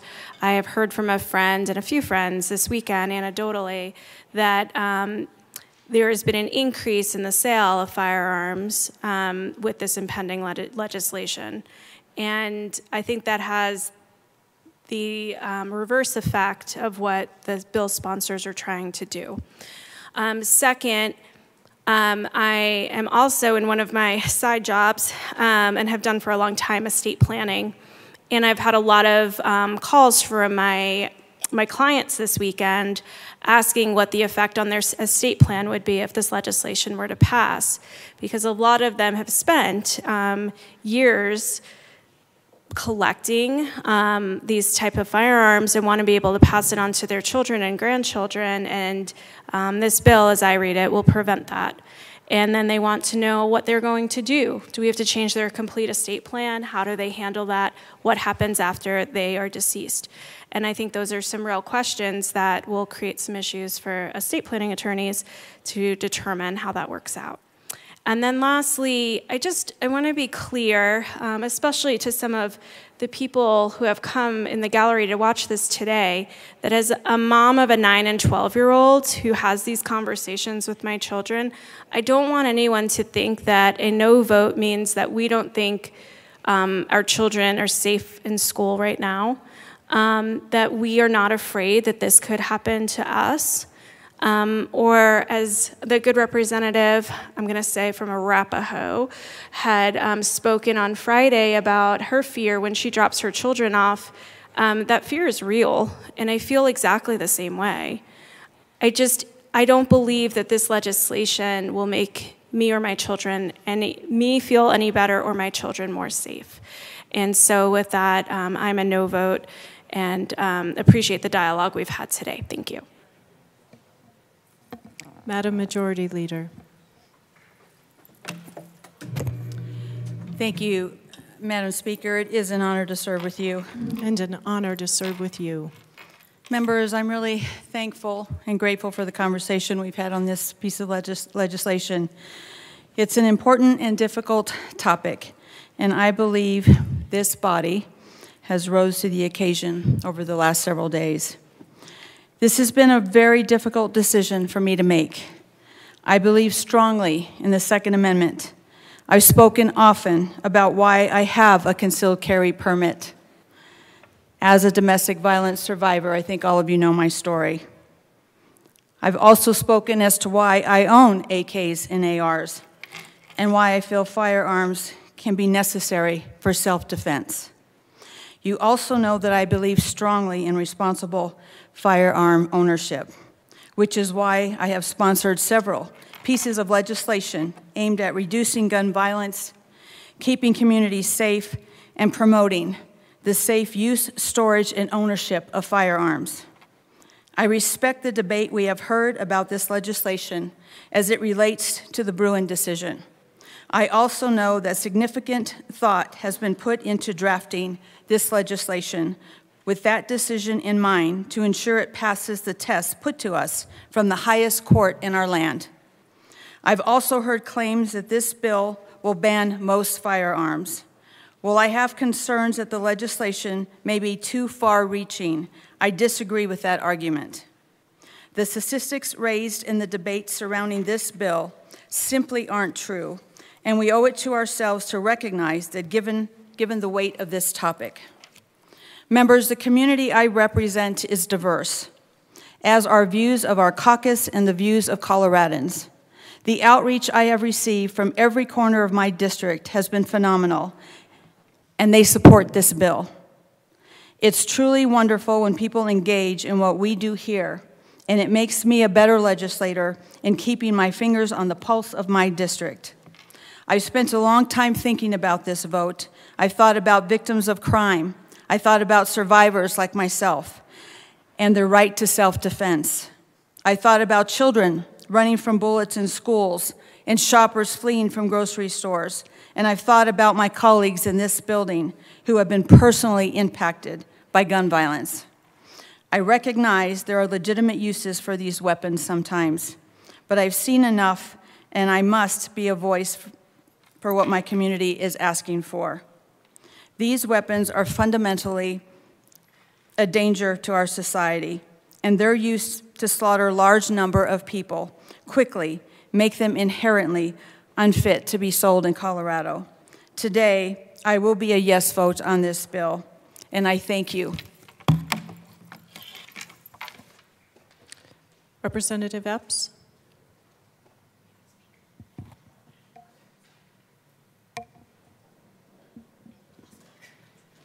Representative Epps?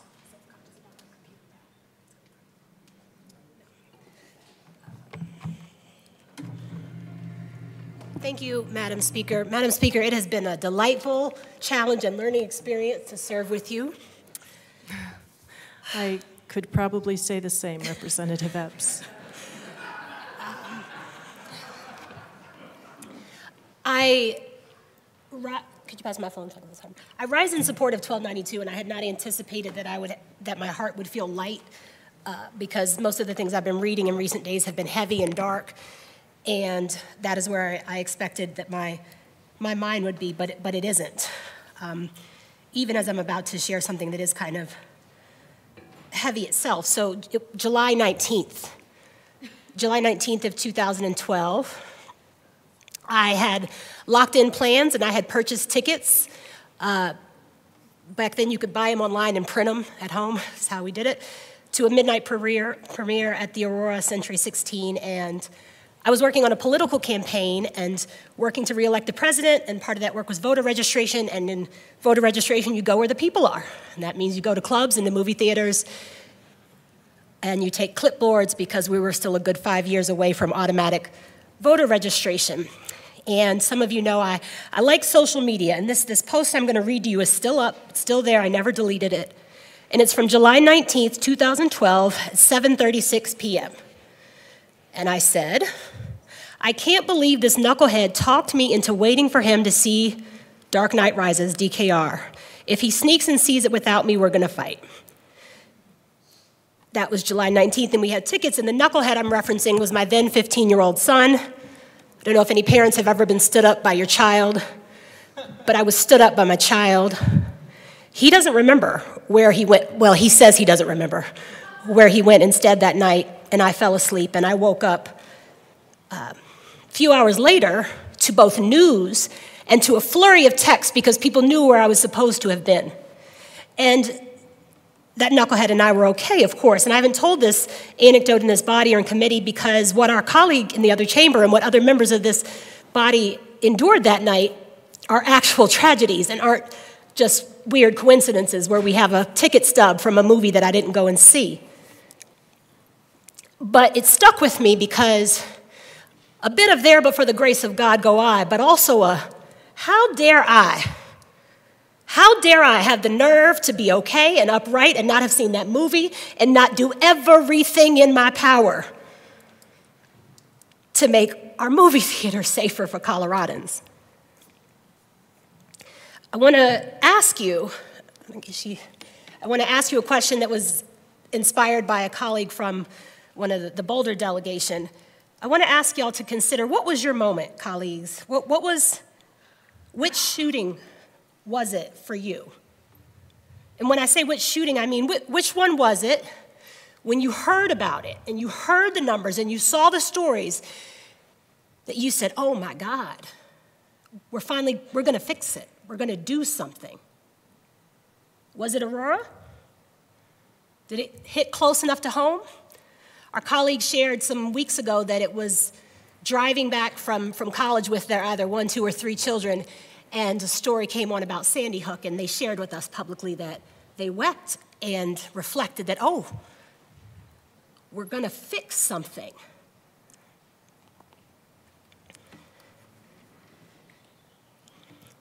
it's been suggested to me, I have three and a half. Six minutes and eight seconds remain. Thank you, Madam Speaker. It's been suggested to me, actually told to me directly, both today and otherwise, that folks were surprised, confused, astounded that this bill has gotten this far. And there's a part of me that my instinctive response was, Have you met me? uh, the, the stubborn runs deep in this one. But the real answer is, I know 100%. 100% certainty. Sun is going to rise, and I know we are going to ban, prohibit the sale and manufacture, import, etc., of these weapons in Colorado. I know we are. What I don't know is if it's going to be this bill or if it's going to be after that next shooting that sets new terrible records. The next shooting that becomes for someone what Aurora was for us or what Sandy Hook may have been. I'm not going to name the list, but I know that people in this chamber have had a moment like that.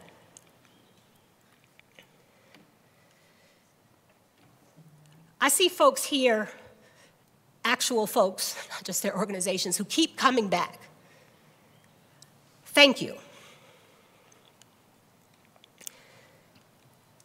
I want you to come back for new things, is the goal, but thank you. I want to touch briefly on a couple of things that aren't the most comfortable topics for me, but it's worth addressing. One is the Constitution. I know that the good representative from far, far, far, far, far, far northeast, Denver, and I are I mean, two black women with law degrees. How could you possibly tell us apart? Uh, but she has spoken to this body about the Constitution with a, with a, a reverence that I've envied and that I've decided to, to want to own because it hasn't felt that way. I took an oath to respect and uphold the Constitution. And I'll stand by the rest of what I said that's gotten so much attention that that, that oath was not a death pact. The document is not a death pact. That's not what it meant.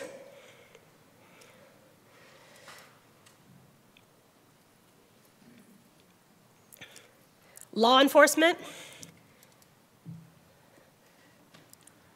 I am, am, blessed in many ways. We are blessed in Denver in many ways to have the chief of police and the sheriff that we do. When I hear folks say, and they've said and written to me, my sheriff won't enforce this, our cops won't follow this. Ooh, y'all, I promise, telling us that law enforcement doesn't follow the law and doesn't enforce the law is not the flex you think it is.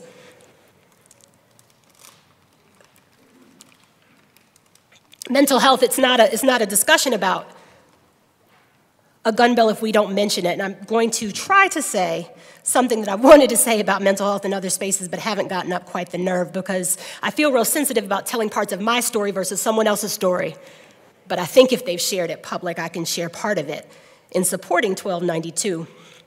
Y'all, y'all, y'all know who's, who's fighting to fund and support and make access to mental health care. And, and that list of folks is not one that is divided by party exclusively. But when we raise that as an issue, just recognize, just peek at your Secretary of State's website and see who is supporting this bill.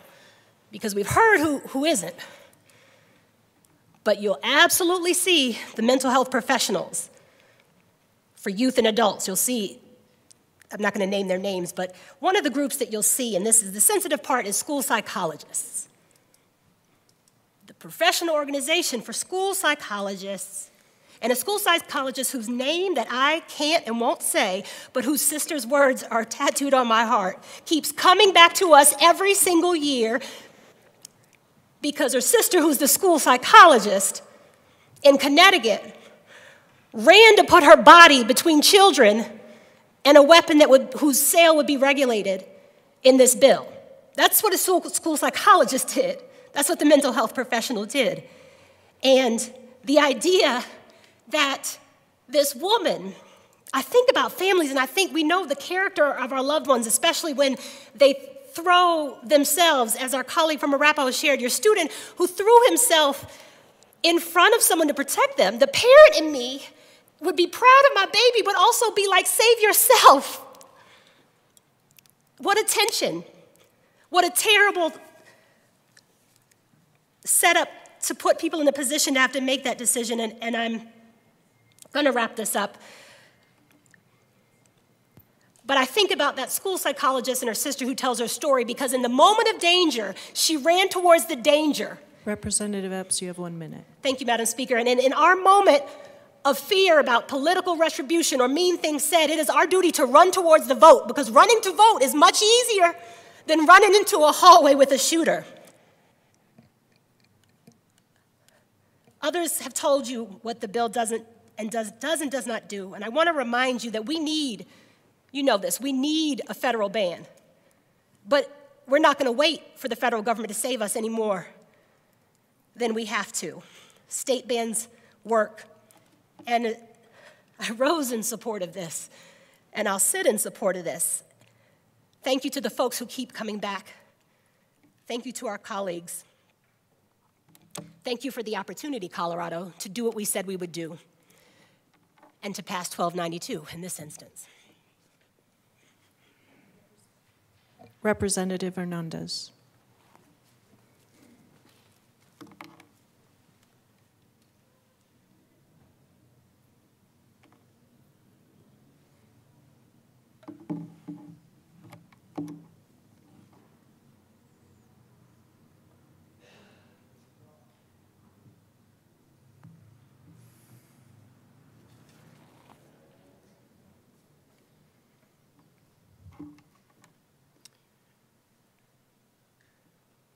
Colleagues,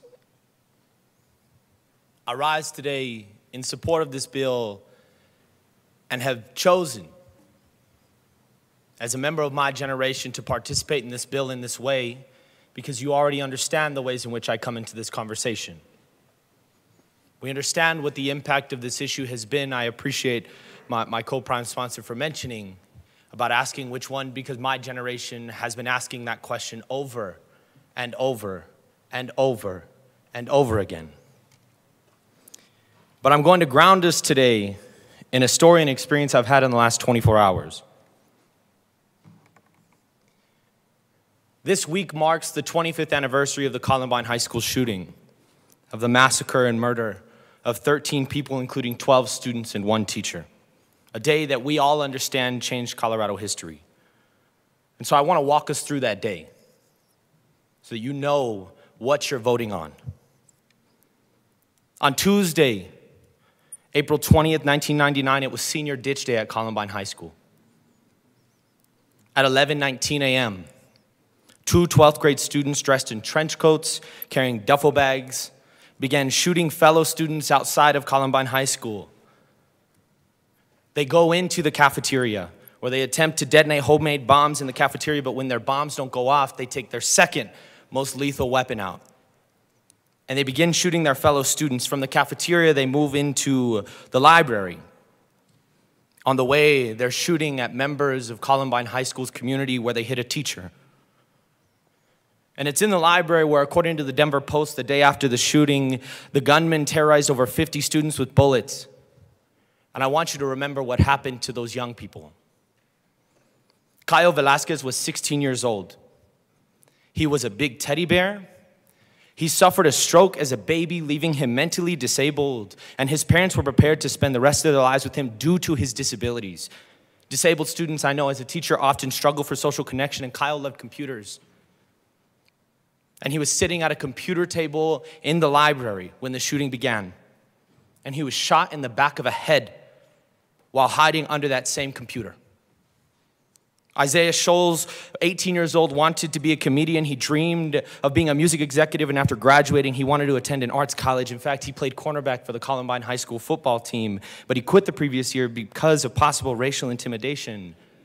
According to Todd, a 15 year old sophomore in the Columbine Library who survived, he directly quotes the assailants as saying, Oh my God, look at this black kid's brain.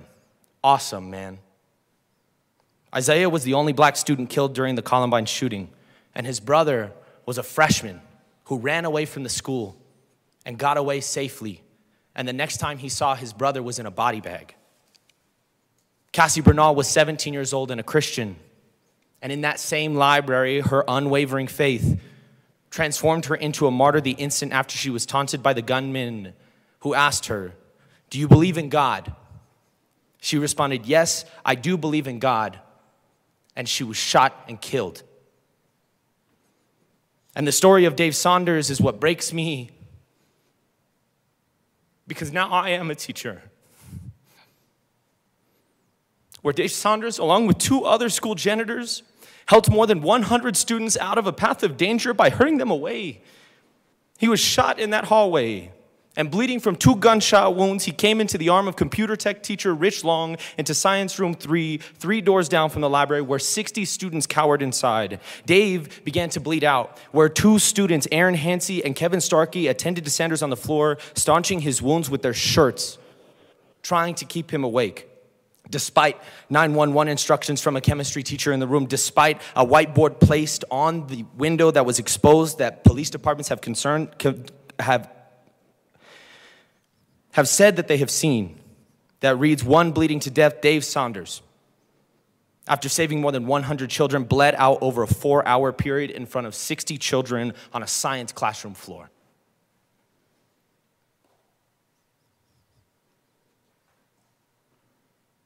I hope you feel what you feel right now, whether it be discomfort or scared or sick to your stomach. I hope we sit with this feeling today. Following the Columbine High School tragedy in April 1999, 850 KOA created the Never Forgotten Fund. The donations to the fund come with a pin that has 13 Columbines on it and has the words Never Forgotten. The funds go to scholarships, each awarded in the same in the name of a life lost at Columbine. And yesterday, I was walking back from the Cesar Chavez March and I stopped in an antique store where I found one of these pins that I'm wearing today. We're at the point in this issue where the people of my generation are finding antique store pins about the worst school shooting to ever occur in the Colorado history.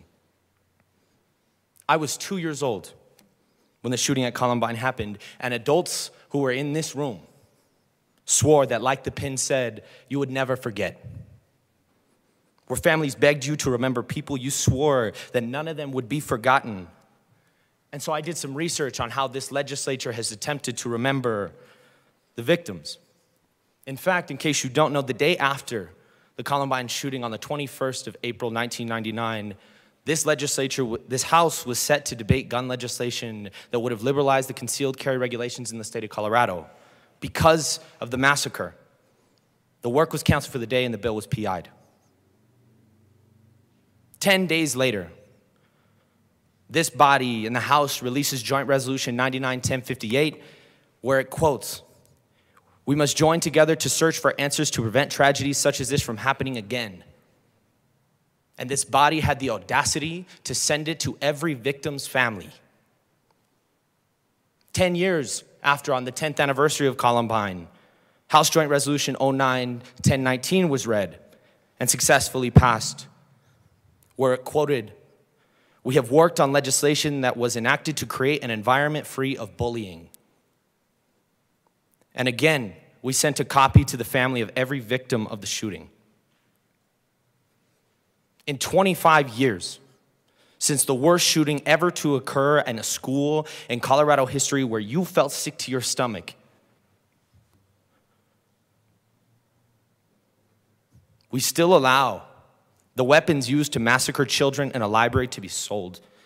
We still allow our cultural infatuation with guns to permeate our lives at any moment. The massacre at Columbine was recognized as the deadliest and worst school shooting in U.S. history until it happened at an elementary school at Sandy Hook, where 26 children were killed in 2012 until it happened again in Parkland in February 2018 and 17 students died on Valentine's Day. Until again, it happened in Uvalde in Texas and 21 elementary school kids, including a little girl who wore green shoes, died because of proliferation of these weapons.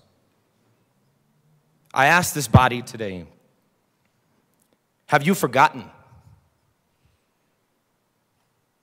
I ask us if we're going to choose to forget again. If we have not, as I hope we haven't, I hope we let this, fur, this feeling burrow deep down into our souls. Commit to what you as adults said you would do when this happened. Commit to what we as a legislator said, legislature said that we would do in the last 25 years. Where in 1999, we said we commit to beginning the dialogue to prevent violence in schools. And then in 2009, we commit to efforts that have been made throughout Colorado and the nation to understand how this tragedy happened and to prevent similar tragedies from occurring. Representative, you have 50 seconds remaining. I ask us to commit, colleagues, to never forgetting as begged by community members, family members, and children themselves over 25 years and every year since. I ask you never to forget about Kyle, about Isaiah, about Cassie, and about a teacher named Dave. So that this year, we don't send a copy of a resolution intended to do about their tragedy what we intend to do, but that we can hand them a copy of this bill and prove to them that, in fact, we did not forget. I ask for an aye vote, and thank you. Seeing no further discussion, the motion before us is the adoption of House Bill 1292 on third reading and final passage. Mr. Schiebel, please open the machine and members proceed to vote. Speaker Pro Tem deGruy Kennedy, how do you vote? Yes. Speaker Pro Tem deGruy Kennedy votes yes. Representative Velasco, how do you vote? Yes. Representative Velasco votes yes. Representative Ortiz, how do you vote? Yes. Representative Ortiz votes yes. Representative Evans, how do you vote? No. Representative Evans votes no. Representative Soper, how do you vote? No. Representative Soper votes no. Representative Lynch, how do you vote? No. Representative Lynch votes no. Representative Bottoms, how do you vote? No. Representative Bottoms votes no. Representative Herod, how do you vote? Yes. Representative Herod votes yes. Please close the machine. With 35 aye, 27 no, and 3 excused, House Bill 1292 is adopted. Co-sponsors.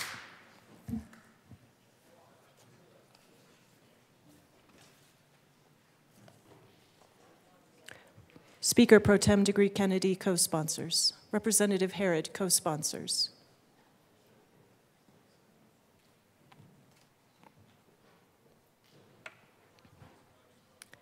Please close the machine.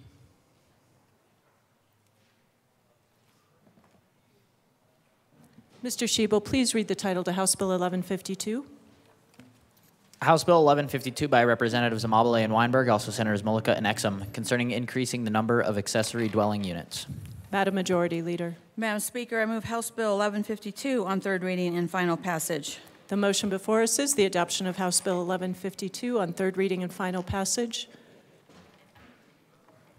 Representative Amabile. Oh, Representative DeGraaf?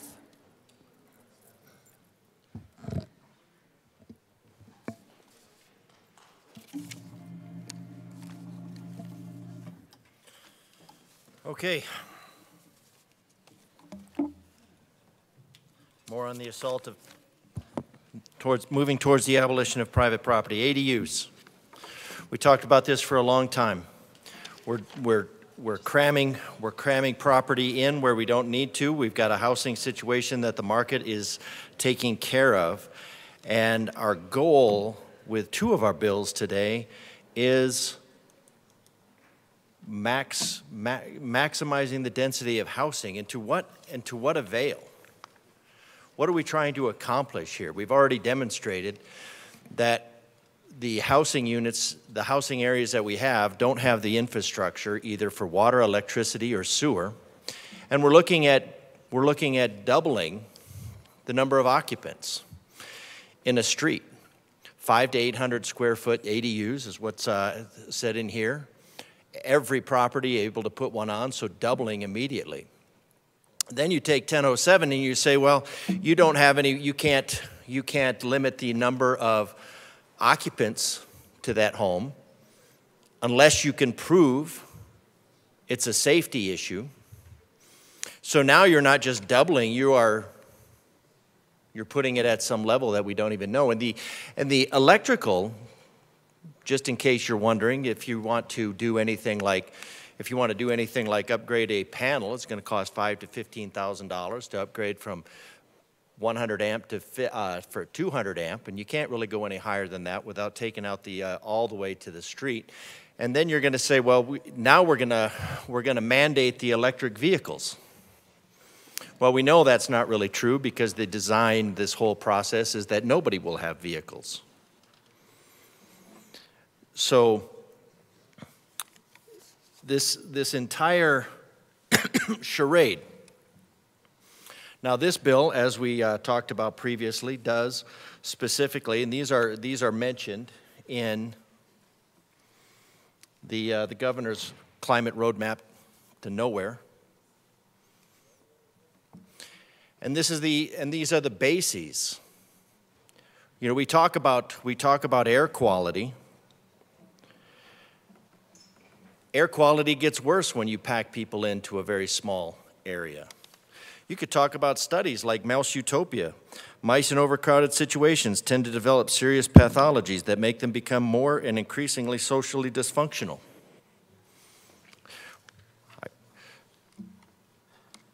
An experiment in a 10,000 foot pen could have easily sustained 5,000 rats, could have easily supported 10,000 rats, fewer than 200. And rats are used, mice are used in psychological studies all the time. They're obviously not exactly like people, but what we're talking about is we're talking about putting mice, rats, into a utopian situation, and they don't thrive. They just don't. It's not, it's not good for populations, but that's what we're trying to, that's what we're doing. Everything is, is going towards this, this max density. And if you look at the, uh, the dysfunctional characteristics that they, that they go to, it's, it is very indicative of the society that we live in.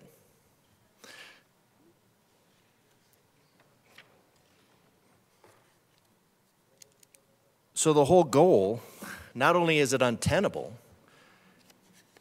it's unwise. And not only is it unwise, but it's unscientific. We use this as a basis and say, well, this is going to accomplish our air quality goals. It won't. Because you pack more people into a smaller area, you don't have trees, you don't have open space, your air quality gets worse. It's just the way it happens. So obviously, that's not really the problem. And I sent this letter out yesterday because I continue to be baffled by the amount of non science and nonsense that goes on in here. And so I'm just going to go through this. Because we have some, we have some superstition, and I say that lightly because this, the, the, the carbon superstition is well below anything like black cats or walking under a ladder as far as viability.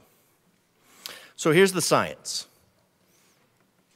And I forgot to bring him up. I can go get him for another time. But when I asked what the science goals were, when I asked the director of the Colorado Energy Office what it is that we're basing this on, he didn't know.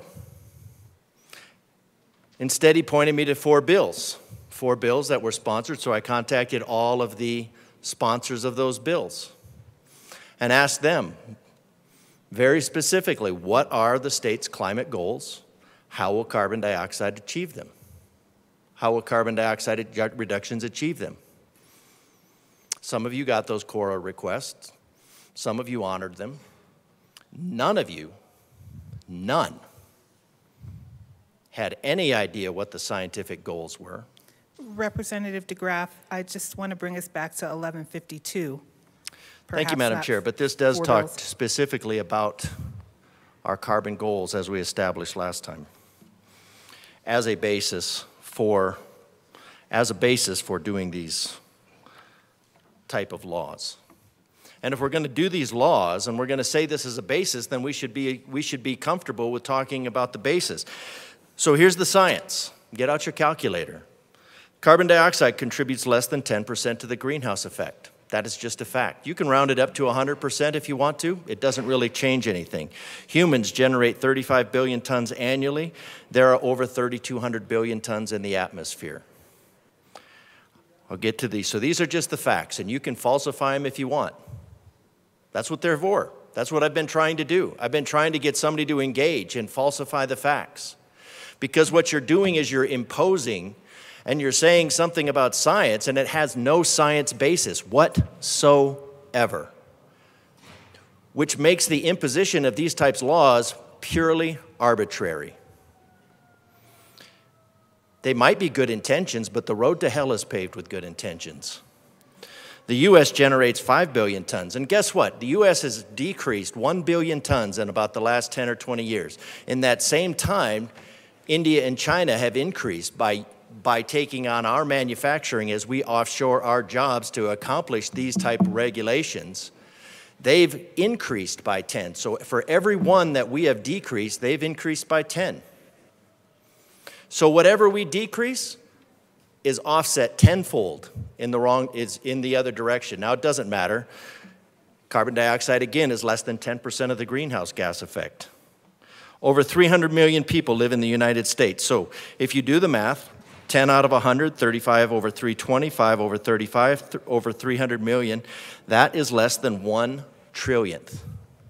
Your carbon footprint, grossly exaggerated, is less than one trillionth of any greenhouse effect, any impact on the climate. So you are looking, so this legislation is looking to actively saddle Coloradans with an additional $10,000 per person per year debt. And what will it achieve besides the virtue preening of this body who knows absolutely nothing about the science of climate? It will achieve less than one part in one trillion. And how much is a trillion?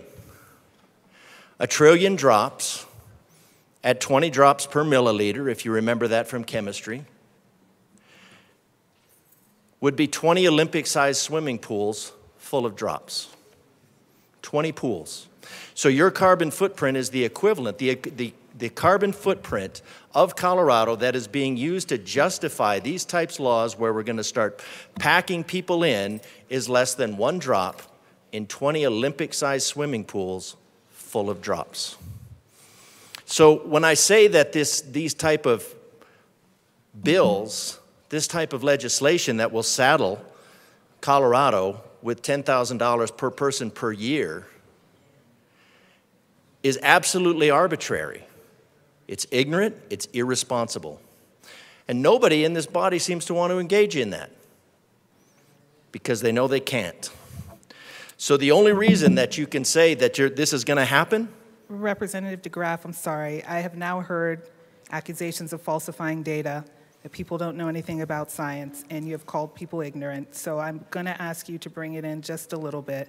We can appreciate your point on the carbon data. I'm sorry for taking up this time. Go ahead. Thank you, Madam Chair. No, I don't, I don't think they've falsified the data. They haven't looked at any data. Representative DeGraaf, also you have now 35 seconds remaining. So all I can say is to the people of Colorado that this is being done, this is government being done to you, not for you. It's just another example of that.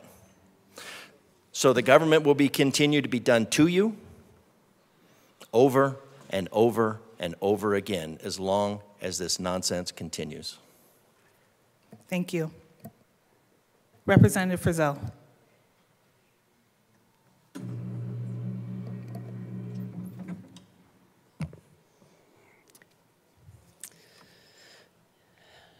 Thank you. Um, I spoke quite a bit about this bill yesterday, and uh, obviously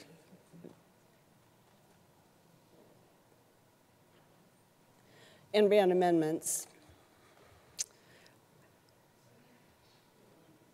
This bill is very interesting. I find it interesting because it, it does create an interesting, uh, a conundrum, if you will, uh, of property rights versus local control. I believe in property rights and I believe in local control. I do not, however, believe that the state plays a role in this decision. I don't believe that it should be the purview of the state to weigh in on this. you've heard me talk about ADUs from the context that we allow them in Castle Rock. But the town has also created some, what I believe are beneficial guardrails around that, so that one property owner doesn't necessarily, their choices don't infringe on their neighbor.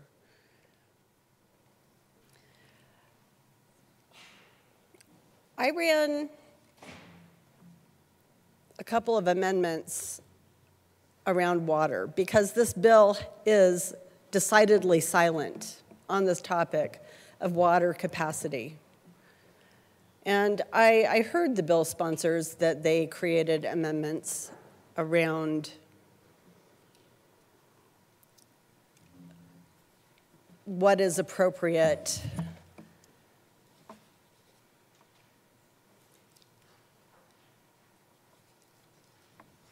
They, well, and I guess that's probably not even correct. It's actually deferring to uh, consistency with master plans and compa- compatibility with land use or development of the area surrounding. And I guess that that um, could be considered a catch-all. But um, I, I don't believe that others felt that this went far enough. They wanted a definition. They wanted wording in this bill that was specific to water capacity and availability and wastewater capacity and availability. Um, the, the, the, amendments that I ran were at the behest of the Colorado Water Congress. They felt that it was important to have that language in the bill. Um, I was disappointed in the dismissive way that that topic was treated. But here we are. This is a bill that grows government. It adds headcount to DOLA, it adds uh, duties to DOLA, but it also uses taxpayer dollars to incentivize behavior. Uh, I, I, firmly believe, and this is true in Castle Rock, that if someone wants to build an ADU, whether it's for their mother in law or to rent out, that's fine. If they do it in the right way, that's fine. But I don't believe that the construction of ADUs should be incentivized by the state. I don't think that that's our role. There's obviously benefit if you own a home and you want to construct an ADU, you will receive financial benefit from renting it out or benefit from the perspective of you have your mother-in-law to help watch your children. There's lots of different reasons. I don't think that this is something the state needs to be weighing in on. We did talk about parking yesterday and that in this bill, it says a subject jurisdiction shall not require the construction of a new off-street parking space in connection with the construction or conversion of an accessory dwelling unit. Um, I, I did ask specifically if there was a conflict between this legislation and HOA requirements or municipal ordinances that, that this would be, um, that, that the homeowners insurance, or sorry, the homeowners association rules would prevail, and, and, I'm, and I'm glad about that. But, you know, Castle Rock is, is not downtown Denver. We don't have transit in Castle Rock. And so perhaps that is okay in Denver, but it's, it's not really um, workable in all areas of, of the state that are affected by this legislation. I think it's important that we do things right. in this room. Again, I am not opposed to ADUs. I'm not opposed to transit-oriented communities. But I am opposed to the state weighing in on this, and I am opposed to state dollars being used to incentivize this type of development. I am a no vote. Thank you.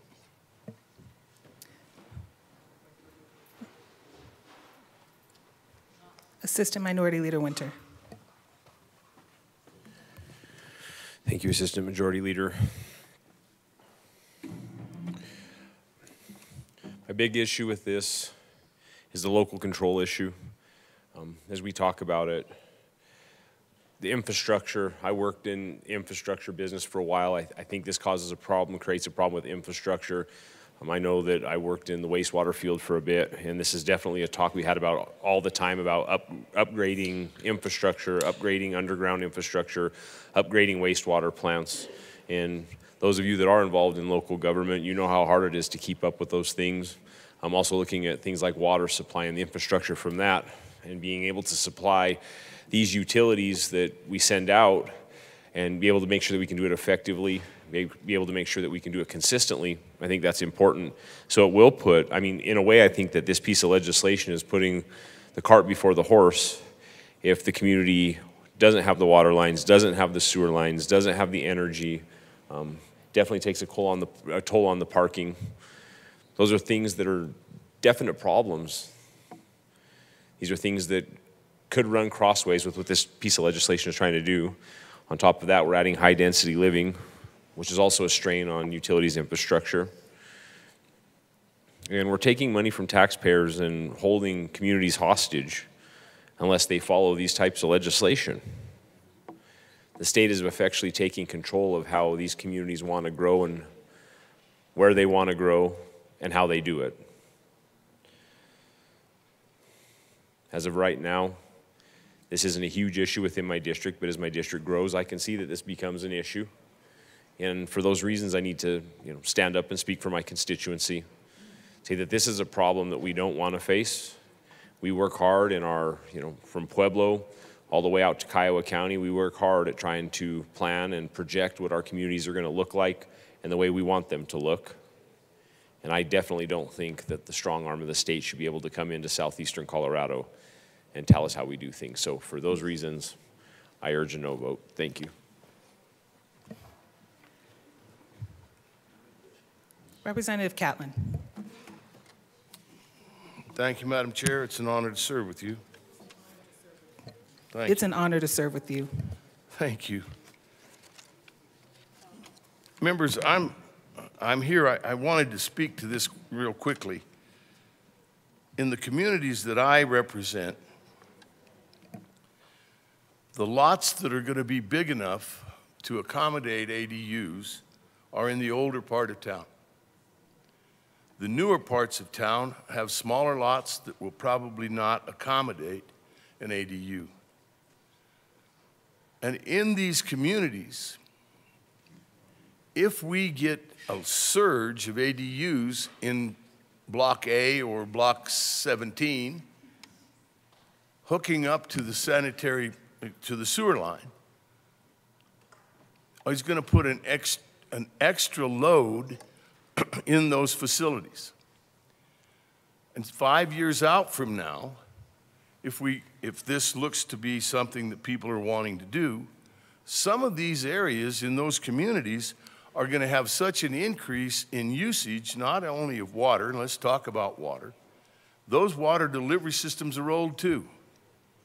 So is the electrical in the, in the, uh, in my communities, in, in the uh, alleys, how the electricity comes in, along with the sewer line, which is out in the main street.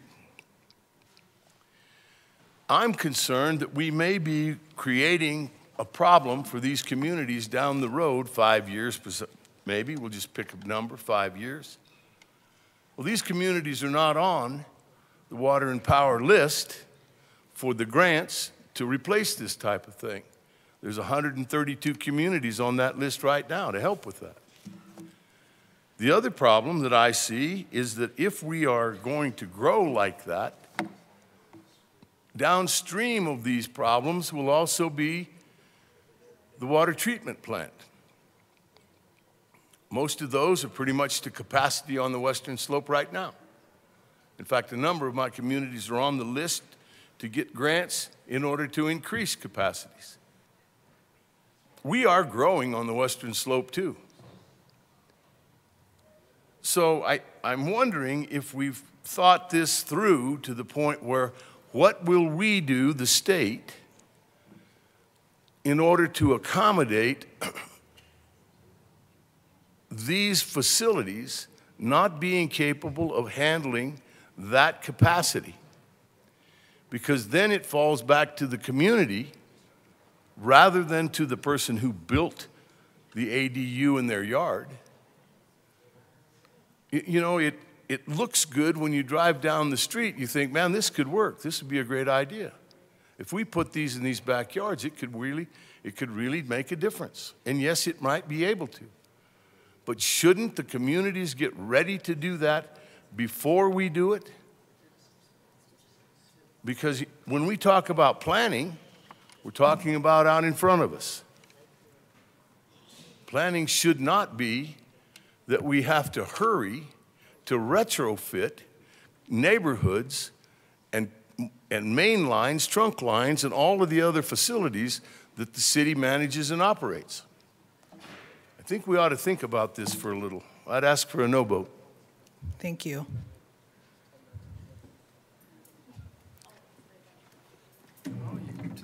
Representative Amabile.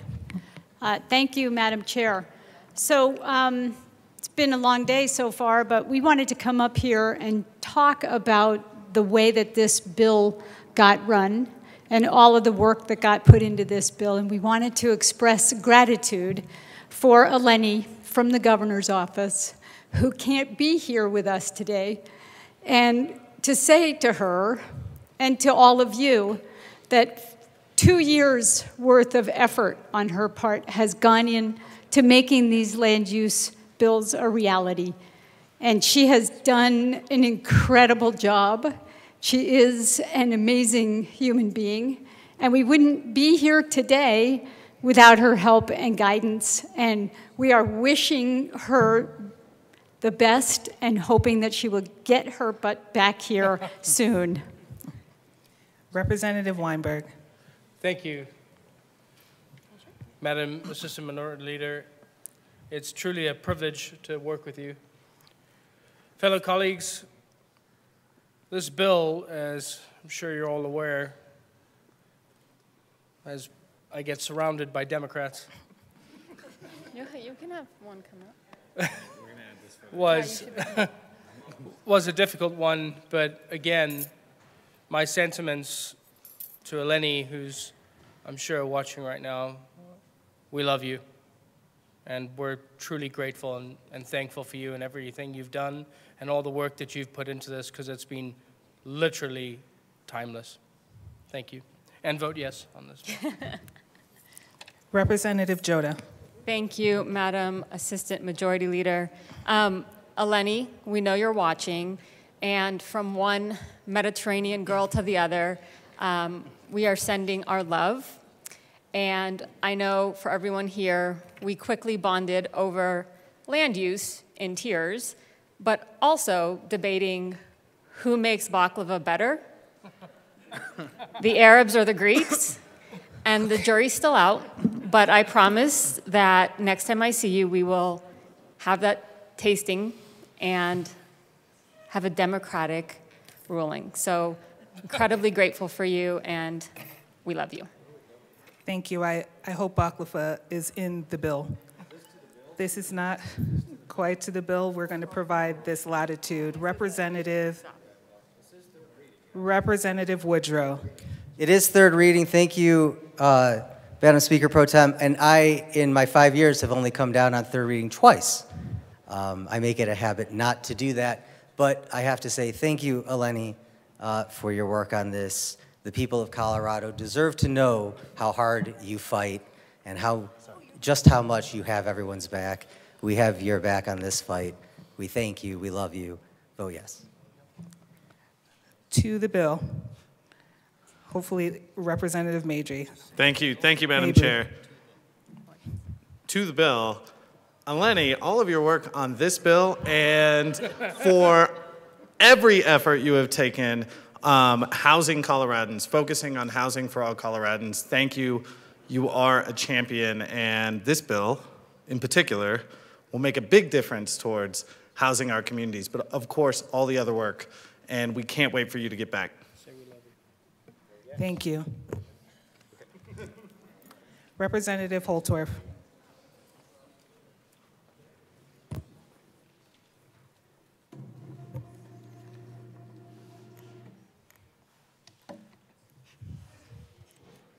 Where you going, buddy? Going back. Um, so I just found out that the person that is being referenced did work on this bill substantially and is also going through some medical treatments. Out of respect for that, I apologize if I made a comment to the group that was up here. I did not know about that. And I think that I would have liked to know and I wouldn't have made the comment I made. So I just want, uh, and thank you, Representative Mabrey, for coming and talking to me and letting me know that that was the situation. Um, now, I'm going to talk to the bill, and, I want to preface this by saying this doesn't directly affect, at this time, my district in the seven counties of rural House District 63. But there is a dangerous precedence that I want to point out that continues to be a problem. And many years ago, in a previous life, I did serve on the Washington County Planning and Zoning um, Commission in my home county. At, in that responsibility, as appointed by the county commissioners, we had the responsibility of, of um, number one, following the county's um, master plan and making sure that every application and permit did come in line with that uh, plan for growth that the county commissioners had developed, working with the Planning and Zoning Commission. And also, everything that was presented was reviewed, and then a recommendation was made to the county commissioners for approval because we had no authority. We had a recommendation that we would make to the commissioners, which they would review, and then they would approve or deny approval for that development. So here's where I really have an issue with this. And I understand that everyone's trying to solve problems, housing problems specifically. And there are housing problems in rural Colorado also, in our small communities, as this state grows exponentially. But the real issue I have here, and I'm going to read the bill requires a subject jurisdiction to allow, subject to an administrative approval process, these uh, accessory dwelling units. One, as an accessory use to a single unit detached dwelling in any part of the subject jurisdiction where the subject jurisdiction allows single unit detached dwellings. The bill also prohibits subject jurisdictions from enacting or enforcing certain local laws that would restrict the construction uh, or conversion of an accessory dwelling unit. So the first problem I have is with the prohibition. As that prohibition ties to local laws or local authority or local land use or local control. You see, once again, as a body, we are stepping on local land use. Now, many proponents of this bill will say, well, we have to. We have to. Because we need more homes or we need more places for people to live, whether it's your mother, your grandmother, your son or daughter who can't get a job and is still living at home, or whatever, because you don't have a basement, or whatever. But here's the real problem I push back on the premise that we should be and should supersede local control and local land use. And that we should be passing laws with these prohibitions. So you're essentially taking away a city, municipality, town in my case, um, county of my seven counties. Now you're taking away their authority. And they're elected by their citizens to promulgate the authority and control that's given to them in developing their communities. I think it's wrong. I don't think it's right. Fundamentally, it should be a bottom up process. Fundamentally, the state should be augmenting and supporting counties and municipalities. Fundamentally, it is not our jobs, nor the governor's job, or any working group, or anybody who has this great, grandiose idea of land use. It's not their job to step on and oppress any entity below their level. Any more so than it is the federal government's right to step on states' rights under the 10th Amendment, which I respect. Now, some of us look to this side of the chamber and see the Gadsden flag. Don't tread on me.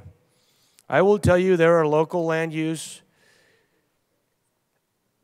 well, I'll read here. There are local land use, there are counties and municipalities. When you pass this bill, send it to the next chamber. If it gets through the next chamber and goes to the governor's desk, they will say, Don't tread on me. And when you sign this and enact it in a Colorado Revised statute, you will be treading on them. You will tread on them. That's what that has to do with this bill. Nobody wants to be told how to do their business or live their lives. Nobody wants to be told that they cannot do something or, or there's a prohibition against doing something. You're forced to do this. now, earlier I talked about uh, a little historical lesson. In the colonial days, when the citizens were forced to house a British soldier in their home, and they refused and did not want that, they were punished. They were told they had to do something. You have to do this because King George says do it. To the bill, Representative. Thank you. So, to this bill, we have the state now, but potentially, this is the governor's uh, staff has been working on this. The bill sponsors have been working on this, arguably, for a long time now. And we're going to force this on Colorado. It wouldn't matter if it was dog um, hutches, or if it was chicken coops, or if it was uh, anything for anything or anybody. If you were told you had to do it and could not have a prohibition against it, whatever it was, I think it's wrong. Now, I understand the need for housing. I understand that. But my objection, Madam Speaker, and my objection, dear colleagues, is the prohibition and the fact that now you are taking away, this isn't the first one today. Okay, you're taking away the right of municipalities, towns, cities, and or counties and their land use master plans. Now you are saying you will change them. In the language in this chamber, you shall change them because we say so. Now, in a previous bill that I won't speak to, there was actually very significant punishment. This one just says you can't do it. Now, I could be wrong. Someone allow the bill sponsor to come up here. But when you put these restrictive, prohibitive, the language in these Holtorf, statutes. you have one minute remaining. Thank you, Madam Speaker. I think it is very authoritative in nature. It is very over the top. It's a top down, a top down when it should be a bottom up process. And you are forcing your will upon your subordinates subordination being municipalities and counties and their land use. And I don't think that's right. So I will be a no, even though this doesn't directly affect my district that I'm aware of. But it could when it's expanded, perhaps. You know, it, it may be expanded in future time to some of my counties or my municipalities. But anyway, I do have an objection to this. I will be a no on this bill, and thank you for your time. Representative Weinberg. Thank you, Madam Speaker. And fellow colleagues, there's a reason, there's literally a reason the majority of the mighty 19 are not down here fighting this one, and that is because this is private property. Private property.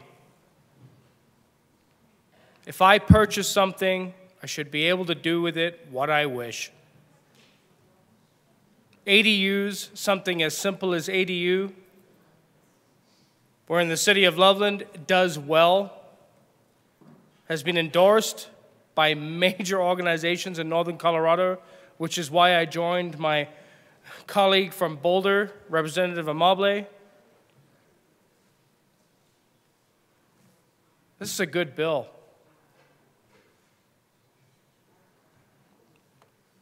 I won't drag it out since it's Sunday. I truly want to bring it back to what a few of us did a moment ago, which is Eleni, our heart is with you. I appreciate you very much.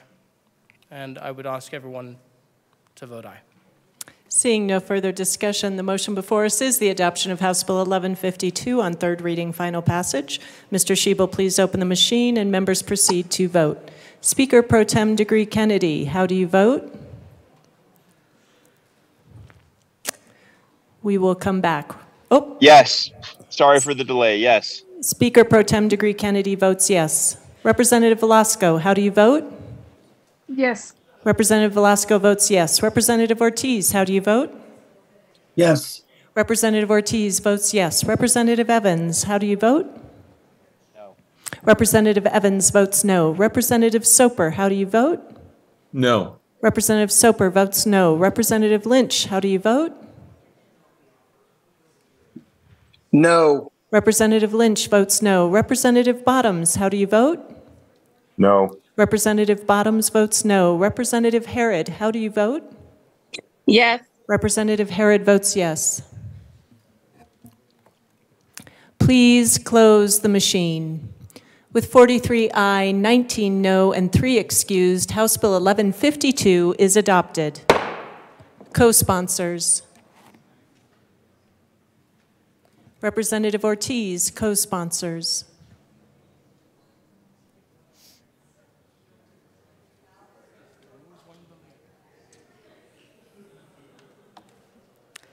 Please close the machine. Madam Majority Leader. Thank you, Madam Speaker. I move to lay over House Bill 1158 until tomorrow. Uh, House Bill 1158 will be laid over until tomorrow, Monday, April 15th. Mr. Shebel, please read the title to House Bill 1351. House Bill 1351 by Representatives Amabile and Lindstedt, also Senators Lundin and Priola, concerning the continuation of functions related to banking and in connection therewith, um, implementing the recommendations in the 2023 Sunset Report from the Department of Regulatory Agencies for the Division of Banking and the Banking Board. Madam Majority Leader. Madam Speaker, I move House Bill 1351 on third reading and final passage. Seeing no further discussion, the motion before us is the adoption of House Bill 1351 on third reading and final passage. Mr. Shebel, please open the machine and members proceed to vote. Speaker Pro Tem deGruy Kennedy, how do you vote? Yes. Speaker Pro Tem deGruy Kennedy votes yes. Representative Velasco, how do you vote? Yes. Representative Velasco votes yes. Representative Ortiz, how do you vote? Yes. Representative Ortiz votes yes. Representative Evans, how do you vote? No. Representative Evans votes no. Representative Soper, how do you vote? No. Representative Soper votes no. Representative Lynch, how do you vote? No. Representative Lynch votes no. Representative Bottoms, how do you vote? No. Representative Bottoms votes no. Representative Herod, how do you vote? Yes. Representative Herod votes yes. Please close the machine. With 44 aye, 18 no, 3 excused, House Bill 1351 is adopted. Co-sponsors.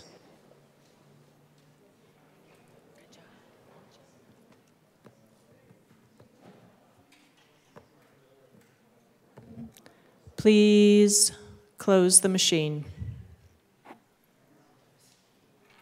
Mr. Shebel, please read the title to House Bill 1294.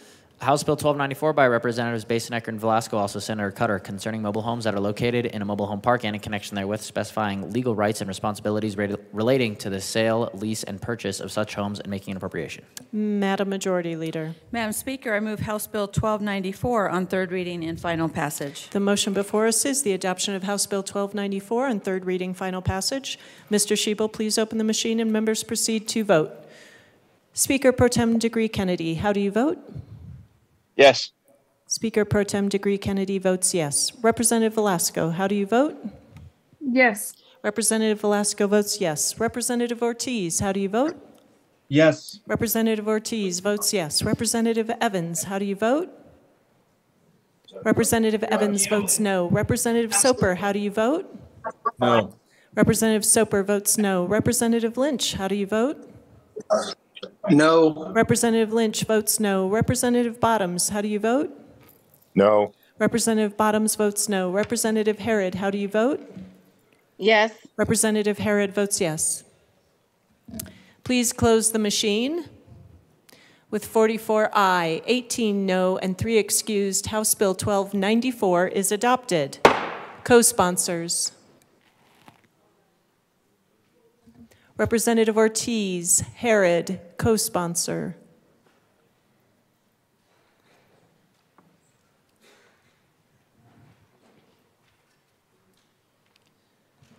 Please. Assistant ML Bacon. Please close the machine.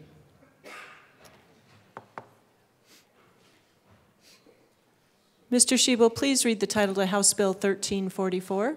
House Bill 1344 by Representatives Lieder and Ricks, also Senators Pelton B. and Fields, concerning the continuation of the State Plumbing Board and in connection therewith, implementing the recommendations in the 2023 Sunset Report by the Department of Regulatory Agencies. Madam Majority Leader. Madam Speaker, I move House Bill 1344 on third reading and final passage. The motion before us is the adoption of House Bill 1344 on third reading, final passage.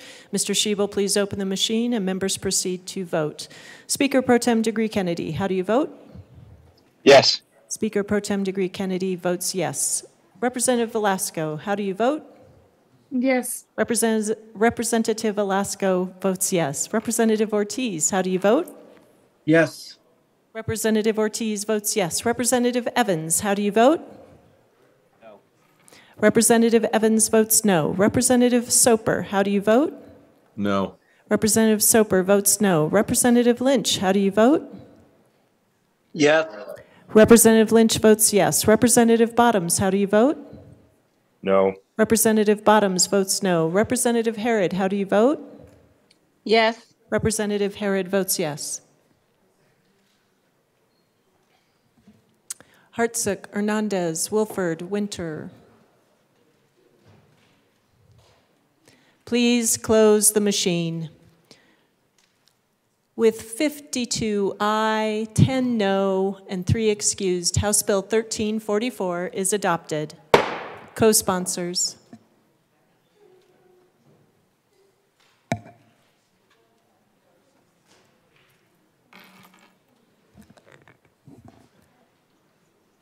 Please close the machine. Mr. Shebel, please read the title to House Bill 1377. House Bill 1377 by Representatives Marvin and Young, also Senator Cutter, concerning court-appointed special advocates who work with youth in the Foster Youth and Transition Program. Madam Majority Leader. Madam Speaker, I move House Bill 1377 on third reading and final passage. The motion before us is the adoption of House Bill 1377 on third reading, final passage. Mr. Shebel, please open the machine, and members proceed to vote. Speaker Pro Tem deGruy Kennedy, how do you vote? Yes. Speaker Pro Tem deGruy Kennedy votes yes. Representative Velasco, how do you vote?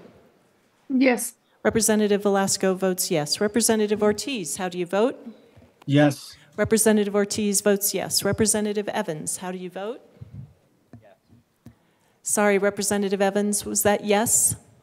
Thumbs up. That was a yes. Representative Evans votes yes. Representative Soper, how do you vote? Yes. Representative Soper votes yes. Representative Lynch, how do you vote? Yes. Representative Lynch votes yes. Representative Bottoms, how do you vote? Yes. Representative Bottoms votes yes. Representative Herod, how do you vote? Yes. Representative Herod votes yes. Please close the machine. With 62 ayes, 0 no, and 3 excused, House Bill 1377 is adopted. Co-sponsors.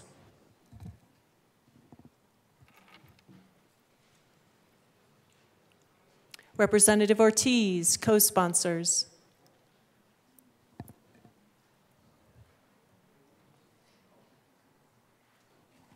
Please close the machine. Mr. Shebel, please read the title to House Bill 1232. House Bill 1232 by Representative Snyder, also Senator Gardner, concerning the enactment of the Uniform Special Deposits Act. Madam Majority Leader. Madam Speaker, I move House Bill 1232 on third reading and final passage. The motion before us is the adoption of House Bill 1232 on third reading, final passage. Mr. Shebel, please open the machine and members proceed to vote.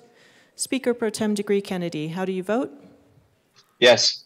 Speaker Pro Tem deGruy Kennedy votes yes. Representative Velasco, how do you vote? Mm, yes. Representative Velasco votes yes. Representative Ortiz, how do you vote? Yes. Representative Ortiz votes yes. Representative Evans, how do you vote? No. Representative Evans votes no. Representative Soper, how do you vote? Yes. Representative Soper votes yes. Representative Lynch, how do you vote? Yes. Representative Lynch votes yes. Representative Bottoms, how do you vote? No. Representative Bottoms votes no. Representative Herod, you are no longer online. Is that correct? If you are there, please speak out. Please close the machine. With 52, uh, 53 aye, 8 no, 4 excused, House Bill 1232 is adopted. Co-sponsors. Representative Soper, co-sponsors.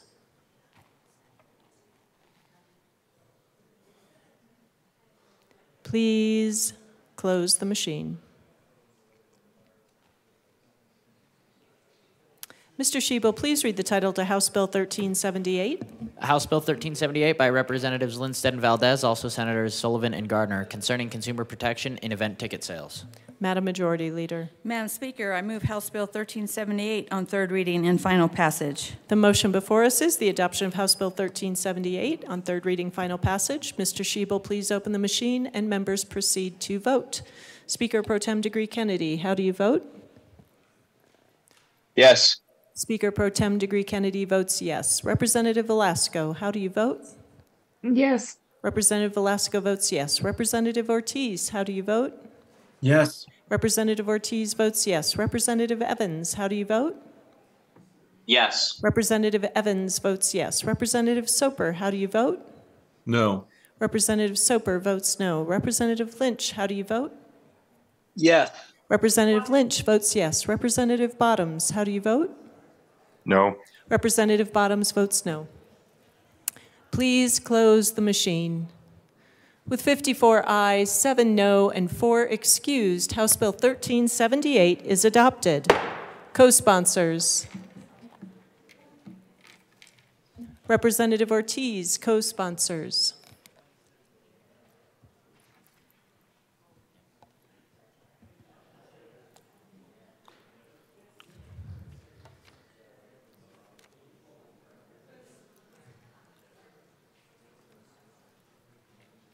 Please close the machine. Mr. Shebel, please read the title to House Bill 1383. House Bill 1383 by Representative Lindstedt, also Senator Michaelson Jenet, concerning declarations that form common interest communities under the Colorado Common Interest Ownership Act. Madam Majority Leader. Madam Speaker, I move House Bill 1383 on third reading and final passage. The motion before us is the adoption of House Bill 1383 on third reading, final passage. Mr. Shebel, please open the machine and members proceed to vote. Speaker Pro Tem deGruy Kennedy, how do you vote? Yes. Speaker Pro Tem deGruy Kennedy votes yes. Representative Velasco, how do you vote? Yes.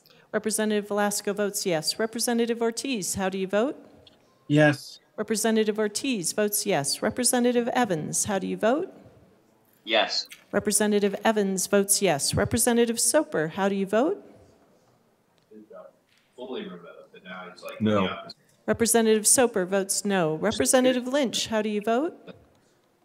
No. Representative Lynch votes no. Representative Bottoms, how do you vote? Yes. Representative Bottoms votes yes. Please close the machine. With 59 aye, 2 no, 4 excused, House Bill 1383 is adopted. Co-sponsors.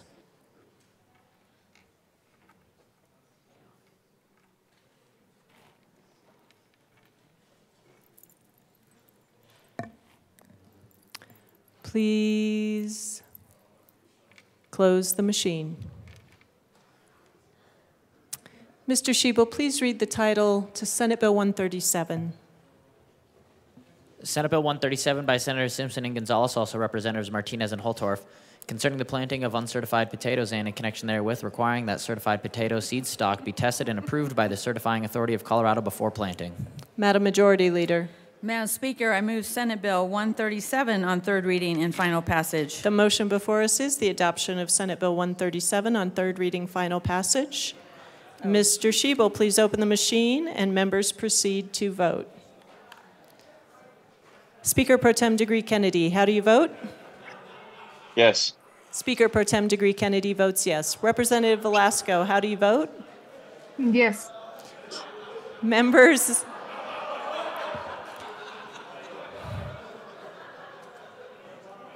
that seems fair. Members, we are trying to get through the votes. The machine is open. I do need for you to keep your voices and laughter down. Uh, Representative Velasco, how do you vote? Yes. Representative Velasco votes yes. Representative Ortiz, how do you vote? Yes. Representative Ortiz votes yes. Representative Evans, how do you vote? Yes. Representative Evans votes yes. Representative Soper, how do you vote? Yes. Representative Soper votes yes. Representative Lynch, how do you vote? Yes. Representative Lynch votes yes. Representative Bottoms, how do you vote? Yes for today. Representative Bottoms votes yes for today. Please close the machine. With 60 aye, 1 no, and 4 excused, Senate Bill 137 is adopted. Co-sponsors.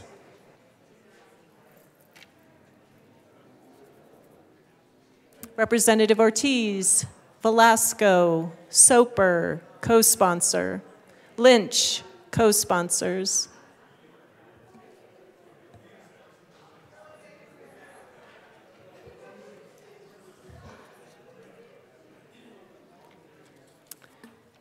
Thank you, members.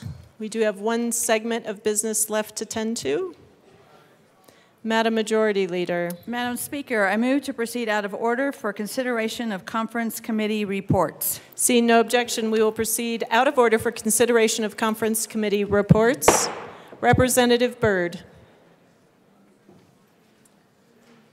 Madam Speaker, I move for the adoption of the first report of the First Conference Committee on House Bill 241430. My apologies, members. Uh, we do need to read the title. Mr. Shebel, please read the title of House Bill 1430. House Bill 1430 by Representative Bird, also Senator Zenzinger, concerning the provision for payment of the expenses of the executive, legislative, and judicial departments of the state of Colorado and of its agencies and institutions foreign during the fiscal year beginning July 1st, 2024, except as otherwise noted. And Representative Bird, I'll have you make that motion again. All right. Thank you, Madam Speaker. I move for the adoption of the first report of the First Conference Committee on House Bill 241430. Uh, please proceed. Thank you. Uh, so, Madam Speaker, this is the culmination of our work uh, to complete the budget after having gone through the process here in the House, um, looking and reviewing the amendments made here, and looking at what amendments were passed also in the Senate.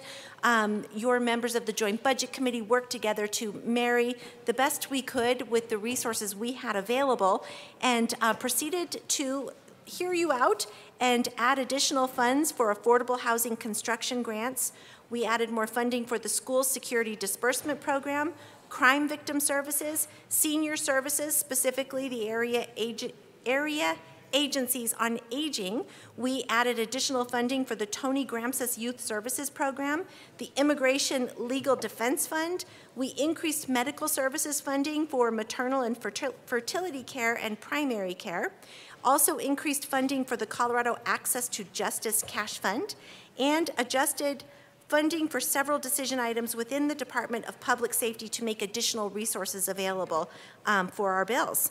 We also added funding um, to support CSU's AgrAbility program and um, funding for the Cannabis Business Office.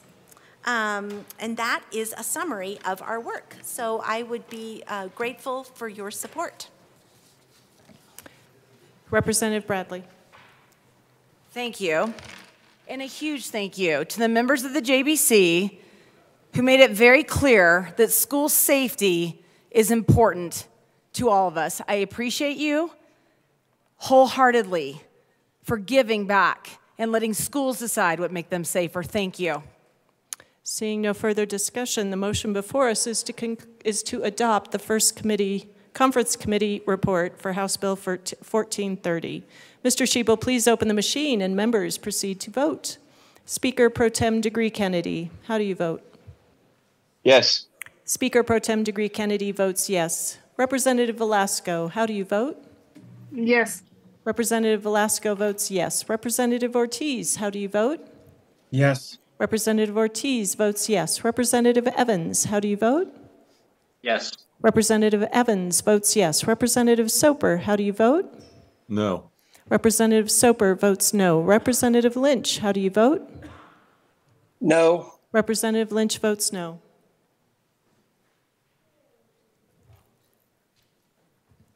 Representative Bottoms, we do not see you on the screen. If you are present, Representative Bottoms is excused. Please close the machine. With 48 aye, 12 no, 5 excused, the motion to adopt the Conference Committee report to House Bill 1430 is passed. Madam Majority Leader. Madam Speaker, I move for the repassage of House Bill 24-1430 as amended by the Conference Committee report.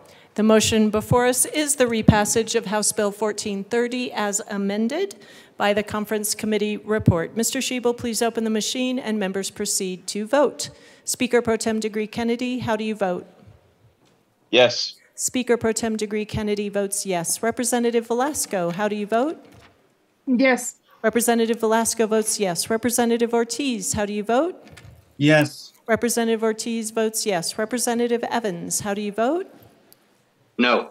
Representative Evans votes no. Representative Soper, how do you vote? No. Representative Soper votes no. Representative Lynch, how do you vote? No. Representative Lynch votes no. Please close the machine. With 44 aye, 16 no, and 5 excused, and we're slowing down for a photo op. 44 aye, 16 no, and 5 excused. House Bill 1430, as amended, is repassed. Co sponsors. Good job.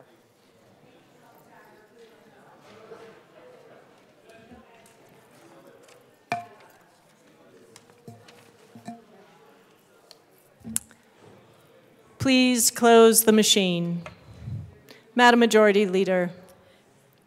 Madam Speaker, I move to lay over the balance of the calendar until Monday, April 15th, 2024. Seeing no objection, the balance of the calendar will be laid over until Monday, April 15th, 2024. Madam Majority Leader, any announcements for us? Madam Speaker, I move the House stand in adjournment until Monday, April 15th at 10 a.m. Seeing no objection, the House will adjourn until tomorrow, Monday, April 15th, 10 a.m.